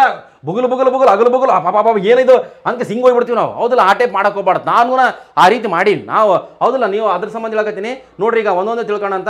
ಒಂದಿಸಿ ಬರೀರಿ ಸರಿಯಾದ ಉತ್ತರನ ಆಯ್ಕೆ ಮಾಡಿ. ಅಷ್ಟೇ ಇದ್ರಾಗೇನು, ಆ, ದೊಡ್ಡದಲ್ಲ. ನೋಡ್ರಿ, ನಮಗಿಲ್ಲಿ ಒಂದು ಗಮನಿಸ್ಬೇಕು ಒಂದು ಏನು ಗಮನಿಸ್ಬೇಕಂತ ಕೊಟ್ರೆಗಿನ ಇಲ್ಲಿ ನೋಡ್ರಿ, ಇಲ್ಲಿ ಏನು ಗಮನಿಸ್ಬೇಕು ನೋಡ್ರಿ, ಇಲ್ಲಿ ಮರ್ಕ್ಯೂರಿ ಅಂತ ಇದೆ. ಮಲು ಮರ್ಕ್ಯೂರಿ ಅಂದ್ರೆ, ಆ, ಪಾದರಸ. ಪಾದರಸ, ಆ, ಒಂದು, ಆ, ಕಲುಷಿತದಿಂದ ರೋಗ ಬಂತು ಅಂತ ಅಲ್ಲಿ ಏನಂತ ಕೊಟ್ರೆಗಿನ ಆ, ಮೀನಾ ಮಾಟ. ಜಪಾನ್ ದೇಶದಾಗ ಮೀನಾ ಮಾಟ. ಅದು ತಿಳ್ಕರಿ ಅಂದ್ರೆ ಅದು ಆಲ್ರೆಡಿ ಹಳೆ ಪ್ರಶ್ನೆ ಪತ್ರಿಕೆದ ಬಂದದ್ರಿ. ಯಾವ್ದಲ್ರಿ? ಆ ಪಾದರಸದಿಂದ ಯಾವ ರೋಗ ಬಂದಿತ್ತಪ್ಪ? ಮೀನಮಾಟ ಆ ಒಂದು ಊರದಾಗ ಊರಾಗ ಅಂತಂದ್ರೆ ಅದು ಮೀನಮಾಟ ಕಾಯಿಲೆ ಅಂತ ಕರೀತಾರೆ. ಪಾದರಸ ಅಂದ್ರೆ ಮರ್ಕುರಿ, ಆ ಕಲುಷಿತತೆ, ನೀರಿನಿಂದ, ಆ ನೀರಿನಲ್ಲಿ ಅದೇನು ಸೇರಿಕೆ ಈ ರೋಗ ಬಂದಿತ್ತು. ಯಾವ್ದಲ್ರಿ? ಮೀನಮಾಟ. ಅದಕ್ಕೆ ಒಂದನೇದಕ್ಕ ಮೂರನೇದು. ನಾವು ಒಂದಿಸ್ ಬೇರೆ ಏನು ಮಾಡ್ಬೇಕು ಹೇಳ್ರಿ ನಾವು ಒಂದನೇದಕ್ಕ ಮೂರನೇದ. ಚೆಕ್ ಮಾಡ್ಬೇಕು ನೀವು. ಒಂದೇದಕ್ಕ ಮೂರನೇದು. ಇಂಗ್ಲಿ ಕೆಳಗಡೆ ಆಪ್ಷನ್ಸ್ನಾಗ ನೋಡ್ರಿ ಒಂದೇದಕ್ಕೆ ಮೂರನೇದು. ಎಲ್ಲೈತೆ ಅಂತ ಕೇಸೆ? ನೋಡ್ರಿ ಒಂದ್ಸಲ, ಆ ಗಮನಿಸ್ರಿ. ನೋಡ್ರಿ ಒಂದೇದಕ್ಕ ಆ ಮೂರನೇದು. ಓ ಇಲ್ಲಿ ಒಂದನೇದಕ್ಕೆ ಮೂರನೇದು ಇಲ್ಲಿ ಇಲ್ಲ, ಇದು ಉತ್ತರ ಅಲ್ಲ. ಒಂದನೇದಕ್ಕೆ ಮೂರನೇದು ಒಂದನೇದಕ್ಕೆ ಮೂರನೇದು ಅಂದರೆ ಇಲ್ಲಿ ಇಲ್ಲ, ಇದು ಉತ್ತರ ಅಲ್ಲ. ನೋಡು ಒಂದನೇದಕ್ಕೆ ಮೂರನೇದು, ಓ ಎಸ್, ಮೂರೈತೆ. ಇಲ್ಲಿ ಒಂದನೇದಕ್ಕೆ ಮೂರಿಲ್ಲ, ನಾಲ್ಕೈತೆ. ಅದ್ರ ಉತ್ತರ ಮಾತ್ರ, ಇದು ಸೀನೆ ಆ ಸರಿಯಾದ ಉತ್ತರ. ಹಿಂಗೆ ಗಮನಿಸ್ಬೇಕು. ಒಂದು ಗೊತ್ತಾದ್ರೆ ಸಾಕು. ಆಟೋಮೆಟಿಕ್ ನೀವು, ಆ ಬಿಡಿಸಂತ ಕೆಪಾಸಿಟಿ ಡೆವಲಪ್ ಆಗ್ತದೆ. ನೋಡ್ರಿ, ನಮಗೆ ಒಂದನೇದಕ್ಕೆ, ಆ, ಮೂರನೇದು ಮೀನಾ ಮಾಟ, ಆಮೇಲೆ ಎರಡನೇದಕ್ಕೆ ನೋಡ್ರಿ ಆಟೋಮೆಟಿಕ್ ಗೊತ್ತಾಗ್ಬಿಡ್ತದೆ ಇಲ್ಲಿ. ಕೆಳಗಡೆ, ಎರಡನೇದಕ್ಕೆ ನಾಲ್ಕನೇದು ಐತೆ. ಯಾವ್ದು ಹೇಳ್ರಿ? ಎರಡನೇದಕ್ಕೆ ನಾಲ್ಕನೇದು ಅಂತ ಕೊಟ್ರೆಗಿನ ಆರ್ಸೆನಿಕ್ನ ಕಲುಷಿತೆ, ಆ ಕ್ಯಾನ್ಸರ್ ಮತ್ತು ಚರ್ಮದ ಗಾಯ, ಆಮೇಲೆ ಸೀಸದ, ಆ, ಕಲುಷಿತೆ ಅಂತ ಐತೆ. ಅದು ಇಂಪಾರ್ಟೆಂಟ್ ಮೇಲೆ ಇದದು. ಯಾವ್ದು ಪಾರ್ಕಿನ್ಸನ್ ಕಾಯಿಲೆ. ಅದು, ಆ ಬಾಕ್ಸರ್ಗಳಿಗೆ ಬರ್ತದೆ. ಪಾರ್ಕಿನ್ಸನ್ ಮೆದುಳಿಗೆ ಬರ್ತದೆ. ಆಮೇಲೆ ಇಂಪಾರ್ಟೆಂಟ್ ಕ್ಯಾಡ್ಮಿಯಂ ಅಂತ ಐತೆ. ಇದಗುನ ಬಂದಿದ್ದೇ ಕ್ವಶನ್ ಇದು. ಕ್ಯಾಡ್ಮಿಯಂ ಹಳೆ ಕ್ವಶನ್ ಪೇಪರ್ನಾಗ ಇಟಾಯಿ ಇಟಾಯಿ ರೋಗ ಮಿಠಾಯಿ ಮಿಠಾಯಿ ಅಲ್ಲ ಇಟಾಯಿ ಇಟಾಯಿ ರೋಗ. ನಿಮ್ಗೆ ಈಸಿ ಪ್ರಶ್ನೆ ರೀ. ಭಾಳ ಸರಳವಾದ ಪ್ರಶ್ನೆ ಇದು. ನಮ್ಗೆ ಹಳೆ ಕ್ವಶನ್ ಪೇಪರ್ನ ನೀವು ಚೆಕ್ ಮಾಡಿರ್ಬೇಕಾದ್ರೆ ನಿಮ್ಗೆ ಸಿಗ್ತಾವೆ. ಯಾವುದೋ ಕೆ ಪಿ ಎಸ್ ಸಿ ಆಗಲಿ, ಇಲ್ಲಾಂದರೆ ಕೆ ಎಸ್ ಆಗಲಿ, ಅವೆಲ್ಲ ನಿಮ್ಗೆ ಆಟೋಮೆಟಿಕ್ಕಾಗಿ ನಿಮ್ಗೆ, ಆ ನಾಲೆಜ್ ಇನ್ಕ್ರೀಸ್ ಆಯ್ತು ಮುಗಿಯಾಗ ಬಂತೀಗ? ಆಯ್ತು, ಇದೇನು ದೊಡ್ಡದಲ್ಲ. ನೋಡ್ಕೇಸೆ ಅಪ್ಡೇಟ್ ಮಾಡ್ಕೇರಿ. ಆಟೋಮೆಟಿಕ್ಕಾಗಿ ನಿಮ್ಗೆ ತಿಳ್ಕೊಂತೀರಿ. ಮತ್ತು ಇನ್ನೊಂದು ಏನಂತ ಕೊಟ್ರೆಗಿನ ನಮಗೆ ಪ್ರಶ್ನೆ ಇನ್ನೊಂದು ಎರಡು ಮೂರು ಪ್ರಶ್ನೆಗಳನ್ನ ಅವ್ರನ್ನ ಬಿಟ್ಟಿನಲ್ಲ ನಮ್ಮ ಇವ್ರು ಹೇಳ್ತಾರೆ. ಯಾರು ಹೇಳ್ರಿ? ಸುದರ್ಶನ್ ಅವರು. ನೆಕ್ಸ್ಟ್ ನೋಡ್ರಿ, ಇಲ್ಲಿ ಕೆಳಗಡೆ ಇದೆ.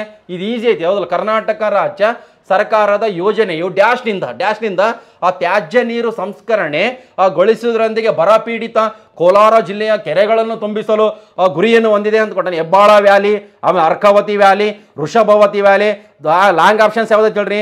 ಕೋರಮಂಗಲ ಚಲ್ಲಘಟ್ಟ ವ್ಯಾಲಿ ಅಂತ ಇದೆ. ಉತ್ತರ ಆಪ್ಷನ್ಸ್, ಆ ಡಿನೇ ಆ ಸರಿಯಾದ ಉತ್ತರ. ಮತ್ತೆ ಈ ಒಂದು ರಾಮ್ ರಾಮ್ಸರ್ ಅಂತ ಐತೆ ಸ್ಟಾಕ್ ಹೋಮ್ ಅಂತ ಐತೆ, ವಿಯನ್ ಅಂತ ಐತೆ, ಬಾನ್ ಅಂತ ಐತಲ್ಲಪ್ಪ. ಅದ್ರ ಮೇಲೆ ನಮ್ಗೆ ನಮ್ಮ ಇವರು ಸುದರ್ಶನ್ ಅವ್ರಿಗೆ ಆ ಕ್ಲಾಸ್ ತಗೊಂತಾರೆ. ಅದಾದಮೇಲೆ ನೋಡೋಣ ಅಂತ ನೆಕ್ಸ್ಟ್ ನೋಡ್ರಿ ಆಮೇಲೆ ಇಲ್ಲಿ ಏನು ಗಮನಿಸ್ಬೇಕಂತ ಕೊಟ್ಟರೆಗಿನ ಭಾರತದಲ್ಲಿ ತೇವಾಂಶ ಉಳ್ಳ ತೇವಾಂಶ ಉಳ್ಳ ಆಲ್ಫೈನ್ ಸ್ಕ್ರಬ್ ಆಲ್ ಆಲ್ಫೈನ್ ಸ್ಕ್ರಬ್ ಅರಣ್ಯವು ಡ್ಯಾಶ್ನಲ್ಲಿ ಕಂಡು ಬರ್ತದೆ ಅಂತ ಇಲ್ಲಿ ಮಧ್ಯಪ್ರದೇಶ ಉತ್ತರ ಪ್ರದೇಶ, ಆಂಧ್ರ ಪ್ರದೇಶ, ಕರ್ನಾಟಕ ಅಲ್ಲಿ ಇದ್ರಾಗ ನಮ್ಗೆ ಗೂಗಲ್ನಾಗ ಆಂಧ್ರ ಪ್ರದೇಶ ತೋರ್ಸಕತ್ತದ. ಇದೊಂದು ಆಂಧ್ರ ಪ್ರದೇಶ ಅಂತ ಮಾಡ್ಕೇರಿ ಬಟ್ ನೋಡ್ಕೋಬೇಕಂತ ನೋಡಿ ನಿಮ್ಗೆ ತಿಳ್ಕರಿ ಅದೇನು ದೊಡ್ಡ ವಿಚಾರ ಅಲ್ಲ ಬಟ್ ಉಳಿದುವೆಲ್ಲ ನಿಮ್ಗೆ ಗೊತ್ತಿರ್ತಾವೆ. ಉಳಿದುವೆಲ್ಲ ಗೊತ್ತಿರ್ತಾವ. ನೋಡ್ಕೇಸೆ ಅಪ್ಡೇಟ್ ಮಾಡ್ಕೇರಿ ನೋಡಿಲಿ ನಮ್ಗೆ ಇಂಪಾರ್ಟೆಂಟ್ ಇಲ್ಲಿ, ಆ, ಪರಿಸರ, ವಿಜ್ಞಾನದ ಹೆಜ್ಜೆ ಗುರುತುಗಳನ್ನು, ಆ, ಡ್ಯಾಶ್ ಅಳೆಯಲಾಗುತ್ತದೆ ಅಂತ ಐತೆ. ನಮ್ಗೆ ಇಲ್ಲಿ ನೋಡಿ ಸುಸ್ಥಿರವಲ್ಲದ ಜೀವನ, ಆ, ಶೈಲಿಯಿಂದ, ಆ, ಇಂಗಾಲದ ಅಂಶದಿಂದ ಆಮೇಲೆ ಭೂಮಿಯ ಪರಿಸರ ವ್ಯವಸ್ಥೆಯ ಮೇಲೆ ಮಾನವನ ಬೇಡಿಕೆಯಿಂದ ಸಾಮರ್ಥ್ಯದ ಒಯ್ಯುವಿಕೆಯಿಂದ ಅಂತ ಉತ್ತರ ಇದಕ್ಕೆ ಆಪ್ಷನ್ಸ್ ಸಿ, ಸರಿಯಾದ ಉತ್ತರ ಮತ್ತು ಇನ್ನೊಂದು ನೋಡ್ರಿ. ಇದಕ್ಕೂ ಕರೆಂಟ್ ಅಫೇರ್ಸೆ ಭಾರತದಲ್ಲಿ ಕೇಂದ್ರ ಮಾಲಿನ್ಯ ನಿಯಂತ್ರಣ ಮಂಡಳಿ. ನಮಗೇನೋ ಒಟ್ಟು ರಾಜ್ಯ ಮಾಲಿನ್ಯ ನಿಯಂತ್ರಣ ಮಂಡಳಿ? ಆ, ಕೇಂದ್ರ ಮಾಲಿನ್ಯ ನಿಯಂತ್ರಣ ಮಂಡಳಿ ಮೇಲೆ, ಆ ಕ್ವಶನ್ಸ್ಗಳು ಬಂದವು. ಅಂದರೆ, ಆ, ಅನುಸಾರ ದೊಡ್ಡ ನಗರಗಳಲ್ಲಿ, ಆ, ಘನತ್ಯಾಜ್ಯವು ಪ್ರತಿದಿನ ತಲವಾರು ಡ್ಯಾಶ್ ರಷ್ಟು ಉತ್ಪಾ ಉತ್ಪತ್ತಿ ಆಗುತ್ತದೆ ಅಂತ ಐತೆ. One point five K G two point five K G zero point five K G one point two K G ಅಂತ ಐತೆ. ಉತ್ತರಲ್ಲಿ zero point five K G ಅಂತಕೇಸೆ ಅದು ಉತ್ತರ ತೋರ್ಸಕತ್ತ ಗೂಗಲ್ನಾಗ ನೋಡಿಕೆಸೆ ಅದ್ರಗುನ ಚೆಕ್ ಮಾಡ್ಕೇರಿ ನೋಡ್ತಾ ನೋಡ್ತಾ ನಿಮ್ಗೆ ಆಟೋಮೆಟಿಕ್ ಆಗಿ ನಾಲೆಜ್ ಇನ್ಕ್ರೀಸ್ ಆಗ್ಬೇಕು ನೋಡಪ್ಪ. ನೋಡ್ರಿ, ಇದು ಭಾಳ ಇಂಪಾರ್ಟೆಂಟ್ ಐತೆ ಮತ್ತು ಇನ್ನೊಂದು ಏನಂತ ಕೊಟ್ರೆಗಿನ ಭಾಳ ಸುಲಭದ ಪ್ರಶ್ನೆ ಐತಿ. ನೋಡ್ತಾ ನೀವು ಒಂದು ಒಂದು ಕ, ಒಂದು ತಿಳ್ಕೊಬೇಕು. ಒಂದು ಏನು ಗೊತ್ತಾ? ನಿಮ್ಗೆ ನೋಡಿದ್ರೆ ಆಟೋಮೆಟಿಕ್ ತಿಳ್ಕೊಬೇಕು. ನೋಡ್ರಿ, ಇಲ್ಲಿ ಏನೈತೆ? ಇಲ್ಲಿ ಈ ಪ್ರಶ್ನೆ, ತೊಂಬತ್ತಾರನೇ ಪ್ರಶ್ನೆ, ಈ, ಈ- ಇದೇ ರೀತಿ ಇರೋವು ಎಲ್ಲ. K P S group C ಅಂತಂದ್ರೆ ಈಗ ತೊಂಬತ್ತಾರನೇ ಪ್ರಶ್ನೆ ಇದ್ದಂಗೆ ಇರೋವು. ಬಟ್ ಈ ಸಲ ಏನೋ ನಿಮ್ಮ ಅದೃಷ್ಟ? ಆ ಒಂದು ಸಣ್ಣ ಸಣ್ಣ ಪ್ರಶ್ನೆಗಳು, ಮತ್ತು ದೊಡ್ಡ ಪ್ರಶ್ನೆಗಳು ಇಂಗ್ಲೀಷ್ ನೀವು ಕನ್ನಡ ಸೇರಿಸಿ ಕೊಟ್ಬಿಟ್ಟು ಹೌದು, ಸ್ವಲ್ಪ, ಆ ಕನ್ಫ್ಯೂಸ್ ಇದಾವೆ, ಆ ಸ್ವಲ್ಪ ಈಸಿಗೂ ಇದಾವೆ. ಭಾಳ ಸ್ವಲ್ಪ ಒಂಚೂರು ಟಫ್ಗೂ ಐತೆ. ಅದೇನು ದೊಡ್ಡದು ಇದೇನಲ್ಲ, ಆ ಕೆಳಗಿನ ನಾಲ್ಕು ಆಯ್ಕೆಗಳಲ್ಲಿ ಸರಿ ಉತ್ತರವನ್ನು ಆಯ್ಕೆ ಮಾಡಿ. ಹೇಳಿಕೆ. ಎ ಮತ್ತು ಕಾರಣ ಆರ್ ಅಂತ ಕೊಟ್ಟಾನ. ಹೇಳಿಕೆ ಸ್ಟೇಟ್ಮೆಂಟ್ ಇಂಪಾರ್ಟೆಂಟ್ ಇಂಥವ್ರನ್ನ ಬಿಡಿಸೋದು ಕಲಿಬೇಕು. ನೋಡ್ರಿ, ಆ ಹೇಳಿಕೆ ಎ, ನೋಡ್ರಿ, ಪಶ್ಚಿಮ ಘಟ್ಟ ಪ್ರದೇಶವು ಅತಿ ಹೆಚ್ಚು ಸ್ಥಾನಿಕ ಪ್ರಭೇದ ಶ್ರೀಮಂತಿಕೆಯನ್ನು ಹೊಂದಿದೆ. ಹೊಂದಿದೆ. ಇದು ಏನು ಅನುಮಾನನೇ ಇಲ್ಲ ಪಶ್ಚಿಮ ಘಟ್ಟಗಳು ಅತ್ಯಂತ ಸಂಪದ್ಭರಿತವಾದಂಥ ಇದೈತೆ. ಫಾರೆಸ್ಟ್ ಆಗಿರ್ಬೋದು. ಏನು ಎಲ್ಲ ಡಿಟೇಲ್ಸ್ ಐತೆ. ಬಟ್ ಇದು ಒಂದೇದಂದರೆ ಎಸ್ ಇದು ಒಂದೇದ. ಬಟ್ ಆ, ಕಾರಣ ನೋಡ್ರಿ. ಕಾರಣ ಆರ್ ಏನು ಕೊಟ್ಟನ? ಸ್ಥಾನಿಕ ಪ್ರಭೇದಗಳ ವಿತರಣೆಯು ಪಶ್ಚಿಮ ಘಟ್ಟ ಪ್ರದೇಶಕ್ಕೆ ಮಾತ್ರ ಸೀಮಿತಗೊಂಡಿದೆ ಅಂತ ಕೊಟ್ಟನ? ಅಲ್ಲಿ ಸೀಮಿತಗೊಂಡಿಲ್ಲ. ಕೆಲವೊಂದು ಬೇರೆ ಬೇರೆ ಪ್ರದೇಶಗಳಲ್ಲಿಗೂ ಇದೆ. ಬಟ್ ಉತ್ತರ ಮಾತ್ರ ಇದಕ್ಕೆ ಹೇಳಿಕೆ ಏ ಐತಲ್ಲ. ಅದು ಮಾತ್ರ ಸರಿ. ಅಲ್ಲಿ ಆರೈತಲ್ಲ ಆ ತಪ್ಪದು. ಬಟ್ ಕೆಳಗಡೆ ಆಪ್ಷನ್ಸ್ ನೋಡ್ರಿ, ಹೆಂಗೆ ಕ್ರಿಯೇಟ್ ಮಾಡ್ಯಾನ? ಆಪ್ಷನ್ಸ್ ನೋಡ್ರಿ, ಒಂದೇ ಆಪ್ಷನ್ಸ್ ಎ ಮತ್ತು ಆರು ಎರಡೂ ಸರಿ. ಮತ್ತು ಎ ಕುರಿತಾಗಿ ಆರು ನೀಡಿದ ವಿವರಣೆ ಸರಿಯಾಗಿದೆ. ಎ ಮತ್ತು ಆರು ಎರಡೂ ಸರಿ. ಆದರೆ ಎ ಕುರಿತಾಗಿ ಆರು ವಿವರ ನೀಡಿದ ವಿವರಣೆ ಸರಿಯಾಗಿಲ್ಲ. ಎ ಸರಿ, ಆದರೆ ಆರ್ ತಪ್ಪು ಎ ತಪ್ಪು, ಆದರೆ ಆರ್ ಸರಿ. ನೋಡ್ರಿ ಎಂಥವು ಇದಾವ? ಇಂಥ ಆಪ್ಷನ್ಸ್ನ ನಾವು ಏನು ಮಾಡ್ಕೊಳ್ರಿ ಮನೆ ಕುಂತ ಕೇಸೆ, ಒಳ್ಳೆ ಆಲೋಚನೆ ಮಾಡಿ ಕೇಸೆ ಪೀಸ್ಫುಲ್ ಮೈಂಡ್ ಇಟ್ಕೊಂಡು ಕೆಸೆ, ಇಂಥದನ್ನ ಬಿಡಿಸೋದು ಕಲಿಬೇಕು. ಆ ಡೈರೆಕ್ಟ್ ಕ್ವಶನ್ಸ್ ಅಲ್ಲ, ಕನ್ನಡದ ಮೊದಲ ಶಾಸನ, ಅಲ್ಮಿಡಿ ಶಾಸನ, ಹಂಗಲ್ಲ. ಇವು ಇದಾವಲ್ಲ ಸ್ಟೇಟ್ಮೆಂಟ್ಸ್ ಇದಾವಲ್ಲ. ಈ ಸ್ಟೇಟ್ಮೆಂಟ್ಸ್ನ ಬಿಡಿಸೋಂಥ ಒಂದು ಒಂದು ಇದು ಕ ವೇ ಕಲ್ತ್ರಿಗಿನ ಆಟೋಮೆಟಿಕ್ಕಾಗಿ ನಿಮ್ಗೆ ಆ ನಾಲೆಜ್ ಇನ್ಕ್ರೀಸ್ ಆಗೇ ಆಗ್ತದೆ. ನೋಡ್ರಿ, ಇದನ್ನ ಹಳೆ ಪ್ರಶ್ನೆ ಪತ್ರಿಕೆದಾಗ ಆಲ್ರೆಡಿ ಬಂದದ ಇದು. ಹೌದಲ್ಲ ನೋಡ್ರಿ, ಯಾವ್ದು ಹೇಳ್ರಿ? ಆ ತೊಂಬತ್ತೆಂಟನೇ ಪ್ರಶ್ನೆ, ವಿಶ್ವ ಜೌಗು ದಿನ ವರ್ಲ್ಡ್ ವೆಟ್ಲ್ಯಾಂಡ್ಸ್ ಡೇ ನಮಗೆ ವಿಶ್ವ ಜೌಗು ದಿನ ವಿಶ್ವ ಜೌಗು ಪ್ರದೇಶ ಆ, ದಿನ ಅಂತ ಕೊಟ್ಟ ಎಂದು ಆಚರಿಸಲಾಗುತ್ತದೆ.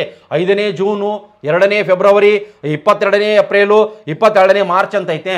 ಆ, ಎರಡನೇ ಫೆಬ್ರವರಿ ಅಂದರೆ ವರ್ಲ್ಡ್ ವೆಟ್ಲ್ಯಾಂಡ್ಸ್ ಡೇ ಅಂದ್ರೆ ವಿಶ್ವ ಜೌಗು ಪ್ರದೇಶ ದಿನ ಫೆಬ್ರವರಿ ಎರಡನೇ ತಾರೀಕಿಗೆ ನಮ್ಗೆ ಆ ದಿನಾಚರಣೆಗಳ ಮೇಲೆ ಒಂದು ಪ್ರಶ್ನೆ ಕೊಡ್ತಿದ್ದ. ಇದನ್ನ ಆ, ಕೊಟ್ಟನ. ಅದೇನು ದೊಡ್ಡದಲ್ಲ ಭಾಳ ಸುಲಭ ಐತೆ. ನೆಕ್ಸ್ಟ್ ನೋಡ್ರಿ, ಕರ್ನಾಟಕ ರಾಜ್ಯ ಮಾಲಿನ್ಯ ನಿಯಂತ್ರಣ ಮಂಡಳಿ ಸ್ಥಾಪನೆಯಾದ ವರ್ಷ ಹತ್ತೊಂಬತ್ತು ನೂರ ಎಂಬತ್ತಾರು ಹತ್ತೊಂಬತ್ತು ನೂರ ಎಂಬತ್ತೊಂದು ಹತ್ತೊಂಬತ್ತು ನೂರ ಎಪ್ಪತ್ನಾಲ್ಕು ಹತ್ತೊಂಬತ್ತು ನೂರ ಎಪ್ಪತ್ತೆರಡು. ಉತ್ತರ ಇಲ್ಲಿ ಹತ್ತೊಂಬತ್ತು ನೂರ ಎಪ್ಪತ್ನಾಲ್ಕಲ್ಲ ಹತ್ತೊಂಬತ್ತು ನೂರ ಎಪ್ಪತ್ನ ಕರ್ನಾಟಕ ರಾಜ್ಯ ಮಾಲಿನ್ಯ ನಿಯಂತ್ರಣ ಆ ಮಂಡಳಿ. ಗೊತ್ತಿರ್ಬೇಕು ಇಂಪಾರ್ಟೆಂಟು ಭಾಳ ಆ ಸರಳವಾದ ಪ್ರಶ್ನೆ. ಆ ನೋಡ್ಬೇಕು ನೋಡ್ರಿ ನೆಕ್ಸ್ಟ್ ಈಗ ಆ ನೂರನೇ ಪ್ರಶ್ನೆ ನೋಡಪ್ಪ. ನೂರನೇ ಪ್ರಶ್ನೆ ಆ ಜಾಗತಿಕ, ಆ ತಾಪಮಾನ ಸಮಾವೇಶಕ್ಕೆ, ಆ ಸಂಬಂಧಿಸಿದಂತೆ ಮೊನ್ನೆ ಆ ಕಾಪ್ ಟ್ವೆಂಟಿ ಸಿಕ್ಸ್ ನಡೀತಲ್ಲಪ್ಪ ಕಾಪ್ ಟ್ವೆಂಟಿ ಸಿಕ್ಸ್ ಅದ್ರ ರಿಲೇಟೆಡ್ ಇದು, ಜಾಗತಿಕ ತಾಪಮಾನ ಸಮಾವೇಶಕ್ಕೆ ಸಂಬಂಧಿಸಿದಂತೆ U N F C C ಅಂದರೆ U N F C C ಪೂರ್ಣ ರೂಪ ಯಾವುದು ಅಂತ ಐತೆ ಅಂದರೆ ವಿಸ್ತಾರ ರೂಪ ಯಾವುದು ಅಂತ ಐತೆ ಅದಕ್ಕೆ ಒಂದೇದೇ ಸರಿಯಾದ ಉತ್ತರ United Nations framework convention on climate change ಅಂತ ಉತ್ತರ. ಅದಕ್ಕೆ ಆಪ್ಷನ್ಸ್ ಏನೇ? ಆ ಸರಿಯಾದ ಉತ್ತರ. ಮತ್ತು ಇನ್ನೊಂದು ಇಲ್ಲಿ ಏನು ಗಮನಿಸ್ಬೇಕಂತ ಕೊಟ್ರೆ ಇನ್ನ, ಈ ಕಡೆ ನೋಡ್ರಿ ತೊಂಬತ್ತು ಏಳನೇ ಪ್ರಶ್ನೆ.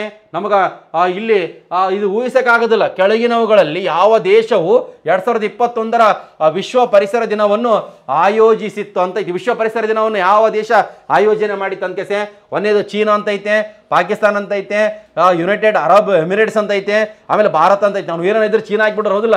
ಅದು ಉತ್ತರ ಯಾವ್ದು ಹೇಳ್ರಿ? ಆ, ಪಾಕಿಸ್ತಾನ್. ನಿಮ್ಗೆ ಗೊತ್ತಿರಬೇಕು ಇಂಪಾರ್ಟೆಂಟು ವಿಶ್ವ ಪರಿಸರ ದಿನ ಜೂನ್ ಐದಕ್ಕೆ ಆಚರಣೆ ಮಾಡ್ತಾರೆ ಅಂತ ನಿಮ್ಗೆ ಆಲ್ರೆಡಿ ಗೊತ್ತಿದೆ ನೋಡಿ ಕೆಸೆ ಅಪ್ಡೇಟ್ ಮಾಡಿ ಇಷ್ಟು ಇಂಪಾರ್ಟೆಂಟು ಒಂದು ತಿಳ್ಕರಿ ನೀವು. ನೀವೇನು ಮಾಡ್ಬೇಕಪ್ಪ ಅಂತ ಕೊಟ್ರಿಗಿನ ನೀವು ಆಲ್ರೆಡಿ ಕೆಲವು ಸರಿಯಾಗಿ ಹಾಕಿರ್ಬೋದು, ಕೆಲವು ಮಿಸ್ಟೇಕ್ಸ್ ಮಾಡಿರ್ಬೋದು. ಬಟ್ ಮಿಸ್ಟೇಕ್ಸ್ ಮಾಡಿಸಿ ಮಾಡಿದ್ರನ್ನ ಮುಂದಿನ ಸಲ ಚೇಂಜ್ ಮಾಡ್ಕೋಬೇಕು ತಿದ್ದಿಕೋಬೇಕು ಅಂತ day day day by day ಸುಧಾರಣೆ ಆಗೋದು ಕಲಿಬೇಕು. ಅದು ಬಿಟ್ಟು ನೀವು, ಇಲ್ಲ ಸರ್ ಭಾಳ ಟಫ್ ಬಂದ್ಬಿಡ್ತೀವಿ ಕನ್ಫ್ಯೂಸ್ ಆಗಿಬಿಡ್ತು ಅಲ್ಲಿ ನಾವು ವಿಶ್ವ ಸಂತೋಷದ ದಿನ. ಅದು ವಿಶ್ವ ಸಂತೋಷದ, ಆ, ದೇಶ ಕೊಟ್ಟಿದ್ದ, ನಾವು ಫಿನ್ಲ್ಯಾಂಡ್ ಅಂತ ಗೊತ್ತಿತ್ತು, ಅಲ್ಲಿ ಆಕ್ಷನ್ಸ್ ಆಗಿದ್ದಿಲ್ಲ. ನಾವು ಆಗಲಿಲ್ಲ ಅಂತ ಅದು ಏನು ಬೇಕಾದ ಹೇಳಿಕೆ ಅಂತ ಕುಂದ್ರದಲ್ಲ. ನಾವೇನಂತ ಕೊಟ್ರಿಗಿನ, ಆ, ಸರಿಯಾಗಿ ಓದ್ಬೇಕು. ನೋಡ್ಬೇಕು. ಇವತ್ತಿಲ್ಲ ನಾಳೆ ನಾವು ಆಟೋಮೆಟಿಕ್ ಆಗಿ, ಆ ಪಾಸ್ ಆಗೇ ಹೋಗ್ತೀವಿ ಪಾಸ್ ಆದಮೇಲೆ ನಮ್ಗೆ ಆಟೋಮೆಟಿಕ್ ಎಲ್ಲರೂ ಮಾತಾಡ್ಸೇ ಮಾತಾಡಿಸ್ತಾರ. ಭಾಳ ಇಂಪಾರ್ಟೆಂಟ್ ಐತೆ. ತಂದೆ ತಾಯಿಗಳು ಭಾಳ ಕಷ್ಟದಲ್ಲಿದ್ದಾರೆ ಅವ್ರ ಬಗ್ಗೆ ಆಲೋಚನೆ ಮಾಡ್ತಾ ಇವತ್ತಿಂದನೇ ಮತ್ತೆ ಸ್ಟಡಿ ಮಾಡ್ಬೇಕು. ನೀವು ಹತ್ತೊಂಬತ್ತನೇ ತಾರೀಕಿಗೆಲ್ಲ, ಹತ್ತೊಂಬತ್ತನೇ ತಾರೀಕಿಗೆ ಒಂದು ಎಕ್ಸಾಮ್ ಮುಗಿದ್ಮೇಲೆ ಬಿಡೋದಲ್ಲ, ಆ, ಸತತ ಪ್ರಯತ್ನ ಇರಲಿ. ನೀವು ಓದು, ಆ ಸೆಲೆಕ್ಷನ್ ಆಗತ್ತನ ಆ, ಸತತ ಪ್ರಯತ್ನ ಮಾಡ್ರಿ. ಯಾಕಂದ್ರೆ ಓದಿ ಓದಿ ಓದಿ ಓದಿ ಓದಿ, ಆ ಸೆಲೆಕ್ಷನ್ ಆದಮೇಲೆ ಅದ್ರದ್ದು ರುಚಿನೇ ಬೇರೆ ಇರ್ತದೆ. ಅದು ನಿಮ್ಗೆ ನೋಡ್ರಿ, ಚಾ ಎಷ್ಟು ಕುದಿತದಲ್ಲ, ಕುದ್ದು ಕುದ್ದು ಕುದ್ದು ಕುದ್ದು, ಆಮೇಲೆ ಚಾನ ಕುಡಿಯೋಕೆ ಹೋದ್ರಿನ ಎಷ್ಟು ಟೇಸ್ಟ್ ಇರ್ತದಲ್ಲ, ಅದ್ರಾಗ ನೀವು ಓದಿ ಓದಿ ಓದಿ ಓದಿ ಓದಿ ಓದಿ, ಮುಂದೆ ಒಂದಿನ ನಾಲ್ಕು ಮಂದಿಗೆ ಮಾರ್ಗದರ್ಶಕರಾತ್ರಿ ಮತ್ತೆ ಸಹಾಯ ಮಾಡೋಂಥ ಕೆಪಾಸಿಟಿ ಬಿಲ್ಡಪ್ ಆಗ್ತದ. ಅದಕ್ಕೆ ನೀವು ಕರೆಕ್ಟಾಗಿ ಓದೋದು ಕಲ್ರಿ ಮತ್ತೆ ನಮ್ಮ ನಿಮ್ಮ ಭೇಟಿ ಇವರು ಸುದರ್ಶನ್ ಅವ್ರ ಕ್ಲಾಸ್ ತಗೊಂತಾರೆ. ನೆಕ್ಸ್ಟ್ ಈಗ ಮೆಂಟಲ್ ಎಬಿಲಿಟಿನ ಮತ್ತು ಕೆಲವೊಂದು ಸೈನ್ಸ್ನ ಹುಟ್ಟಿವಲ್ಲ, ಅದ್ರ ಬಗ್ಗೆ ಡಿಸ್ಕಸ್ ಮಾಡ್ತಾರೆ. ಅಲ್ಲಿವರೆಗೂ ಚಾಗಿ ಕುಡಿದಕ್ಕೆ, ಸರ್ ರೆಸ್ಟ್ ಮಾಡ್ಕೇಸ್ ಬರ್ರಿ. ಧನ್ಯವಾದಗಳು. ಬಾಯ್